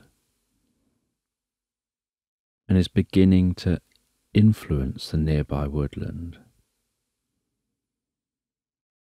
and that that woodland is the epicenter of where the desert will begin spreading from on this world, and that the trigger that opens the portal makes a tremendous amount of noise. That's such a great amount of noise that the wizard themselves can't access that desert world and get anywhere near to the trigger. But because Meg can't hear and so experiences the world differently. She can head to that temple and trigger the switch, triggering the closure of the portal without being affected by the incredibly loud noise. And the wizard explains that they can guide Meg to the portal and they can wait at the edge of the portal, but they can't pass through that portal because the noise is so loud And it gets louder and louder the closer to the switch. And it's so loud that it's painful just to pass through the portal. And Meg agrees to help this wizard. And so the wizard walks with Meg down towards the woodland. And they walk into the woodland, Meg noticing the changes to the air temperature almost like a change to the pressure on her skin. And the dancing light as some of the sun's rays break through the canopy of the woodland.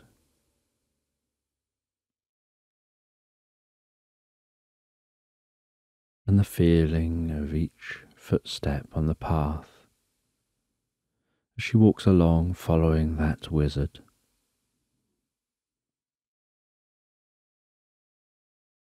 And after some time walking deeper and deeper into the woodland,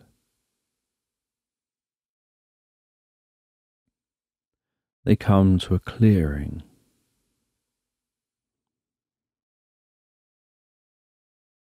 Where the desert has begun changing the ground.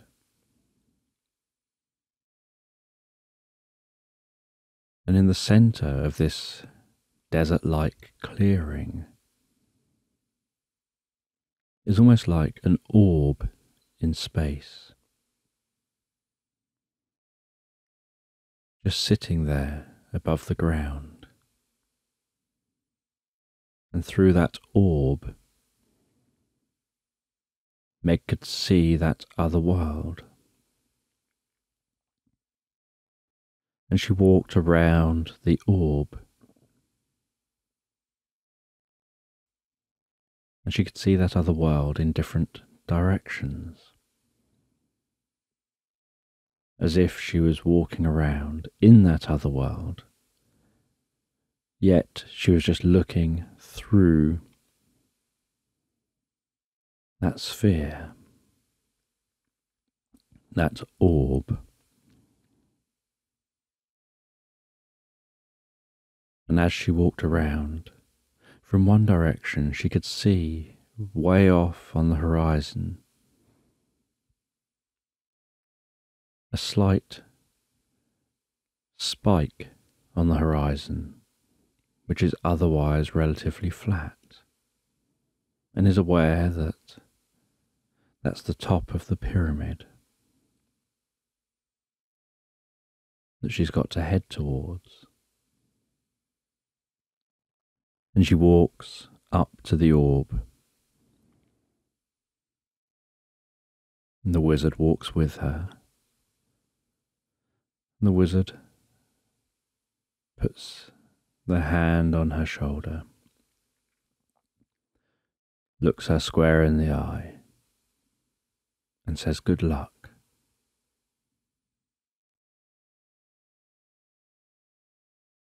Meg smiles. Milton sits down next to the wizard.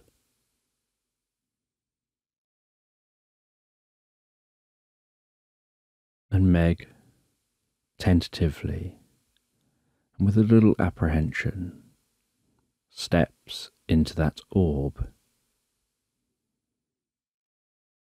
and as soon as she steps through that orb, so she can feel the increased temperature of this desert world.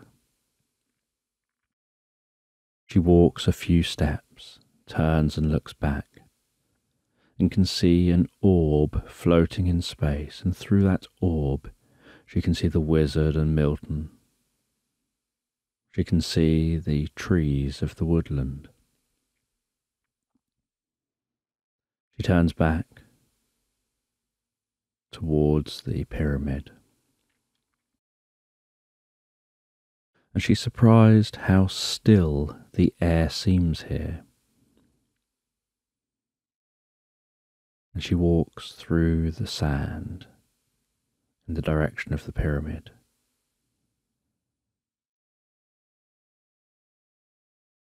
Finding her feet sinking into that sand slightly with each step that she takes, almost like walking on an incredibly dry, sandy beach.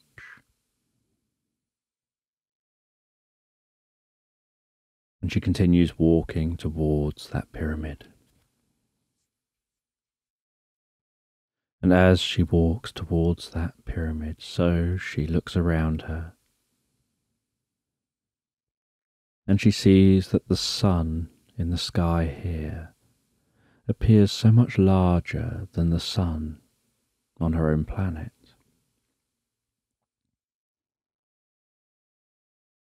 And as she walks towards that pyramid, getting closer and closer as that pyramid gets larger and larger on the horizon.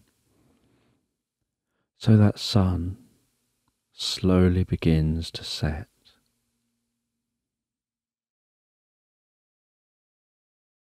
And as the sun sets, so she notices, just as she would expect on Earth, the temperature begins to drop and she wants to reach that pyramid before nightfall because she knows she won't be able to see it as soon as the sun has fully set.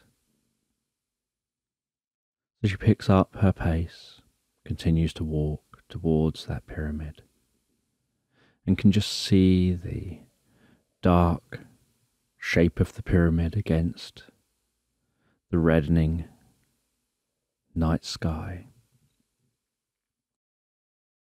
In a short time after the sun has fully dropped over the horizon, she manages to arrive at that pyramid. And she knows that she doesn't want to turn off the portal until she can see her way back across the desert. She's aware that the air still seems incredibly still. She walks into the entrance to the pyramid and decides to just rest in the entrance of the pyramid until the sun begins to rise again and she felt that the speed the sun set would mean that it would rise in perhaps six to eight hours. And so she decided that she would settle down and relax for a little while. And she could see as the sky got darker and darker stars in the sky here, not recognizing any of the constellations. Noticing some patches in the sky as her eyes adapted to the dark. Noticing some reds and greens. Almost like there were some clouds in the sky, in space she saw that there seemed to be far more shooting stars here than she'd ever seen on Earth when gazing up at the night sky. And she found this environment to be so peaceful, with the air being so still, the desert being so still. This temple this pyramid being so still. And just the gentle movement of the stars across the sky, almost imperceptible. And those shooting stars. She imagined that this planet, must orbit a star in a more dense cloud of gas and dust than the Earth. That perhaps leads to a higher rate of shooting stars. And she thought about how still and calm and peaceful everything is here. I was curious about whether there really was this incredibly loud noise coming from within this temple. As she was unaware of any noise at all. And while she relaxed there, she found herself beginning to drift gently and comfortably asleep. And as she drifted asleep, she began to dream. She dreamt about walking with Milton high up in some mountains enjoying walking around those mountains and finding a river up in those mountains and getting into a canoe with Milton and carefully pushing through the water in that canoe and feeling each push each stroke through that water, feeling the coolness of the mountain air on her cheeks. And seeing how happy Milton looks sat opposite her. And placing the oar in the canoe.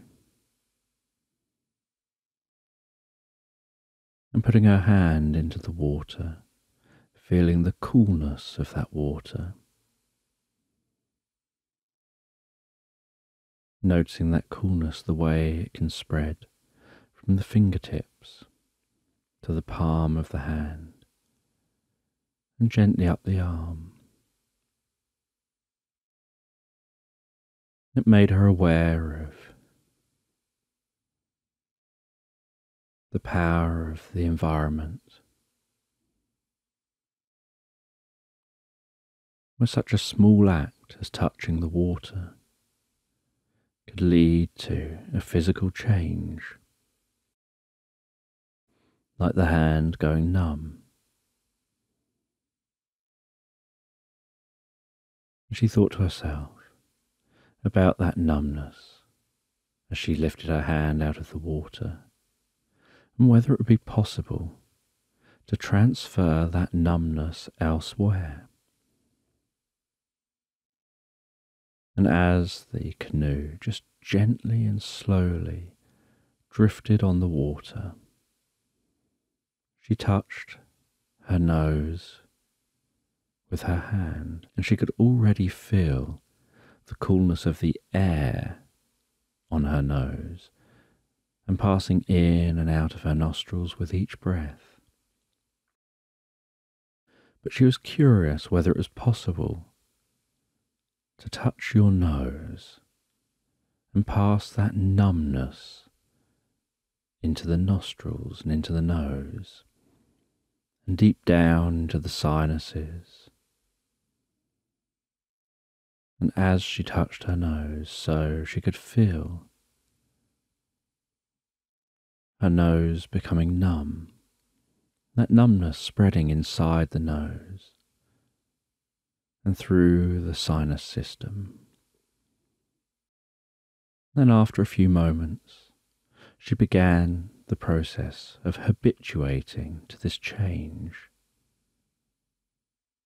She was still aware of being able to breathe in and out so comfortably Was still aware of the feeling of that breathed in and out air as it passed into the lungs and out of the lungs.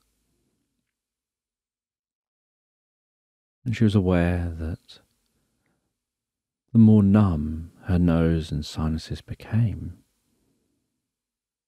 the easier it became for her to breathe so comfortably. As her nose seemed to almost stop, almost inflaming itself to the cold, and just relaxed and breathed normally and comfortably. And she started developing these insights. She was already aware that the fact that she can't hear means that it doesn't matter how much noise is around her. Her ears aren't affected or irritated by that noise. And she was now realizing that as she made her nose numb, the frigid air no longer affected or irritated her nostrils, and she could breathe calmly and deeply, with each breath being a pleasure. She imagined that with a numb nose, if any of Milton's fur got into her nose, it wouldn't tickle. You'd just continue to be able to breathe fine. And as she continued with Milton to let that canoe drift across this river, so she gained some deeper relaxation and insights. She could feel the warmth of the sun and the coolness of the air somehow mixing and mingling to trigger healing deep within her here, as if just drifting and floating in nature in this peaceful way, had deep healing properties and that dreaming this allows you to heal yourself and create that healing change deeply. And after, without any thought, she did some deep inner healing. She started to feel that the sun was rising, that there was a warmth on her cheeks that wasn't from the inner experience, and that there was a light on her eyes that wasn't from the inner experience. And she drifted back and noticing that the sun was rising on this desert planet and as the sun rose, she could see that her footsteps were still in the sand. The air was incredibly still. She headed into the pyramid. And she could feel pulsing like a deep vibrating passing up from the ground through her feet. She could feel that that pulsing was increasing. And so she followed that increasing pulsing as she navigated around this temple, navigated around the inside of this pyramid, until eventually she saw something which almost seemed to be sending lightning bolts up through the roof of the pyramid, and a switch. And she walked over to that switch. She felt a little tension as she reached for the switch, unsure exactly what was going to happen next. She pressed that switch. And could feel a change through her feet to that deep pulsing. And she could see that things around the walls were beginning to change, that pillars were starting to turn. She didn't know who turned this on or how and what happened to them. But she could see that something was now happening, and she assumed this was the machine turning itself off. So she navigated her way quickly back through this pyramid back out into the desert and quickly headed across that desert, following her footsteps back the direction she came. Until after some time of rushing back across the desert, she could see that orb, and she noticed that the orb appeared larger than it had been when she came through and so she assumed that perhaps the orb had been getting larger and larger ever since the portal opened. Maybe that was how it was going to spread through Earth. And she hoped that now her change would make it so this portal would shrink back down again.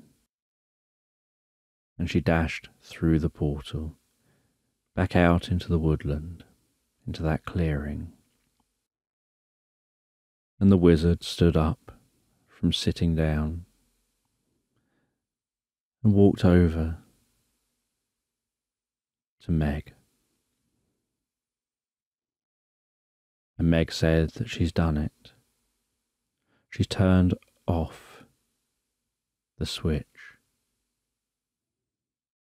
And the wizard said that It'll take a little while for the portal to shrink back down and close. But they can just sit down while that happens to make sure that it looks like it's closing.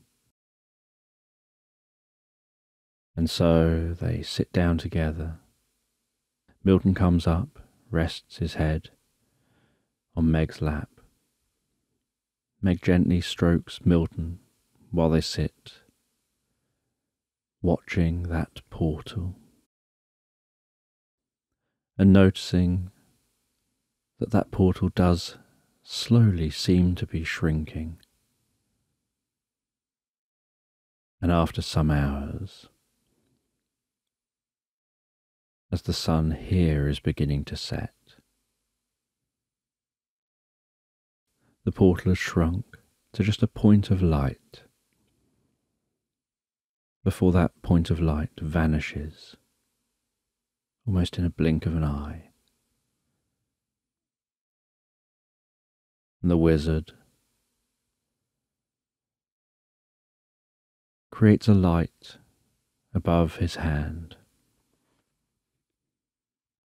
and guides Meg and Milton back through the woods and back out to the farm and walks Meg all the way back to her cabin. And Meg invites the wizard in for a cup of tea. And is intrigued by this wizard and wants to learn more about them. Learn what they do, how they do it what abilities they have, how old they are, and is incredibly interested to have this opportunity to meet someone new. She rarely encounters anyone new,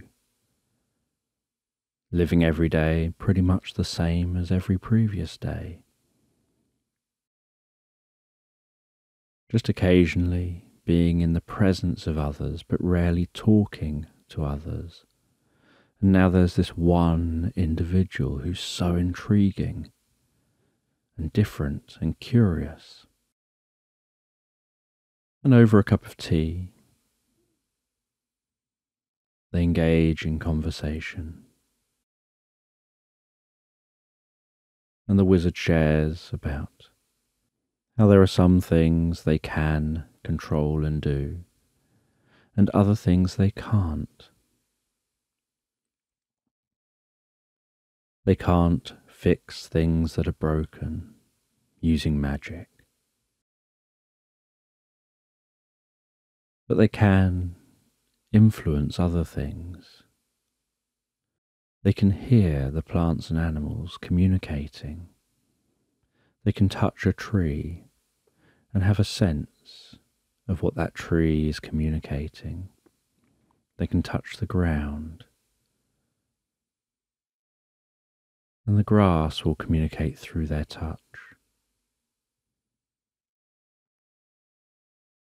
A bird could land on their hand, and they can understand that bird. They can influence an increase in rainfall. They can encourage it to be drier. but they're not able to do some things that people might assume that they could. That they live for thousands of years and see change over those thousands of years. And that they can encourage a path for how things develop. that they can't fix what is already broken, and that their main role is as a protector of nature. And there are many wizards, and they can take on many forms. They can take on the form of anything in nature. They can take on the form of the wind of the rain, of grass, of trees. They can take on the form of different animals. And here they've just taken on the form of a human. And after engaging in conversation for a while, the wizard leaves. And Meg feels that she's made a new friend. as they agree to see each other again. Because Meg feels the conversation was so interesting, the knowledge the wizard has. And that night, with Milton sleeping at the end of the bed,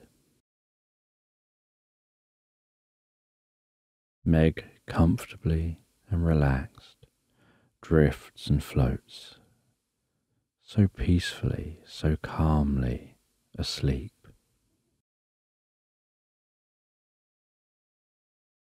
So just take a moment to allow your eyes to close and allow yourself to begin to relax.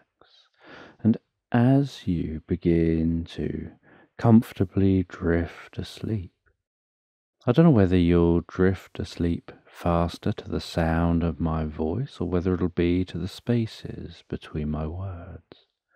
And while you comfortably drift asleep, I'm just going to tell this sleep story in the background. And it's a sleep story about finding yourself walking into a vast, overgrown city And this city has been largely reclaimed by nature. And it's about a hundred years after the Great Reset. And as you walk through this city, you can almost notice the echoing sounds of your footsteps reverberating around the buildings. The silence in the city with no sounds of other people. You can notice the way some of the tall skyscrapers have partially fallen and are leaning on other buildings,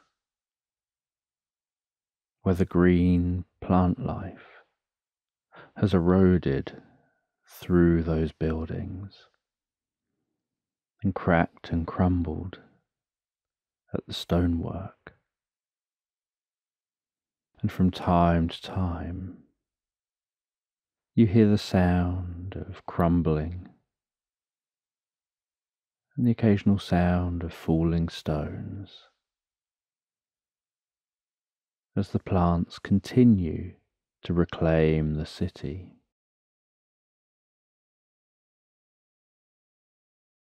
And you see parked cars haphazardly down the streets, almost embedded in place by vines and grasses.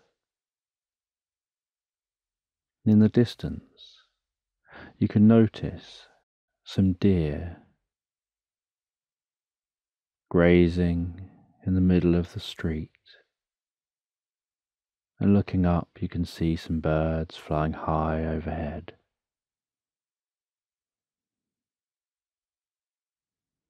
and you walk down the main street with the tall towers around you of those decaying skyscrapers,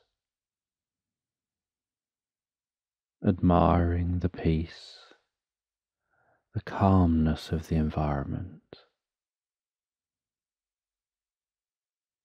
while also curious about what this place perhaps looked like before the Great Reset.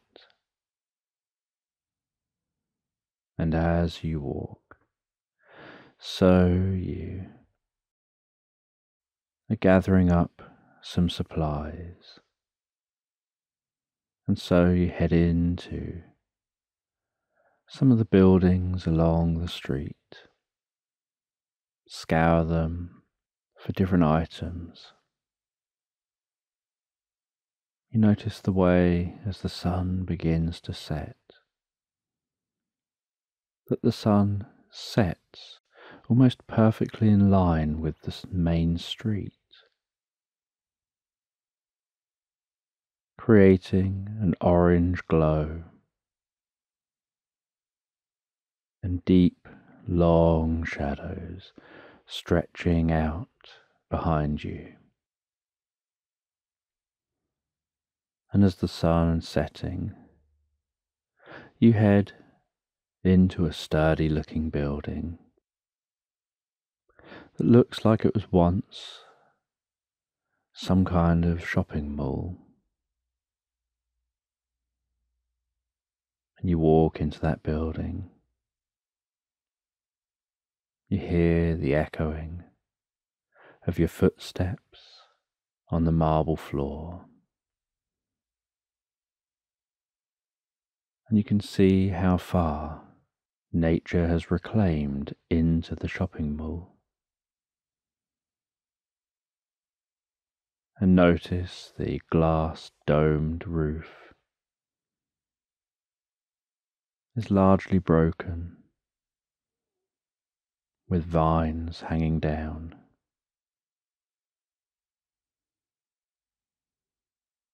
and plant life creeping along the ceiling, down the walls. And you head to the middle of the shopping mall. You head down some steps and find your way down to the lower level and right in the middle of the shopping mall. With the broken glass dome overhead, you can gaze up and see the sky. And right below the dome, where when it rains, the rain can fall down to the ground below. This area right beneath the dome is lush plant life, almost like a meadow in the middle of a shopping mall. And you set up a tent in this shopping mall meadow. You set up a small campfire near the tent. And you settle down. Cook yourself some food and eat that food. And then you have a little bit more food and drink some water before lying down and gazing up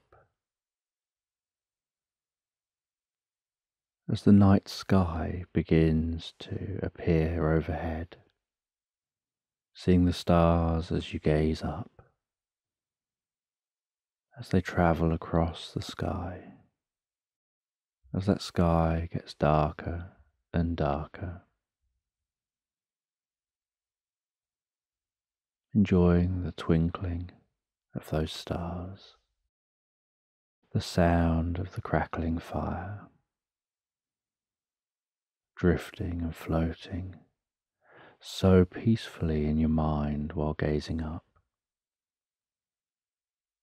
and listening to how quiet the environment is before heading into the tent, closing up the zip of the tent and settling down and drifting and floating peacefully asleep. And the next morning, you awaken, unzip the tent, and feel the freshness of the air, the slight coolness to each breath that you take of that air. You reignite the fire.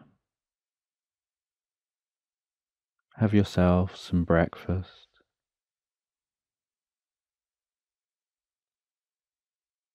eating until you're satisfied.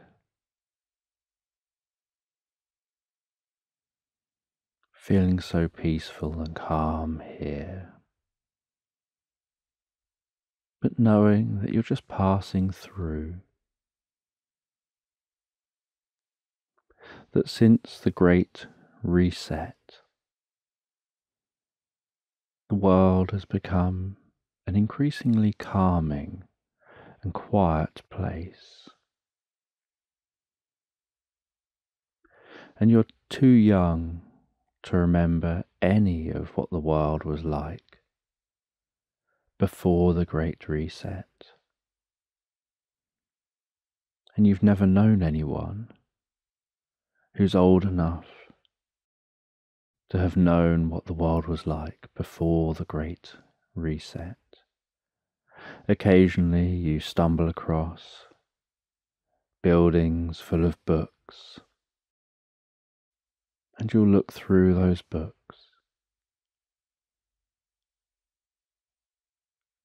and you'll learn and see photos of what different places used to look like.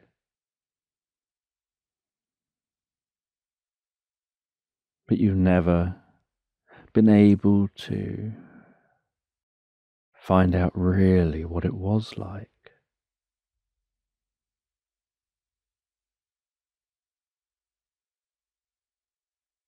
And so you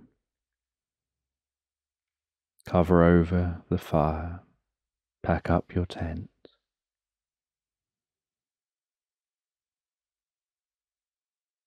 Head back out of this shopping mall and continue your journey through this city. And as you approach the end of this main street, you head down a side street, and at the far end of that street, you see a very different style of building with a domed roof, pillars out the front of the building, many steps up to the entrance of the building that contrasts greatly with the very rectangular, tall skyscraper buildings.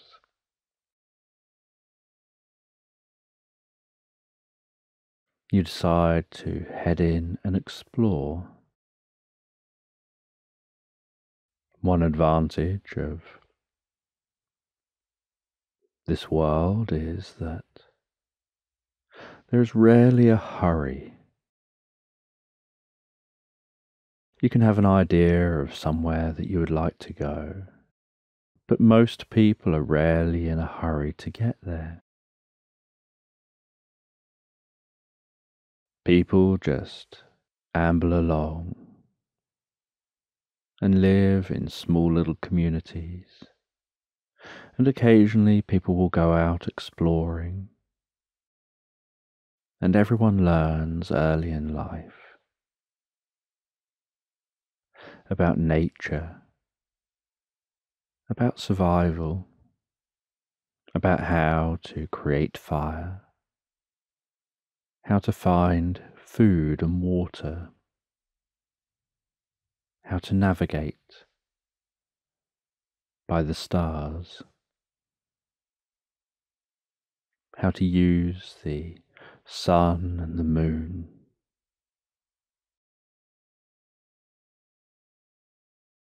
And whenever anyone encounters anyone else they've never seen before, usually these other people are incredibly friendly, just wanting to share knowledge.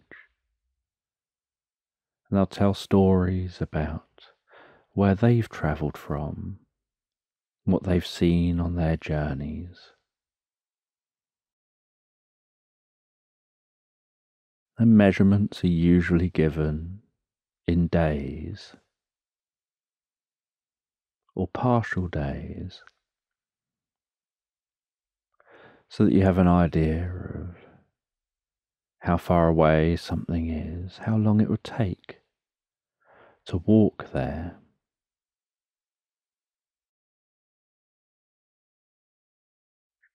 And a skill which is highly prized and taught as being very important from a very young age. Is the skill of patience.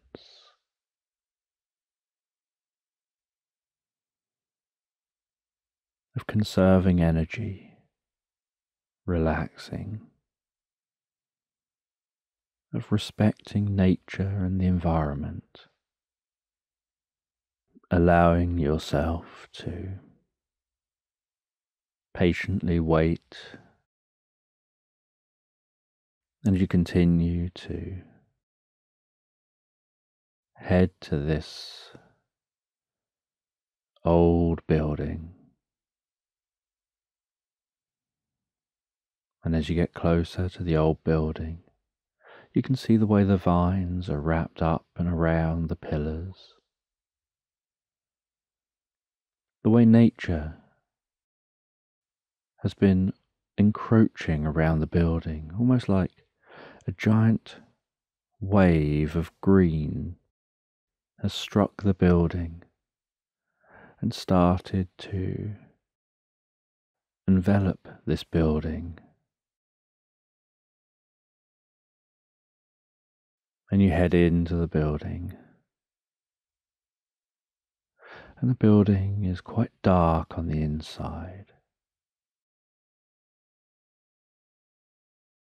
And so you light a torch and head in with a torch.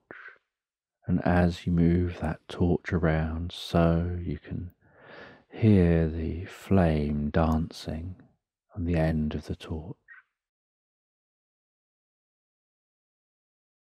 And you can notice the way the light of the torch dances and bounces around the inside of this building and the rooms that you head into. Each echoey step that you take.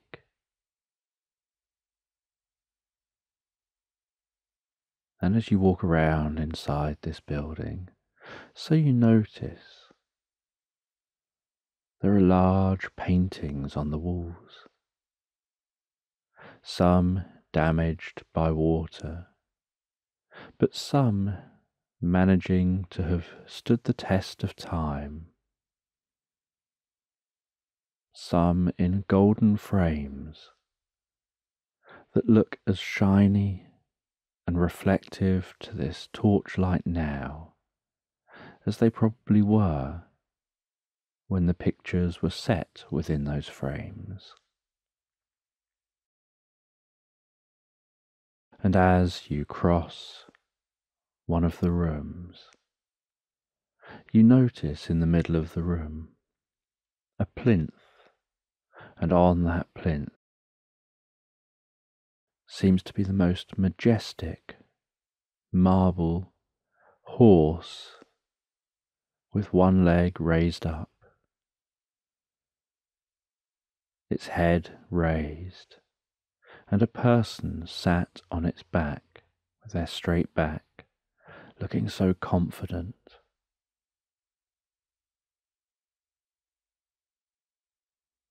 you reach out and touch that marble, feeling how soft and cool that marble feels.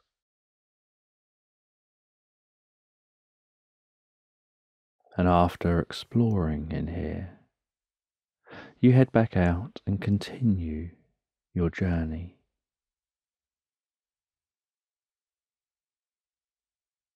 You head beyond this city, following a very straight, overgrown road away from the city.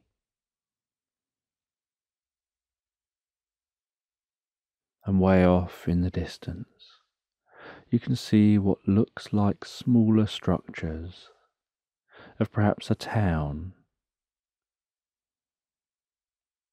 maybe a day's walk from the city.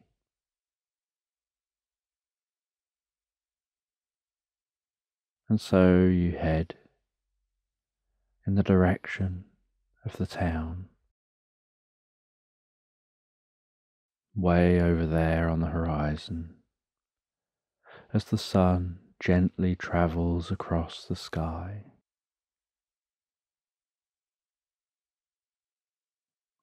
And a couple of times during your journey, you stop, you have something to eat until you feel satisfied.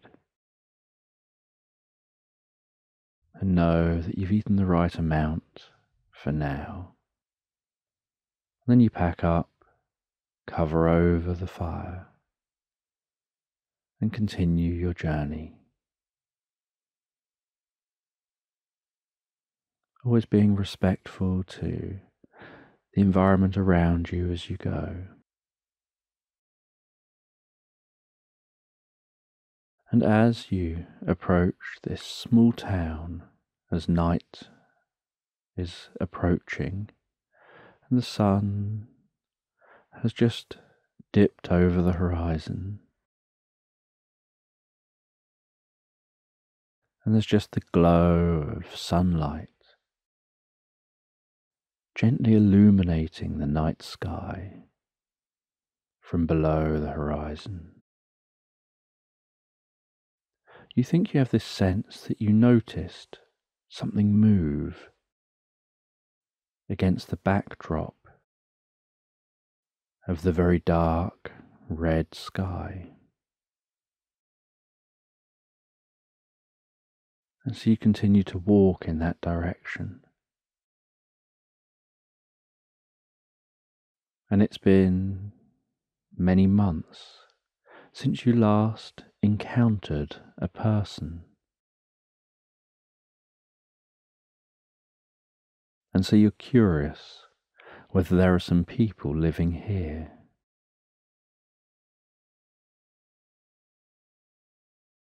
And as you reach the edge of town, so you notice a glow coming from a building.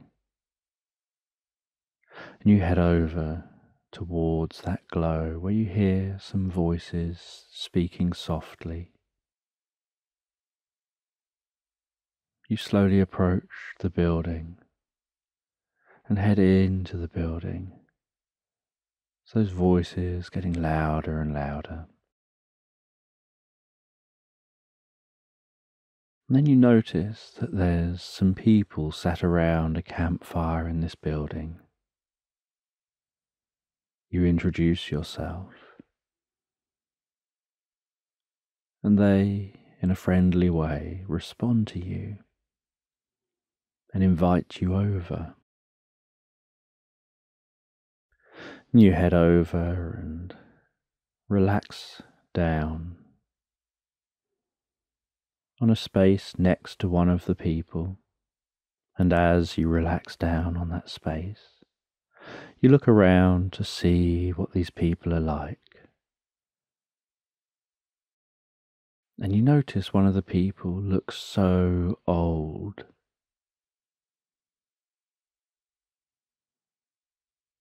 and you introduce yourselves to each other.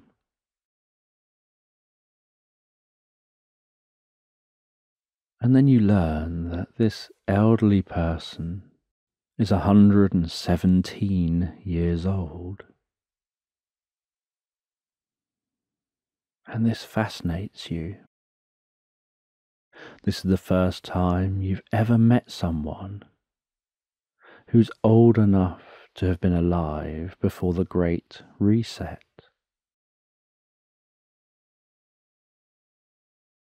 And you share your curiosity and you explain you've never met anyone that old before. And the person explains that they were a teenager when the Great Reset happened. When a giant solar flare struck the planet and all the electrics fizzled and popped and cracked.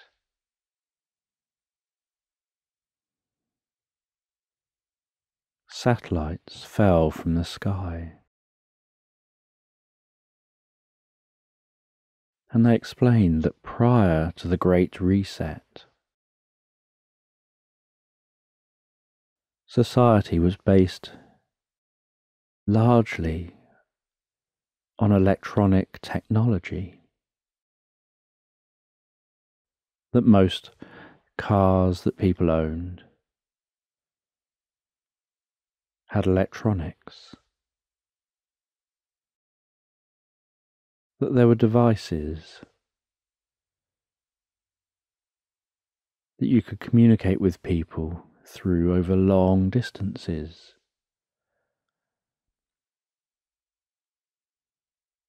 That there were ways of looking up any information about the world, that it was an incredible time, but that when this giant solar flare struck, the sky lit up so beautifully with greens and blues and other colours dancing in the sky every single night, and that those colours danced in the sky night after night for weeks. But at the same time, all electronics were destroyed.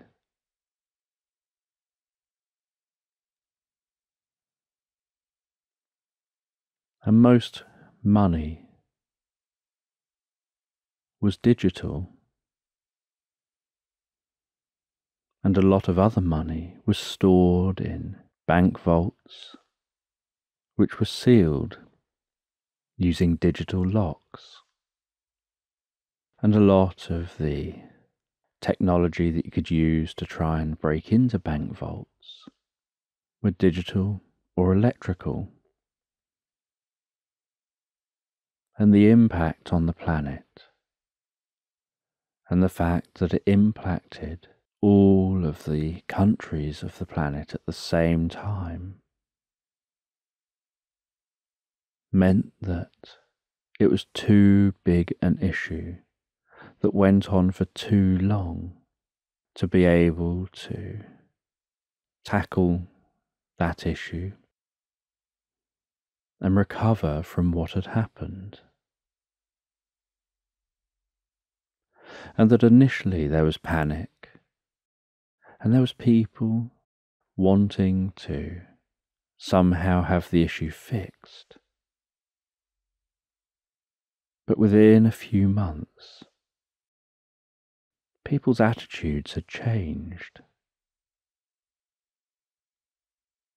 People started discovering a certain level of peace and freedom from the new lifestyles they could develop. Many had to learn new skills. Communities started working together to support their local community.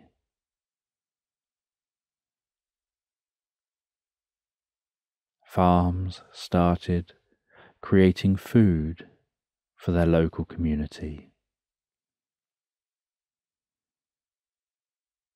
Those in the community who were able to do so went and helped on those farms to create the food for the others.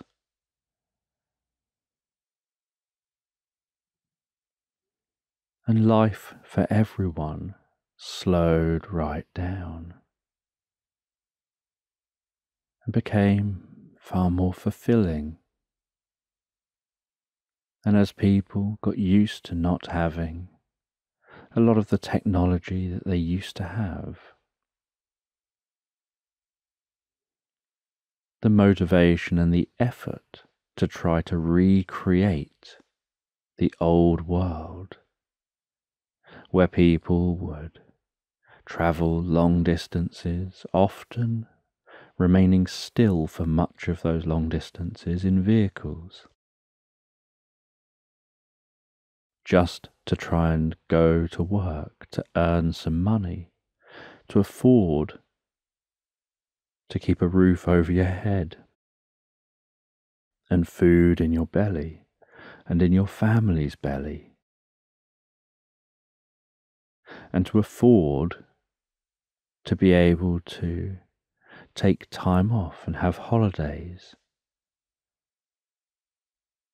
where you could slow your life down for a short period of time before ending up back in the hustle and bustle, as it was often referred to, of daily life. And although some people really wanted things to go back to how they were, Many others liked how things had become. They started to get used to how things had become. A more relaxed way of life. And within a few years, as people had gained many new skills, and everyone was becoming comfortable and confident at knowing how to survive for themselves.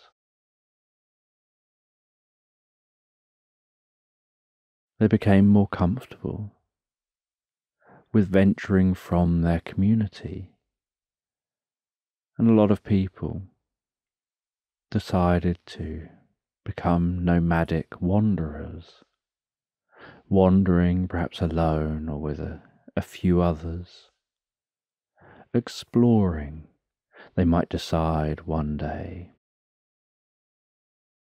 that they would love to see the ocean. And so they would head in the direction of the ocean and they would wander for months.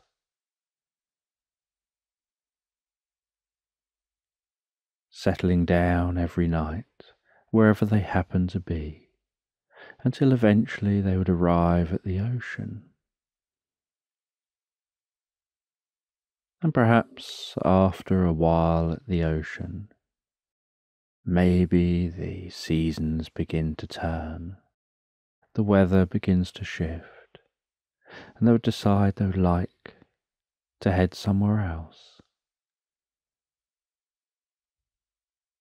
And so it became common for many people to begin to wander to warmer environments as colder weather set in, and wander to cooler environments as warmer weather set in.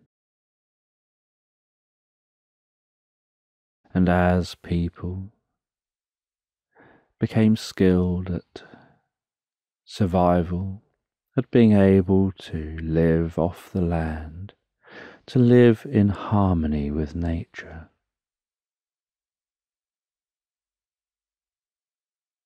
life became more relaxing. People stopped fighting over resources as people knew that they could live off the land wherever they were.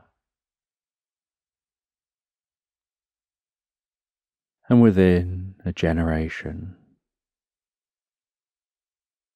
the attitude to the situation had totally transformed.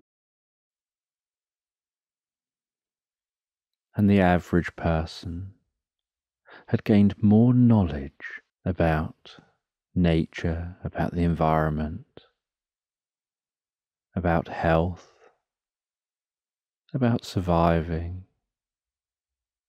about medicines than the average person had had before the Great Reset. And there remained some settlements and communities. But people had the freedom to carve out the type of lifestyle that they wanted. And you find it interesting listening to this person who had lived through the Great Reset. And one of the other people sat around the fire, said that they enjoy encouraging talk of the way things were, so that they can remember the stories from the elders of life before the Great Reset. And as it gets later and later, so you pitch up your tent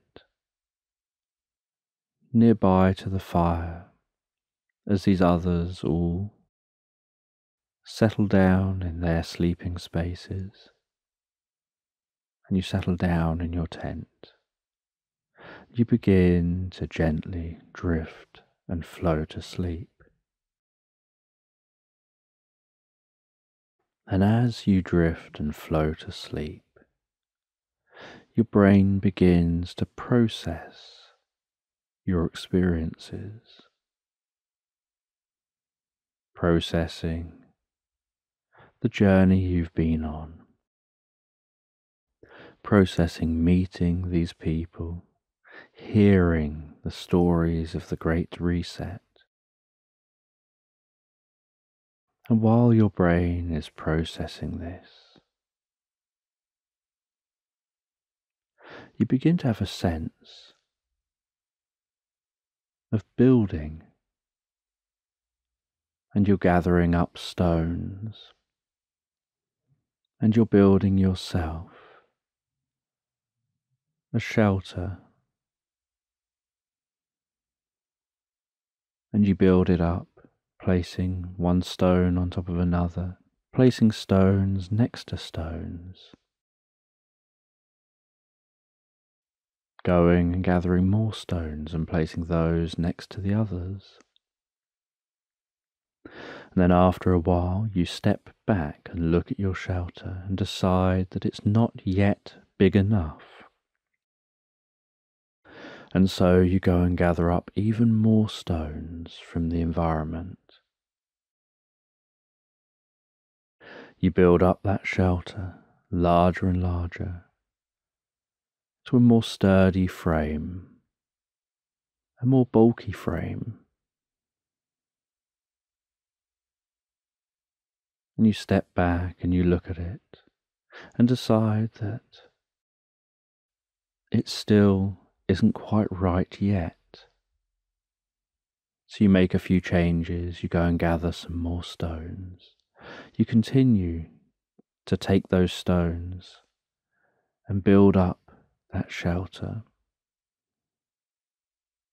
feeling almost like a compulsion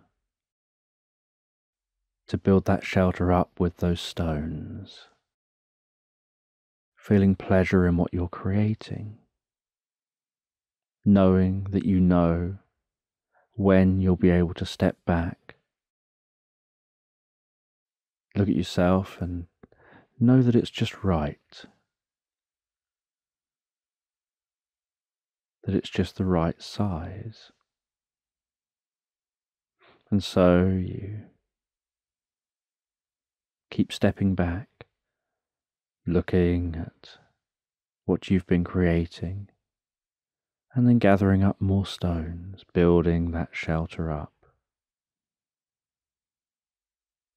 Until eventually, after a period of time, you finally complete that shelter. You step back and take a look, and you think how beautiful that shelter is looking back at you. The size and shape of that shelter. And you start working on the inside. And as you work on the inside, you create an unusual room, a room full of cupboards. And every time you have something that needs placing somewhere, you open a cupboard door and place that inside that cupboard. And you find from time to time that a number of the doors are open where objects have been placed inside those cupboards. So, from time to time throughout the day, you go and close those cupboard doors. And as you gather up more items from the day. You place those in more cupboards. And you leave the doors open at the time you place them in the cupboards, so that you know during the day which cupboards are used and the ones that are closed are yet to be used. And then when you've done a section of cupboards of filling those cupboards, and you'd recognize the pattern of which cupboards you're about to close. You close those cupboards and then fill the next cupboards.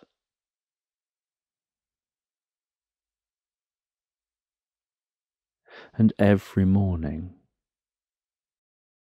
you notice the cupboards are empty, ready to fill again. And you realize that there's a certain connection somehow between those cupboards and a higher realm.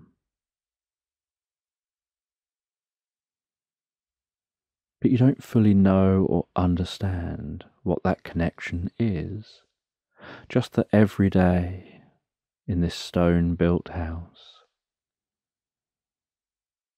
those large numbers of cupboards are closed. And every day in that stone built house, you open the cupboards one by one as you have something to place in each cupboard. And throughout the day, when a certain number of cupboards have been filled, you close those cupboards and move on to the next cupboards. And then every night, all those cupboards are closed and emptied, and you wake up every day ready to do the same again. And what you find as day goes into day and week goes into week is that those cupboards need filling less frequently.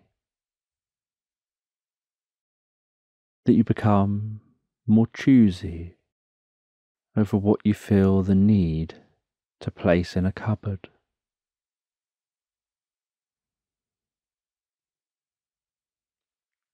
and so you use the cupboard less and less. But those that you do use are empty by the next day, ready to be filled again. And then one day, in this dream, you head out of your stone house. You head down to a nearby lake. You walk right up to the water's edge, hearing that crunching, slight squelching sound as you walk all the way to the edge of the water, the sound of that water gently lapping on the shore.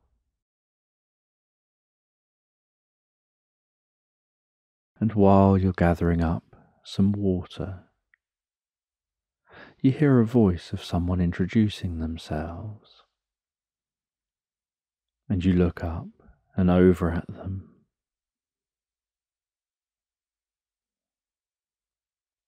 And you see them just sat there on a stone on the edge of this lake. playing a drum, drifting in and out of their own reverie.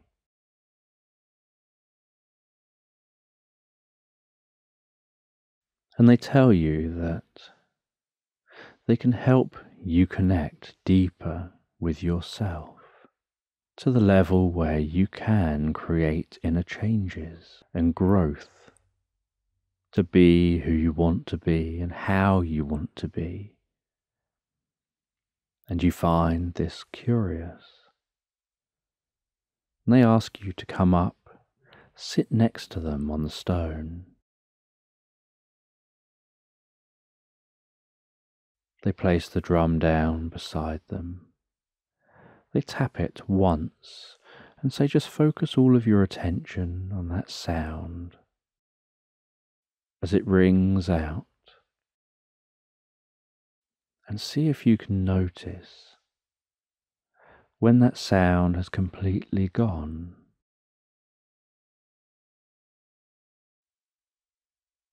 And you focus all of your attention on that sound until you can no longer hear it. And they say that they can help you if you want to learn. And you respond that you really want to learn. But you say, But I don't know what I have to do. And this person says that it's common for people to say that they don't know what they have to do but it's actually incredibly easy to do the right thing.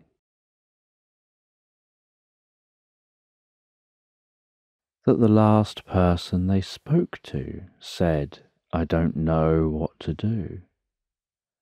So they explained what it is you need to do. And with curiosity, you ask what this was. And they say, Well, I told the person that all you have to do is just sit there on that stone listening to the sound of my voice. And as you sit there on that stone, listening and following along to the sound of my voice, you can notice how, from time to time, you breathe in and out. And each time that you breathe out, you can drift that little bit deeper inside. And that you'll notice that you're beginning now to drift inside. Because as you breathe out, so your shoulders will begin to gently relax but you may not at first notice that your shoulders are beginning to relax. But as they do relax, your eyelids will begin to feel heavy. Your eyes will feel heavy.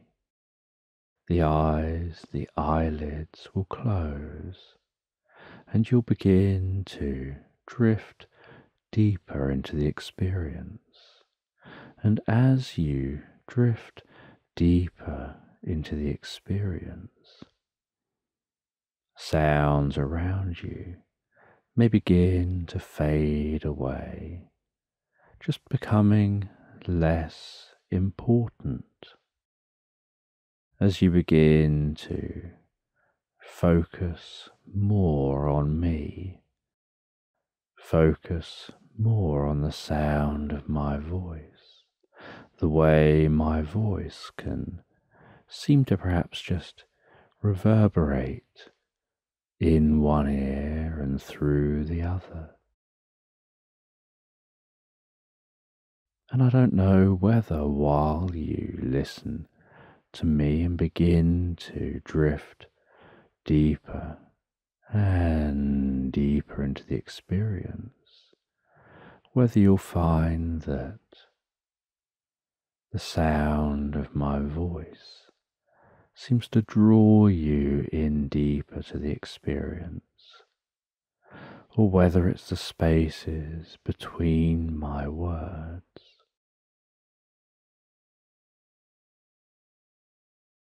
And while you begin to breathe in that way, you may notice how your breathing begins to soften and slow down. How time seems to almost soften and slow and relax deeper and deeper. How you can now begin to feel a deepening, and I don't know whether that'll be a warmth on the cheeks or around the face, or a softening of those muscles or a relaxing of the neck, the shoulders, the arms. Maybe the arms become heavier. Maybe you begin to not notice those arms as your attention drifts and floats deeper down through your body. And I don't know whether the left hand, left right there will become heavier than the right hand left right over there, or whether the right hand left right over there will become heavier than the left hand left right there. But as the right hand becomes heavier and heavier, it won't be the wrong hand. And I don't know whether the right hand is the left one or the right one, whether the left one is right or whether the right one is wrong. Maybe the right one is left right there as the right one to go deeper and more relaxed, or maybe that one is the wrong one. But it's your right to decide without even thinking about it which hand helps you drift right on deeper and deeper into the experience. And as a part of you drift deeper and deeper into the experience, so another part of you can be left behind to focus on relaxing more and more. And I don't know whether you'll drift deeper while you relax, or whether as you relax deeper and deeper, you'll find yourself floating and drifting into a reverie. But as you begin to comfortably drift and dream and go deeper into the experience, only do so at the rate and speed that is right for you. Don't go any deeper than is comfortable for you at any moment. And don't go deeper and deeper just because you're following what I say, but only go deeper and deeper at the rate and speed that you decide to do. And while you go deeper and more relaxed into the experience, you'll find that your mind can begin to drift and float onto a different level of existence. And I don't know whether It'll start with just a blackness in mind or some flashes of colour, maybe some shapes or movement. Or it'll start in some other way, but only you can know and discover that now, what it is that I'm guiding you through here as we sit on the stone is that inner experience of connecting with your deeper self. And as you connect with your deeper self, you can find that place in your mind where you can relax, where you can be walking towards a tree And as you walk towards that tree, you can notice what the sky looks like. You can notice the feeling of the air, perhaps a breeze or the temperature of that air on your face. And then as you reach the tree, you can run your fingers around the bark of the tree. And at an unexpected moment, you can touch a part of the bark where all of a sudden the tree and the bit of land that you're stood on begins to lower deeper and deeper into the experience. And as that bit of land and the tree lowers deeper and deeper, it'll go down from level five on the surface to level four, three, two, one, all the way, all the way deeper and deeper. And my voice can go with you through the experience. And my voice can take on the sound of the wind maybe each footstep that you take, or maybe something entirely different, or maybe you'll just hear my words, or drift off elsewhere with them in the background as you go deeper and deeper, but only go deeper with each out breath that you take. And relax more and more with each in breath. as you begin to walk towards a chair. And as you walk to that chair and relax down in that chair, I don't know whether your body will become so deeply and comfortably relaxed that even if a part of you was trying in vain to fight the urge to relax, all that does is deepens the experience, allows you to increase your focus on relaxing in your own way, not in any way that I dictate, but in the way that's right for you where your mind perhaps wanders away from my voice, while just responding to it in the background as you gently drift deeper and relax in that chair. And as you relax in that chair, you can have a sense of a panel moving from the side across your eyes And then on that panel, you can notice certain shapes and sensations and movement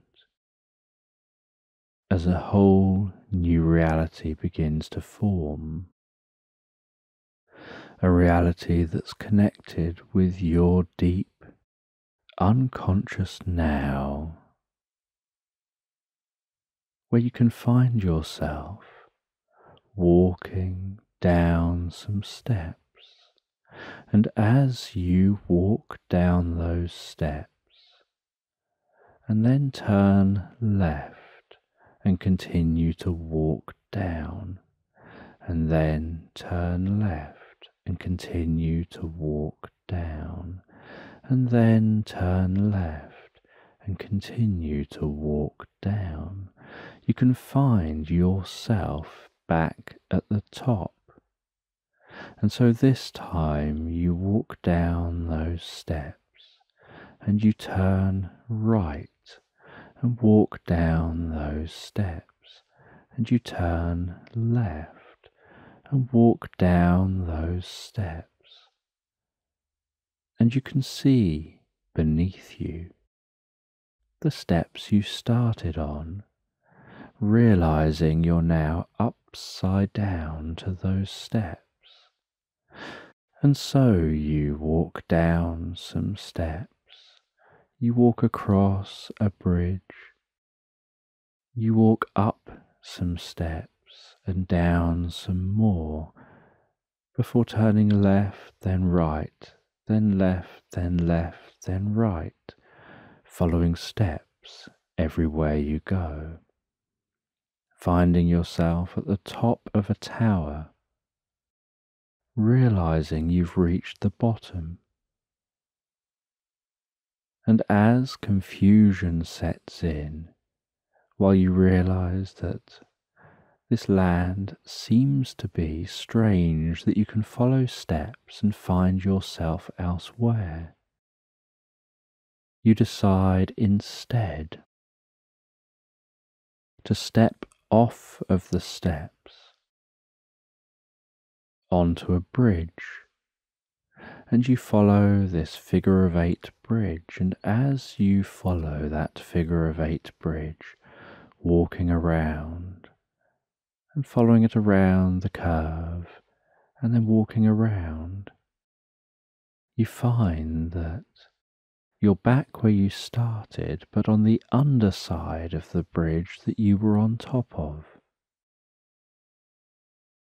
And you walk around again, around the curve of this figure of eight, following it around and around.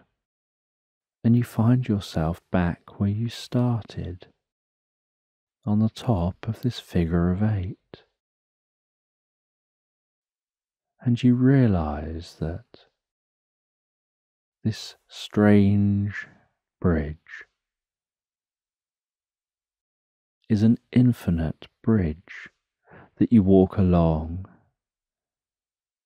and when you get back to where you started, you're on the bottom and you walk along, and when you get back to where you started, you're on the top. and when you're on the bottom, you step off the bridge onto a platform, and you follow that platform through an archway. You follow some steps beyond the archway, and then turn left up some steps, right down some steps, left up some steps, right down some steps, left down some steps, left, down some steps, right, up some steps, and find yourself back where you started. And you realize that this land seems to have no up nor down, no left nor right, no backward nor forward. Just here and now and when you're standing at the top of some steps, from one perspective it's the bottom, from another perspective you're on the ceiling, from another perspective you're on the floor, from another perspective you're left, and another perspective you're right. And from your perspective, you feel like you're just stood at the top of some steps. and whenever you walk, you find yourself there. And when asked where you are, you say, I am here, in the middle of nowhere.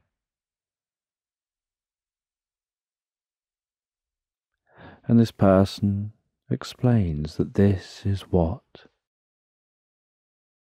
they said to that previous person and they said this with a little smile as they were aware that you followed along as if they were talking to you. And they said, And now, where you are, you can listen to me. And as you comfortably begin to drift deeper into the experience, you can begin to learn something about what it is you want to connect with, about what it is you want to achieve. How you can hold the appropriate weight of the world,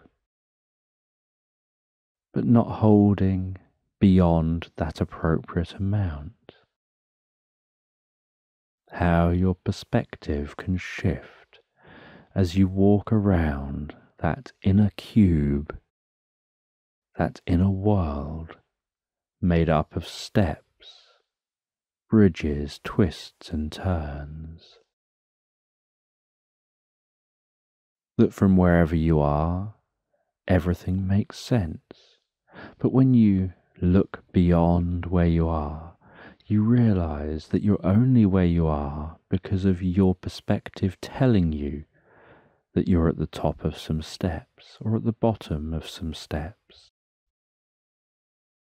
That if you were anyone else, you would think different about that situation.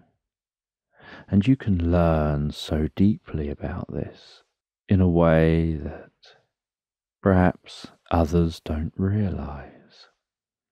And perhaps you don't even realize on a conscious level because this learning is connecting deep within you. And this person goes on to say that one day somebody went somewhere. And when they went somewhere, they asked if anybody was around and nobody said anything. And somebody asked nobody what anything means.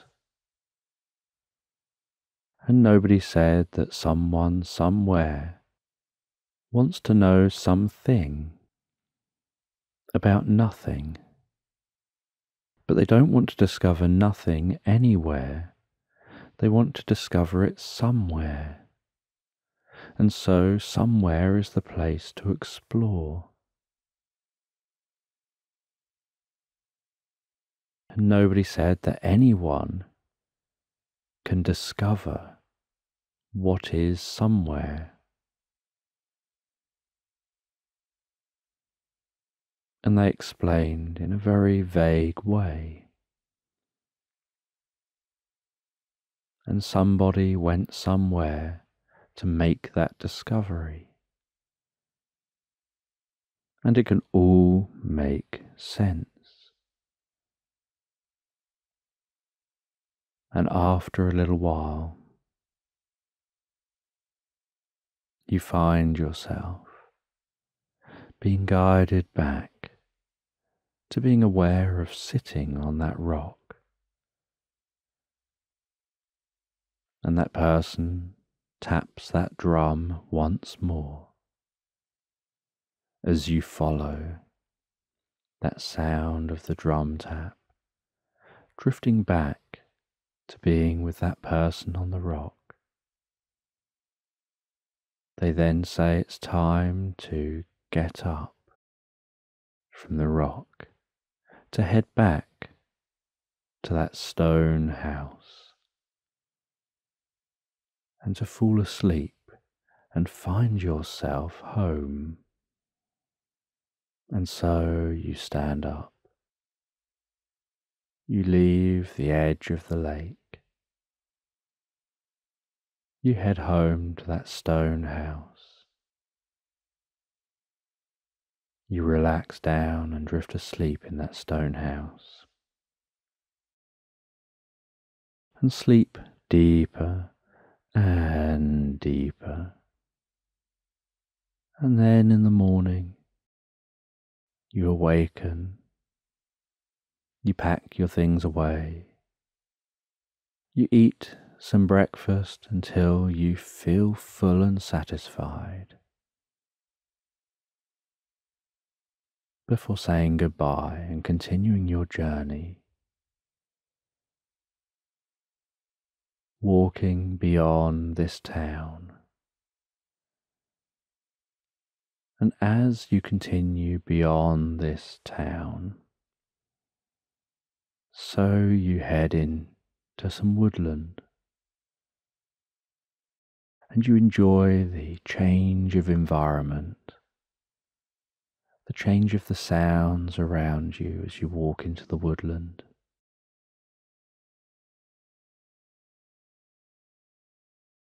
and you notice this bird of paradise, so beautiful in the sky, flying and flitting between the trees, sometimes seeming to almost hover. You hear its singing and the distant singing of other birds, and you follow that bird as it seems to almost hover to keep your attention before then heading on a little way further.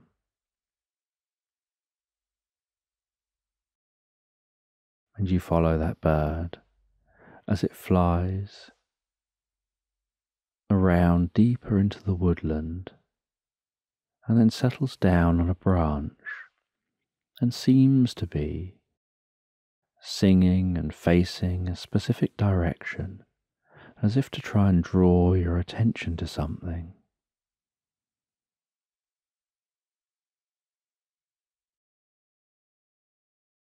And you gaze off in that direction. And you notice something among the undergrowth. You head closer and closer to it and realize there's a young tiger cub lying on the ground, breathing heavily. You notice that it's got a splinter in its paw and that it's breathing heavily and lying still to try to reduce any discomfort. And you approach it carefully and you gently stroke it while talking softly to it and reassuringly to it before pulling out that splinter, noticing the burst of discomfort pass through that little tiger cub. You then wrap up a makeshift bandage around the tiger cub's foot. And you sit with that tiger cub, which now rests its head so gently on your lap. And you just gently stroke the cub, hearing it purring, resting on your lap. And you notice that this tiger cub seems to be all alone that over many hours of you resting there with this cub, no adult tiger seems to appear. And so you go and find some food for that tiger cub. You make sure it's eaten as much as it needs to be able to grow big and healthy. And over the next few days, you stay in this area, camping here, looking after this tiger cub until its paw is better. And then, when it's better and it's running around and it seems more independent, you decide to leave and continue on your journey, exploring the land finding strange new places, gaining new knowledge from each place you visit, absorbing knowledge in the books, in the libraries you discover, learning from artifacts that you find, from those people you encounter on your journey. And as you leave, so the tiger cub seems to follow. And at first, you try to encourage it to go its own way, but then realize that its own way it has decided is your way, that it's decided to tag along and join you on your journey. And so you continue your journey of discovery. And as weeks turn into months and months turn into years, so that bond with this tiger deepens, becomes more profound as the two of you continue this journey together, becoming lifelong friends. And one day, many years later, when you're much older, you settle down in your tent, thinking back over a lifetime of experiences that you've had up to this point, those you've met, what you've learned and gained from your journey, what you feel you will learn and gain if you were to do this differently and live this again and again.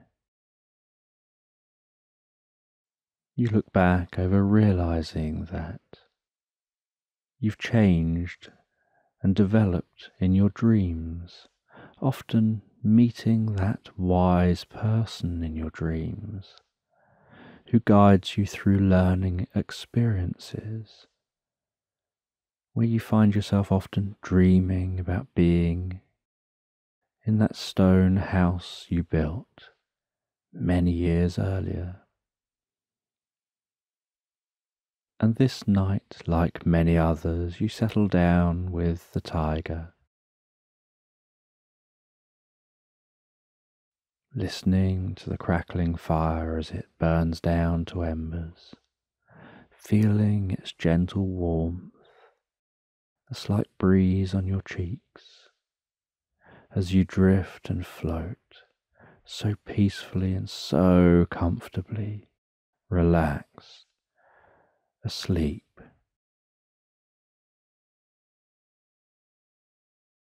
So just take a moment to allow your eyes to close and allow yourself to begin to relax.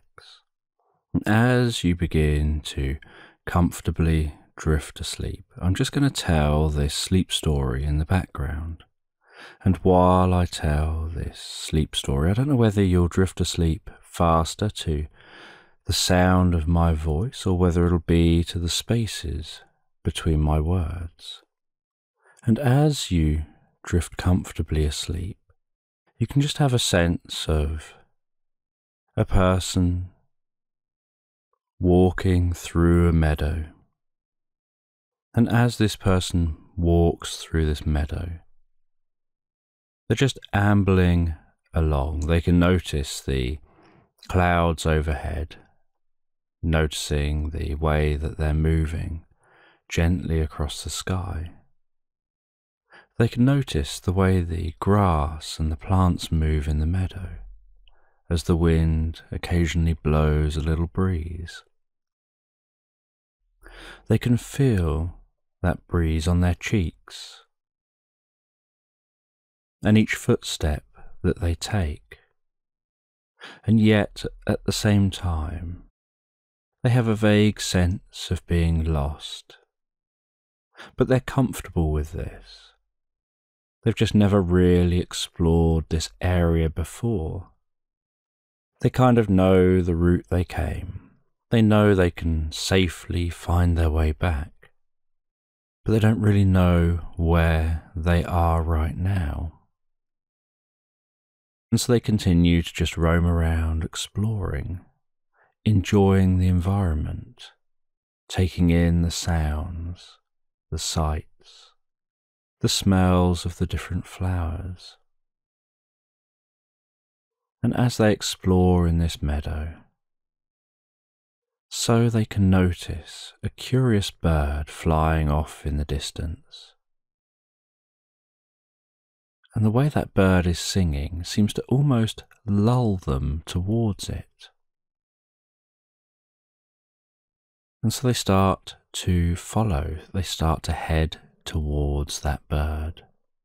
And as they head comfortably towards that bird, so they notice the way that it occasionally seems to turn around and manage to hover gently in the air, as if to check that they're still following, before turning back and carrying on flying. And after a while, they follow that bird towards the tree line at the far side of this meadow, and then into the woodland. And as they follow that bird into the woodland, so the bird's song seems to almost echo. And they can tell which direction that song's coming from They follow that sound of the bird deeper and deeper into the woodland. And they're curious about this bird. And eventually, deep in the woodland, they find a fallen down tree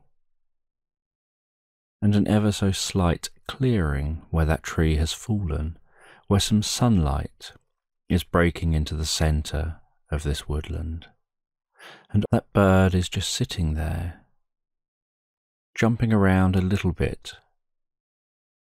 And the person heads over, slowly, carefully, quietly towards that bird. Not wanting to disturb that bird, not wanting to scare that bird off, make it fly away. And it's a small little bird, the most beautiful wings, the most beautiful plumage. And they sit down gently next to the bird, sitting down on the trunk of that fallen down tree. And as they sit down, so the bird gently hops over to them and hops up onto their leg and as it hops up under their leg, so they begin to have this sense of almost like an energy field emanating from the bird. And then within a moment, they start to have this almost psychic connection with the bird. And they realize this bird is communicating with them. And somehow they understand the bird. And so they are looking at that bird on their leg, and that bird is looking back at them. And they can hear with their ears that the bird is singing but with their mind, they can hear the bird talking and they can understand that talking. And the bird says that I'm a life bond bird.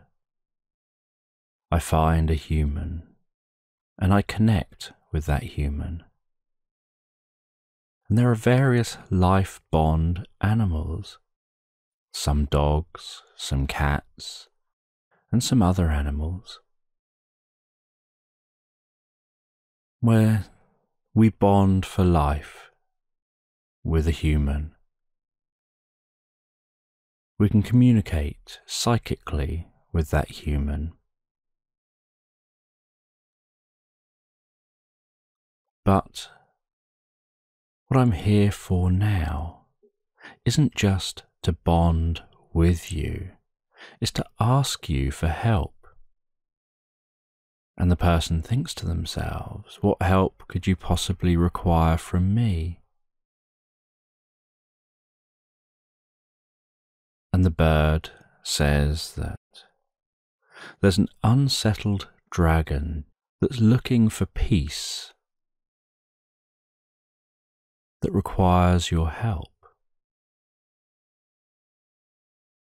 And the person was curious about this, while at the same time being unsure, not really believing in dragons. But at the same time, they didn't believe that a bird could talk, let alone be psychic, until a moment ago. And the alternative to believing that this is real was something they'd rather not believe right now. So they ask the bird where they have to go, what they have to do. And the bird flies off of their leg and begins to fly deeper and deeper into the woodland. And they walk along following that bird as it easily weaves and dodges branches while they're trying hard to push through those branches and deep in the woodland, they discover a tall, shiny black obelisk with symbols on all the sides. And the bird lands in a tree near this obelisk. And the person asks what they're supposed to do. What does this mean? And the bird says, Reach out and just touch the obelisk. So they reach out, and gently with their fingertips, they touch that obelisk. And as they do, a blue light begins to illuminate the symbols on the obelisk. Then, almost like an electric effect, begins to travel up from the ground, up the sides, up to the top, with a crackling, sparking sound, before firing from the top up high into the sky. And the person notices as it fires high into the sky that it seems to be separating the clouds, almost puncturing through the sky and a dome begins to appear around them. And the person looks up and watches as that dome is arcing overhead, arcing and lowering down to the ground, almost like somebody's pouring chocolate on top of a cake and watching it pour around the sides. And they watch as that dome forms all around them. And as soon as the dome has formed, so the obelisk goes quiet, and the dome has a glow to it. And then moments later, that dome begins to turn dark, almost like night time is setting in and stars begin to appear on that dome. And the person gazes up, thinking it almost looks like gazing up at a night sky. And then, as that night time descends on this area, so the woodland seems to evaporate and fade away, with just the obelisk standing. and in front of the person, they can see a slow, deep breathing dragon. The most powerful looking green dragon with strong wings and legs, just lying there, curled on the ground, its head resting across the ground. with deep puffs with each breath, and a warmth from each breath. And the person begins to walk towards that dragon, a little apprehensively at first, and the bird flies to the person's shoulder, stands on the person's shoulder as they walk towards that dragon and as they reach the dragon, they notice its eyes gently look up in their direction. And the person picks up that this dragon appears lost as the dragon's eyes look back down again.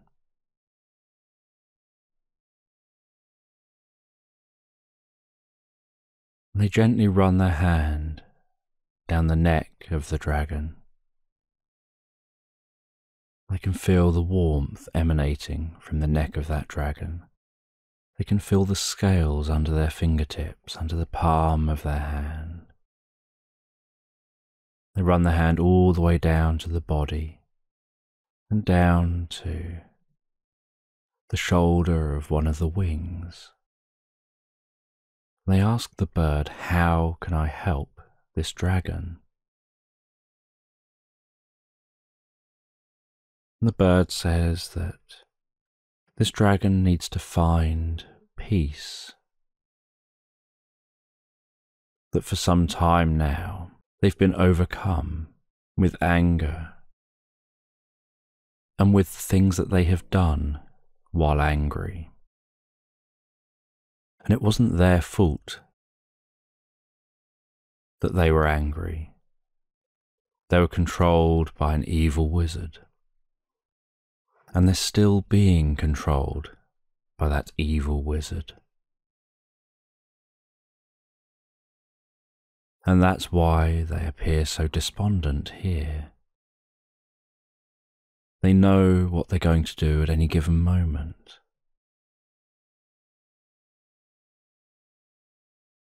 And the person asks, Well, why didn't they attack me if they're so angry? And the bird says that it's likely because the wizard hasn't registered that there's anyone here as far as the wizard's concerned. This dragon's here in this land, just resting here, before they're going to send it to attack more villages and attack more villagers and be their weapon of destruction. But there are also no humans here in this land. There are various types of beings, but no humans. And so it could be that the wizard just hasn't detected anything about you as a being. And you're here in this land, having accessed it through that obelisk. Where the obelisk has transported you from one location in one realm to another location in another realm. And perhaps that's how you're to defeat the wizard and help to break the curse and bring peace to the dragon. That the wizard can't detect you because you're not of this realm. And so maybe that will give you the element of surprise. And so the person asks where the wizard is. And the bird says the wizard is up in the mountains. And so the person begins trekking away from the dragon, unsure exactly how they're going to defeat the wizard, what they're going to be able to do but treks away from the dragon and can just make out the outline of the peaks of the mountains by the lack of starlight, almost like a crooked break in the lower part of the night sky, where the stars just end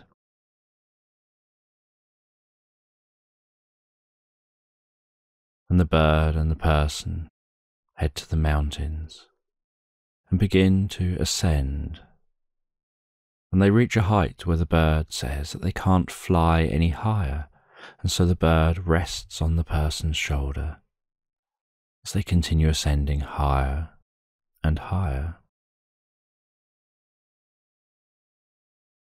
And when they're near the peak of the mountain, the person can see what looks like some kind of temple. And there's a glow coming from within the temple. And so they carefully and quietly head into that temple. And they walk quietly as their eyes adapt to that low glow. And as they walk quietly into the temple, they can see symbols around the walls. they can see a library of books.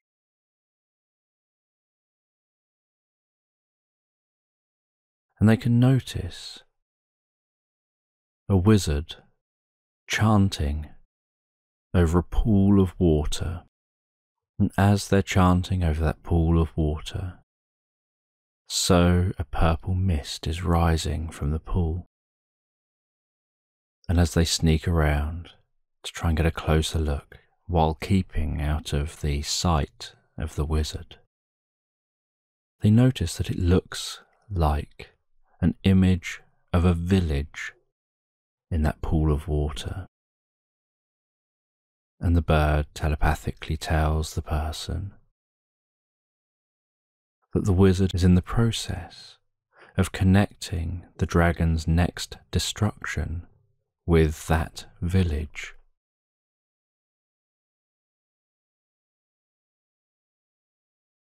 And the person wonders what they could possibly do to help and to stop a wizard when they're just a human.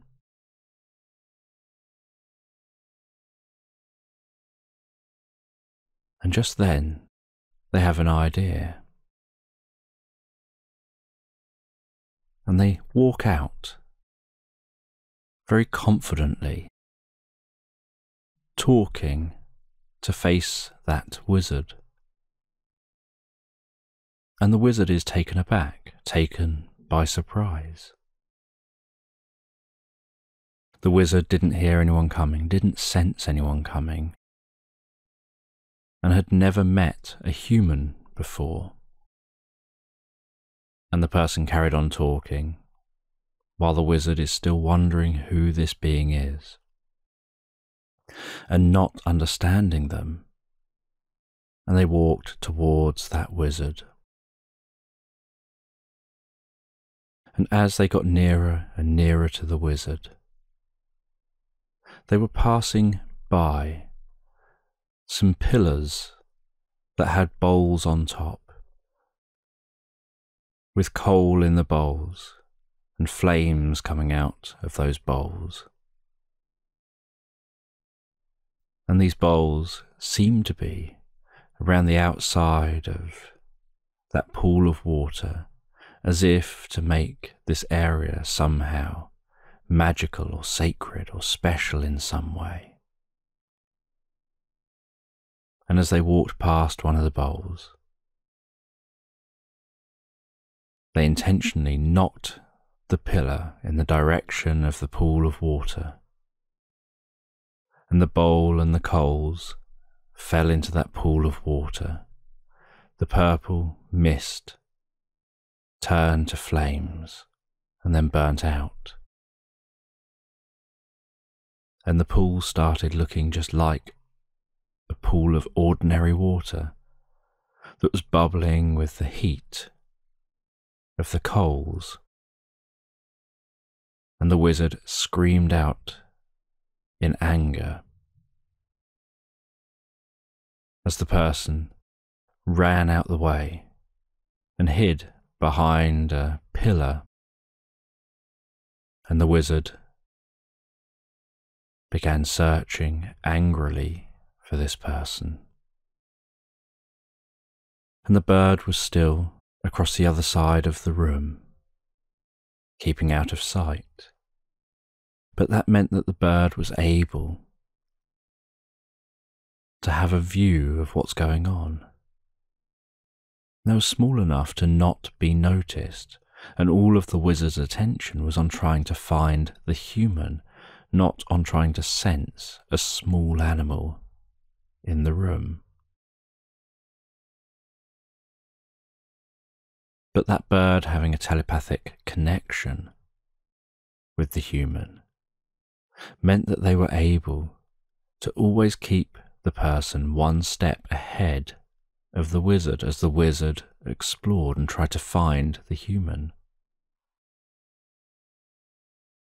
And when they got the chance, they ran out, they knocked another pillar knocking more coals and flame into the pool,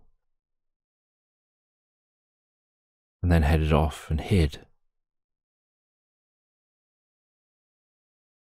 And then they ran out and did it with the third pillar. And this time the wizard managed to catch a glimpse of them and fired out a burst of flames from the palm of their hand in the direction of the person, who managed to avoid it and get hidden again. And this person knew this was just a temporary fix, that all this was doing was preventing the dragon getting angry now.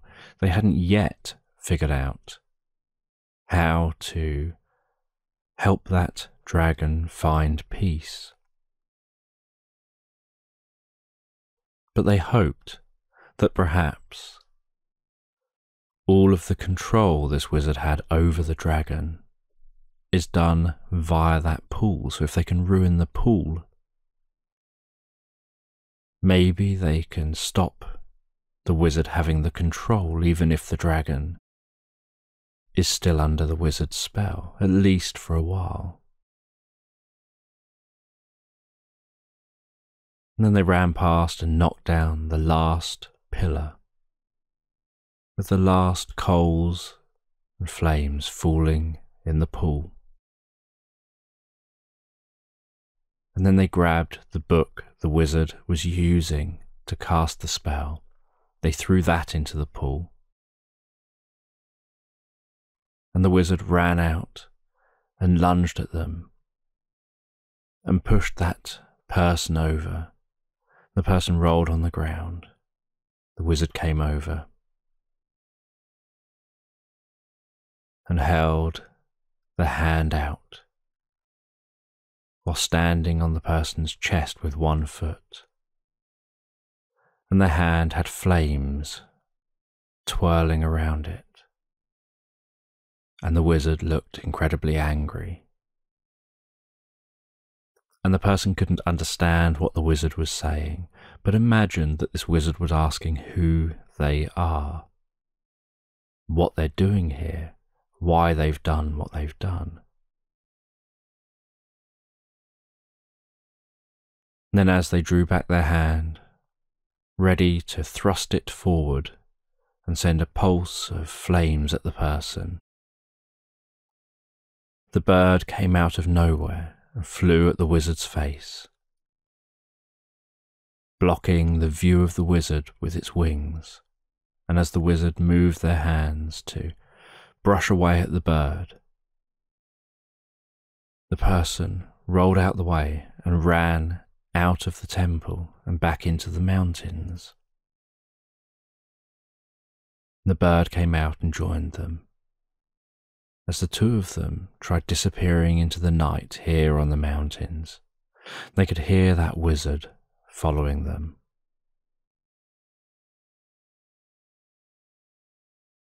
They started heading down the mountain, with the sound of the wizard behind them, continuing to head deeper and deeper down that mountain, heading back towards the dragon, wondering how they can help this dragon, what they can do. The bird was right that the human had an element of surprise. But the person didn't know what to do next. They just knew that they had to get back to the dragon and away from that wizard. And eventually they managed to make it all the way back to the dragon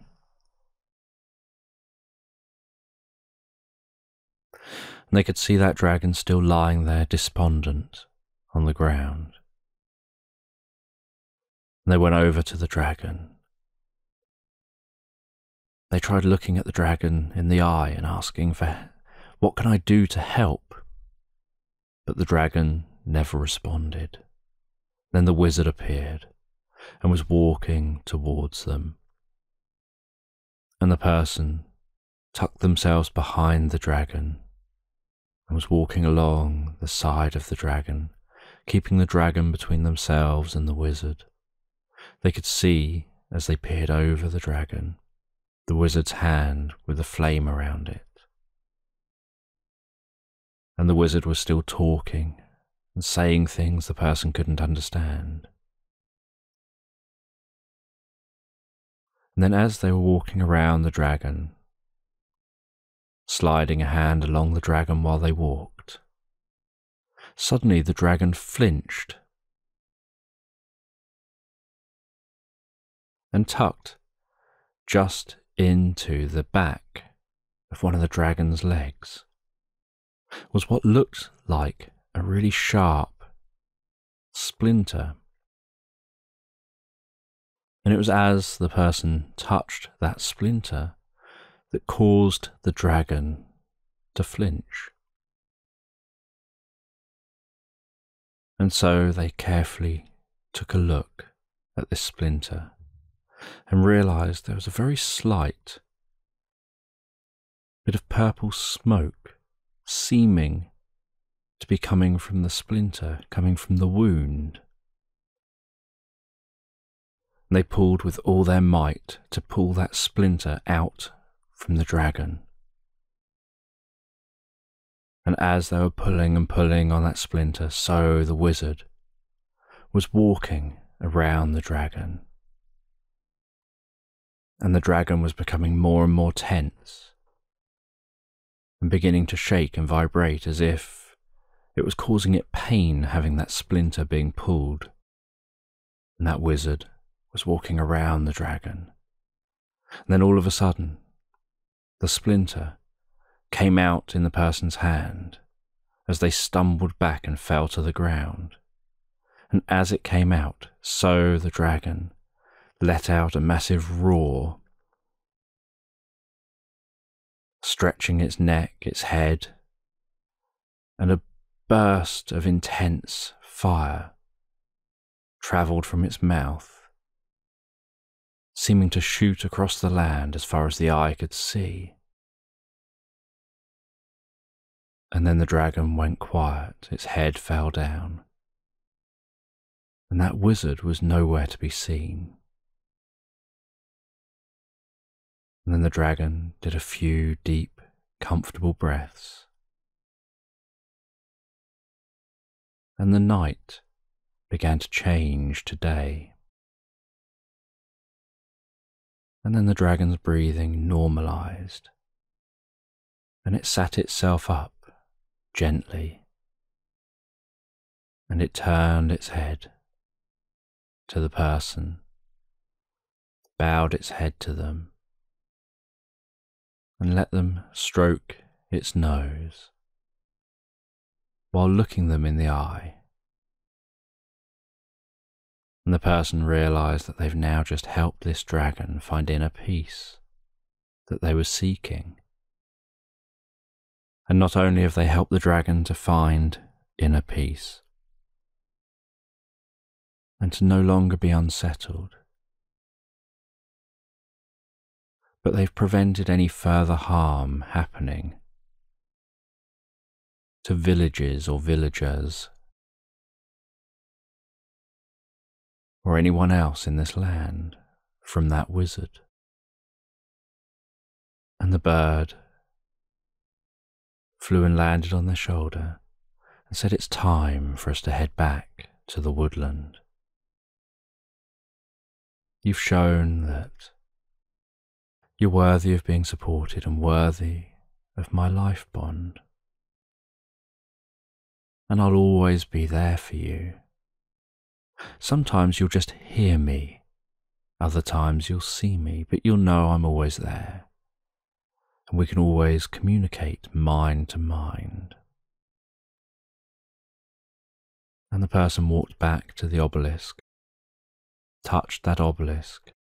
As they did, so the sky began to change, and everything around them began to change. And they found themselves back in that woodland. And as they found themselves back in that woodland, so the ground began to rumble and the obelisk began to lower down into the ground and once it had fully lowered into the ground, it was as if the ground was swallowing it as that ground closed in on top of it. This person had this feeling almost like the trees were singing and talking to him. As the two of them head back out into the meadow, and the person said to the bird, I don't know where I am. I don't know the best way home.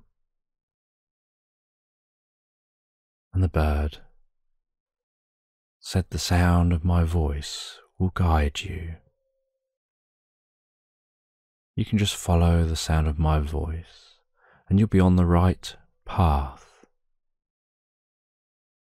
And then the bird flew off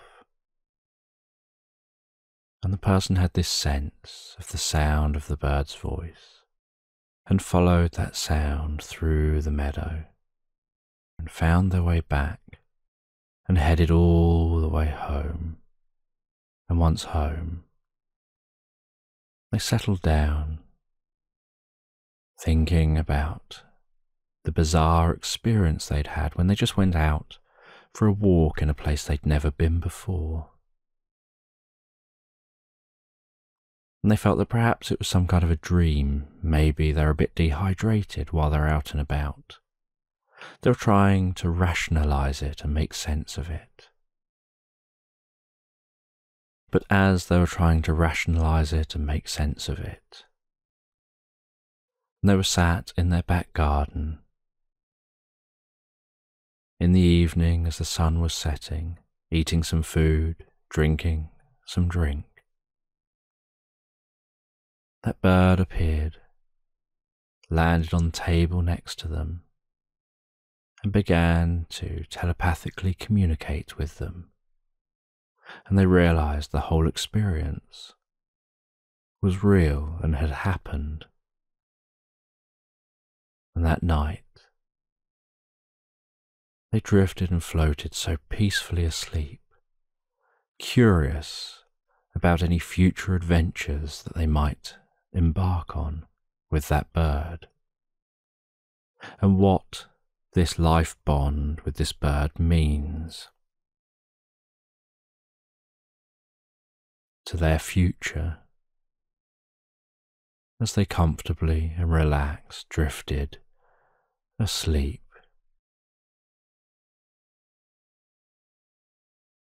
So just take a moment to allow your eyes to close and allow yourself to begin to relax. And as you begin to relax, I don't know whether you'll drift deeper to the sound of my voice or whether it'll be to the spaces between my words. And while you continue to comfortably drift asleep, I'm just going to tell this sleep story in the background. And this sleep story is about a woman called Maria and Maria, while on holiday to an exotic location, decides to explore the nearby town. And as she heads into that nearby town, so she gets drawn in by the old, old buildings, noticing some of the strange architecture of these buildings and she walks along a cobbled street and heads down an even narrower street. And she recognizes the word above a door as being a foreign word meaning library. And she opens that door. And as soon as she's walked through the door, she's instantly greeted by that calm, quiet, muffled sound of a densely packed library. And with a bit of a thud, she closes the door behind her. And the sound of her footsteps seem to almost just disappear almost as soon as she's taken the step. And there's a certain comfortable silence that she notices in here. And as she begins to look around this library, she realizes that many of these books look incredibly old. And she can smell that old book smell. She can't see any staff or any other people anywhere in here. She can just notice that there are some narrow, tall windows with the light from the sun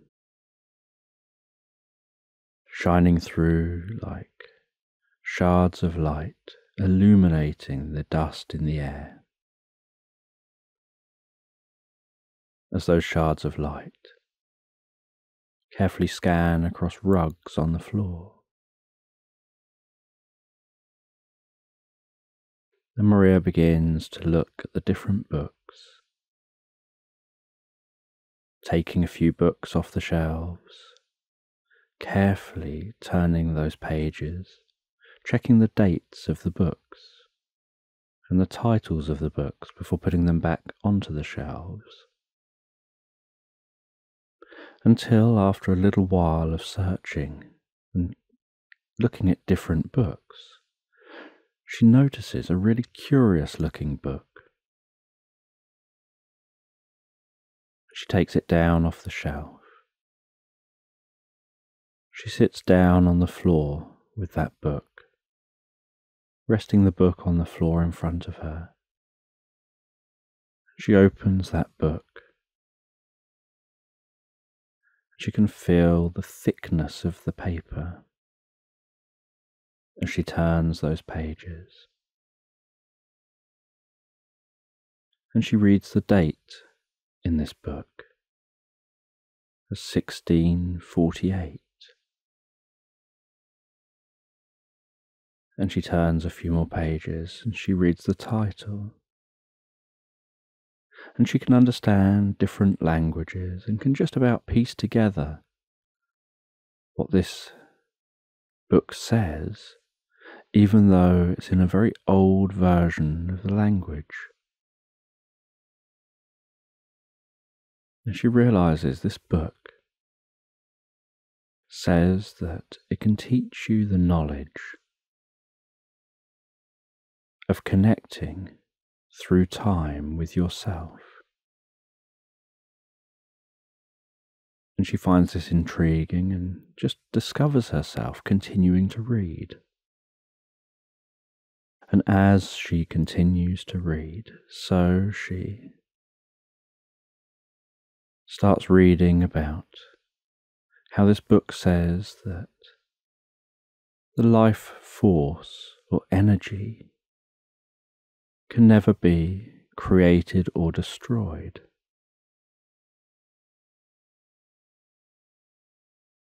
That the universe began with a spark of eternal life. And that spark of eternal life, that initial energy, turned into matter and each bit of matter contained an element of that eternal spark. And that eternal spark can never be destroyed. It'll either be matter or energy. And as she continued to read, she read it describing how you can connect with the eternal spark. And you can follow the eternal spark that's within you back through time. You can follow it back to being able to experience that eternal spark as it was previously, almost like accessing the memories contained within that consciousness. And she realizes that it's almost as if this is talking about past lives. And she continues to read on.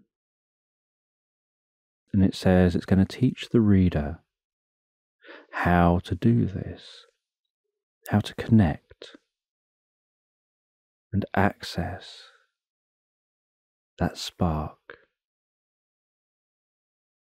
and then how to follow that back through your life. And then follow it back beyond your life to where that eternal spark existed before you. And after much reading, she came to the section that guided her through a process. And so she read that process. And it was a very simple process to follow. So she went over it a handful of times, reading the process, getting that process in her mind, before recalling the process to herself to guide herself back. And she remained sat on the floor in this library, that book resting in front of her, the silence of this library as she started to guide herself through that process, she thought to herself, okay, just take a moment to close your eyes and take a few comfortable breaths, breathing in and breathing out. And breathing out any tension, and breathing in relaxation. And after a while of breathing in that way,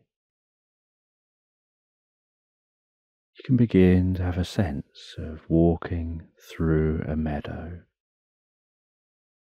And it's the most beautiful meadow with flowers swaying gently in the breeze, the colours, the sky overhead, and heading to that grand tree in the centre of the meadow.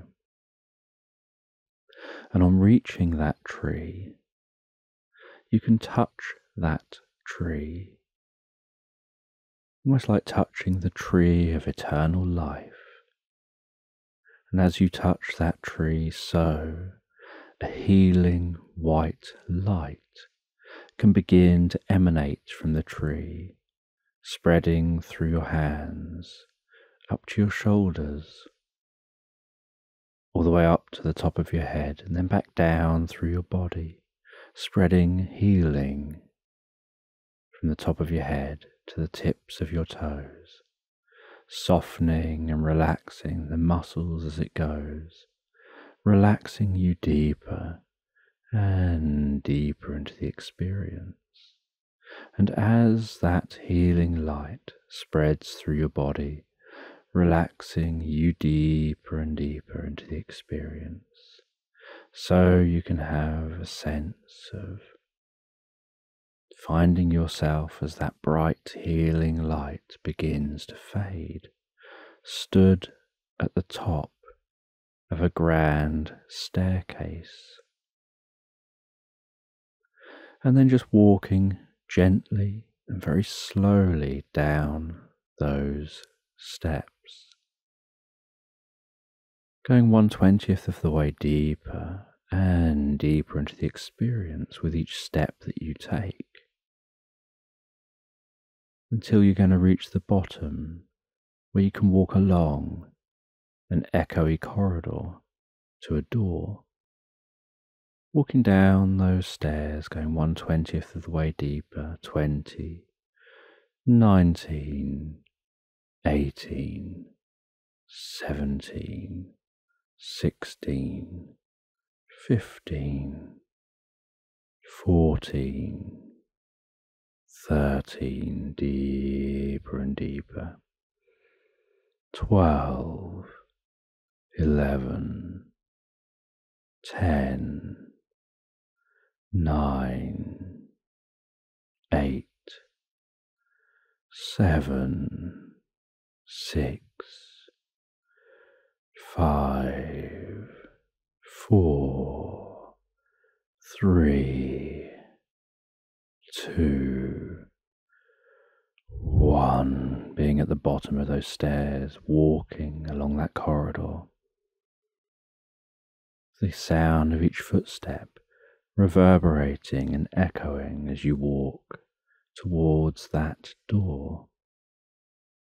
And passing through that door, finding yourself in a room of nothingness, a room where there's no up nor down, no left nor right, no backward nor forward, no time, just here now, approaching a connection with that deeper consciousness, that deeper inner wisdom, that deeper connection through time with that spark. And then walking through nothingness, unaware of whether you're moving at all, but going through the motions of walking. And then being surrounded by stars seeming to appear from all directions as if you're floating in space.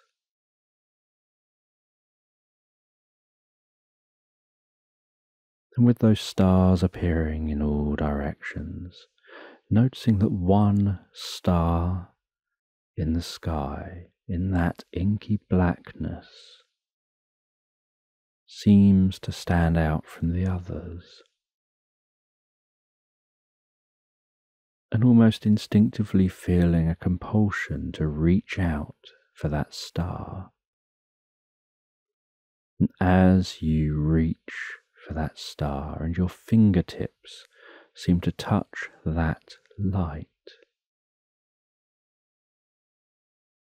You find that night sky turn bright white, and as that bright white quickly fades, you find yourself in a life you don't recognize. And you look around yourself. And as you look around, you discover the most incredible thing that you seem to be seeing through the eyes, hearing through the ears, and feeling through the senses of somebody in the past, and you realize that you seem to be in the mind of a past life of yours. You look around and you feel almost like you're experiencing a lucid dream where you're aware, but at the same time it's playing out around you. and you can see cobbled streets. You can hear a horse and cart go past. And as you're walking along the cobbled streets, you come out of a dark alleyway and into a more lit up area with people selling at little market stalls and you realize it seems like a really old fashioned high street.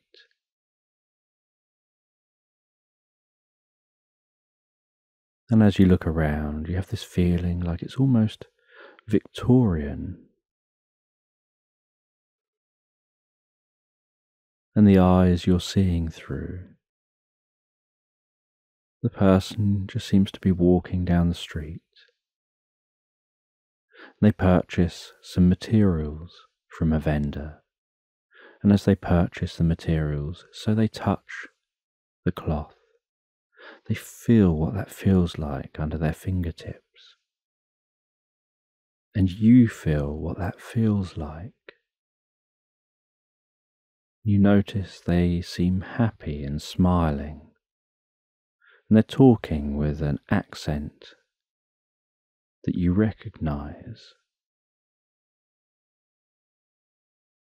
And you go along with this life for the ride, seeing where this takes you. And then this person heads along a bit further to another stall. They buy some food. And after buying that food, they seem to be working their way back the way they came. You realize they're heading home. And after heading back home, a little bit later on, they seem to settle down in a chair by a fire. And you can hear that gently crackling fire in the background. So you follow the same technique and you notice those stars appearing around you again. You reach out for that star, that light in the sky. And just as your fingers touch that light, so the light spreads to be bright all around you before disappearing, and you find yourself in another strange location. you realize that you're much younger and incredibly fit and active and running around. And you're running over hills. You can see the clouds passing overhead. And the hills are green and lush, and the air is cool and you realize you're in a very mountainous area with these hills and mountains around you. And at the bottom of the hills, you see what looks like a farm and a horse and a very basic cart. And you can see some adults working in the fields and you don't know how far back in time you're seeing, or whether this is just in your mind or real past lives. And you don't know how you can know, but you know that you can learn from these experiences. And so, when the opportunity arises, when, as this person, you sit down on the grass on one of those hillsides. You have a sense of going through the technique again, reaching for that light. And as the bright light surrounds you and then fades quickly again, you find yourself within giant stone walls. You can feel that the sun is incredibly warm. There's the most beautiful hanging gardens on the walls. There's a sound of running water around you. Water running down one of the walls as a water feature. and you find as this person, they're heading somewhere and just walking down the street. And it's a different kind of cobbled street.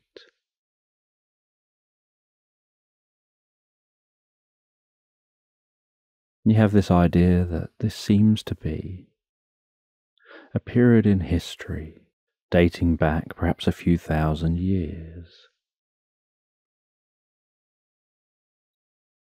And you find as this person that you turn into a large building. And in that large building, you can see scrolls wrapped up and placed stacked in diamond shaped holes in the walls. Then you head over to one of those holes in the walls you grab one of the scrolls And you're curious what this person's doing, and this person who is you unrolls that scroll. And you find yourself just instinctively understanding the writing on the scroll.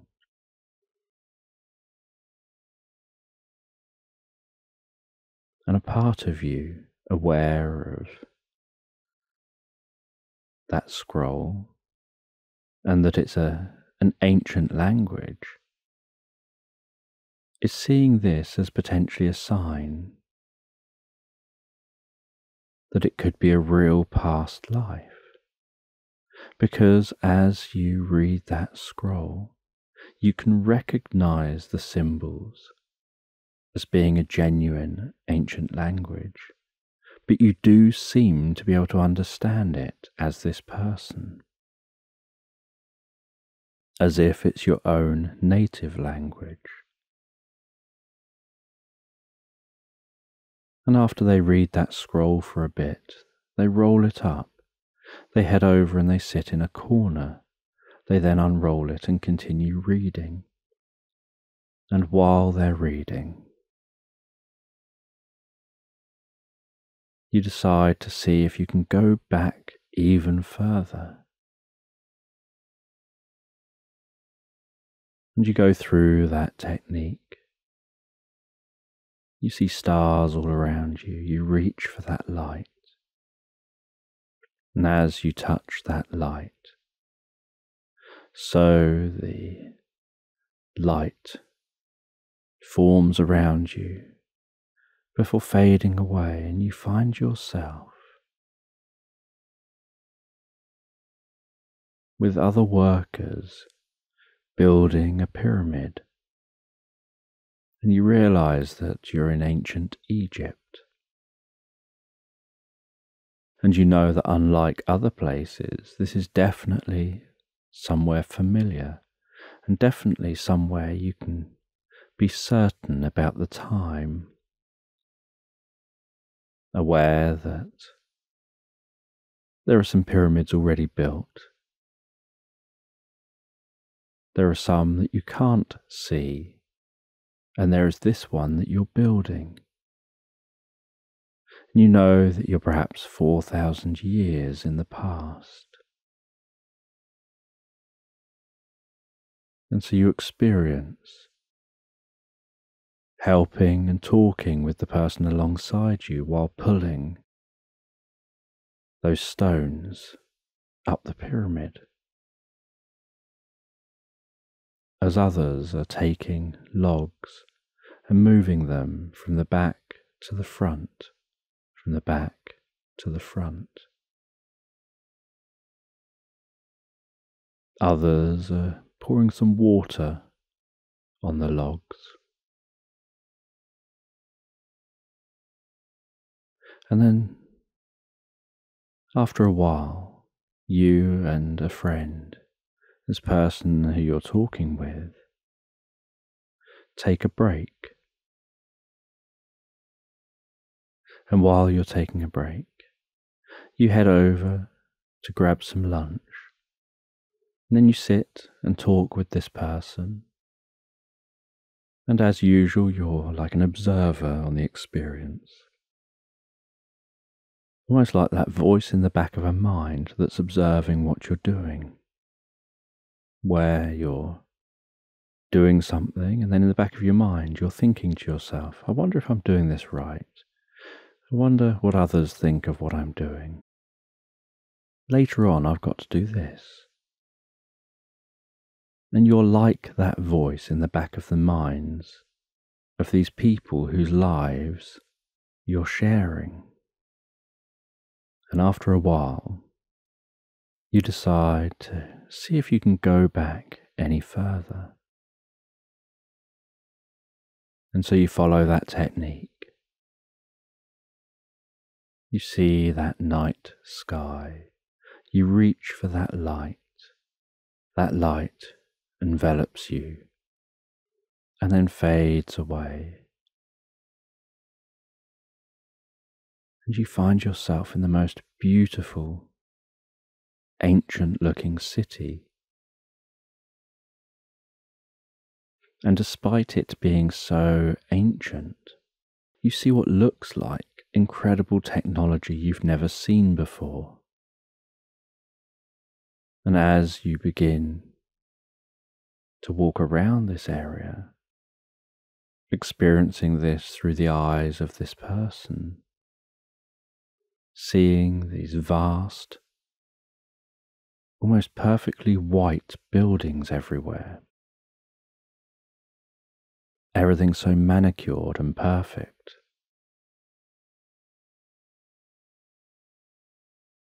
And seeing people seemingly so technologically advanced, you realize that you're in ancient Atlantis.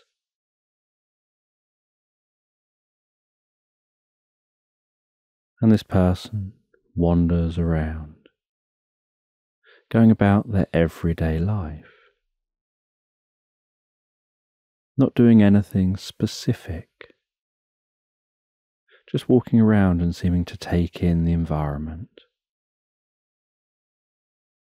Like they've just gone out for a walk for a day. And as you walk around with this person, you start to reflect on your experience to this point, reflecting on the different lives you've dropped in on.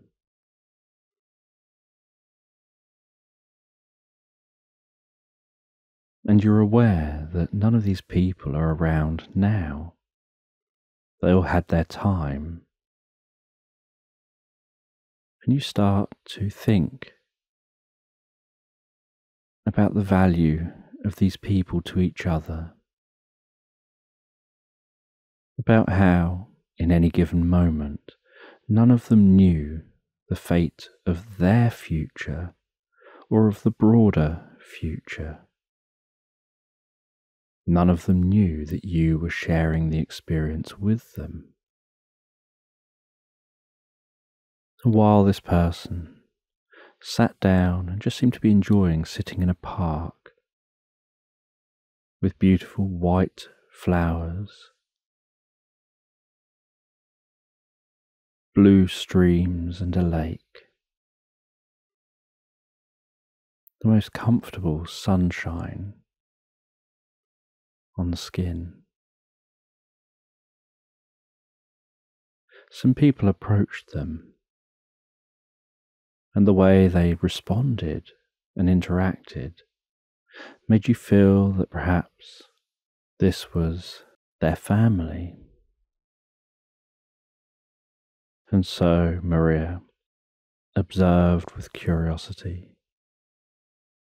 as this person interacted with their family, and they seemed to appreciate their family so much when they were looking at different family members, they were attending fully with all of their attention to just that family member in that moment. And you had this sense, this feeling from within them that you were sharing with them, being part of them. That they really appreciated this moment, this life that they have. That whatever else has gone on for them, whatever else might happen in their future, they really appreciate the moment and those around them. And something that you notice while here is that this person places something in a box. The other family members place things in the box. And this person buries that box in the ground. And it's almost like they buried a time capsule And then this person stands up. And they look around, and as they look around, Maria recognizes a mountain on the horizon and realizes where this location is.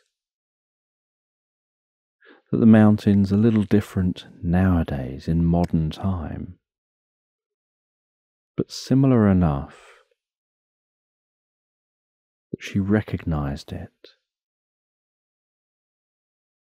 And so Maria drifted back from the experience. And as she drifted back, she found herself back with those stars and found her way back through time. She was curious whether perhaps she could use this technique to go even further back in the future. And once she found her way back to being in that library, she opened her eyes. She placed that book back where she found it and left the library. And she knew where she wanted to go. And a few days later, she travelled to a location surrounded by islands. And she set off on a boat. Then, after a while of travelling away from the shore on the boat, she looked back towards those islands and she recognized the mountains and she travelled around on that boat a little bit, trying to get a sense of how those mountains looked in her mind back then. When she felt she was roughly at the location that she was when she travelled into those past lives, she lowered an anchor from the boat suited up into diving gear, dropped off the back of the boat into the water, and allowed herself to descend. And as she slowly, carefully descended, breathing in such a calm and peaceful way, aware of the stillness and the slowing down of the environment around her while she descended through the clear water. She eventually reached the ocean bed. And as she reached the ocean bed, she allowed herself just to sit down on the sea floor. She looked around and she had this sense that she would be able to see the mountain if this was above the surface. She could see that the ocean bed wasn't smooth. There was lots of rocks and different shapes that looked all like it could have been natural, but also from her memory of where she was in that past life. She began to recognize that some of it looked like maybe fallen down buildings which had become overgrown over thousands of years and buried deep under the sea. And she got a shovel and she dug down gently into the ground. And she noticed after digging for a while that what she was digging through changed from a sand like substance to a layer that was more like mud and she continued digging. And then, to her surprise, the spade seemed to knock something, and so she uncovered what she'd knocked, and found, surprisingly, that that container was still there. So she dug that up, took that up to the surface with her, got back on board the boat and on the boat, once she'd changed back into her normal clothes. She went into the cabin of the boat, placed that container on the table, and she looked at how she could get into it, and she found a way into the container, managed to open it. And as she opened it, it was almost like a puff of air that was trapped within the container, exhaled from the container.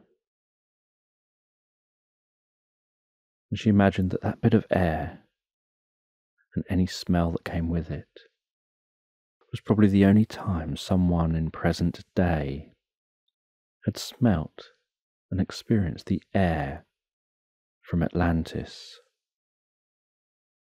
and in the container. She saw a lock of hair and she remembered one of the children placing that lock in there. She took that lock of hair out, gently handling that, feeling how soft that hair felt. She found what looked a bit like a rose petal. And its waxy smoothness between her fingertips. And she took out all the different items one at a time. And the last item she took out was like a small scroll,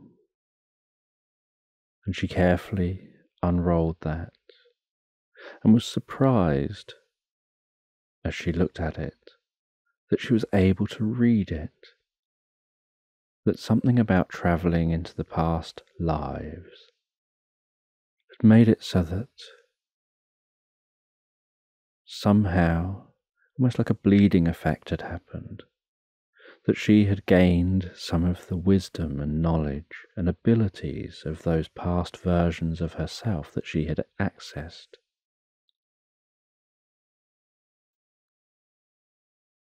And she read that scroll and realized that it just contained long forgotten wisdom about leading life about where to focus your attention, your love, your appreciation. What's important in life that you shouldn't let go of? That you should always keep in mind those important things in life. And she continued to read and read that this person was concerned that, as a wider society, that the actions of a few were going to lead to the downfall for the many of the entire civilization. And Maria, looking back from the present, is aware that that is what happened, and was aware that some people back then were also aware that a certain fate was approaching. And she read that scroll with intrigue, and something about it resonated deeply with her. About making the most of every moment, really appreciating what you have and those in your life, and how you can enrich the lives of those around you, and how those around you enrich your life. And making the most of every single moment. And Maria felt a deep connection with this person who wrote that, and with the message they gave, and the time now that she finds herself in and what she sees around her and experiences. And she travels back to the shore on her boat, spends a night in a hotel on the nearby island before heading home the next day.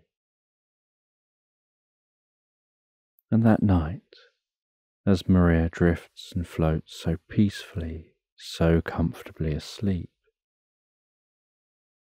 She drifts asleep with thoughts of deep appreciation and love for those in her life. And what she has learned from her experience.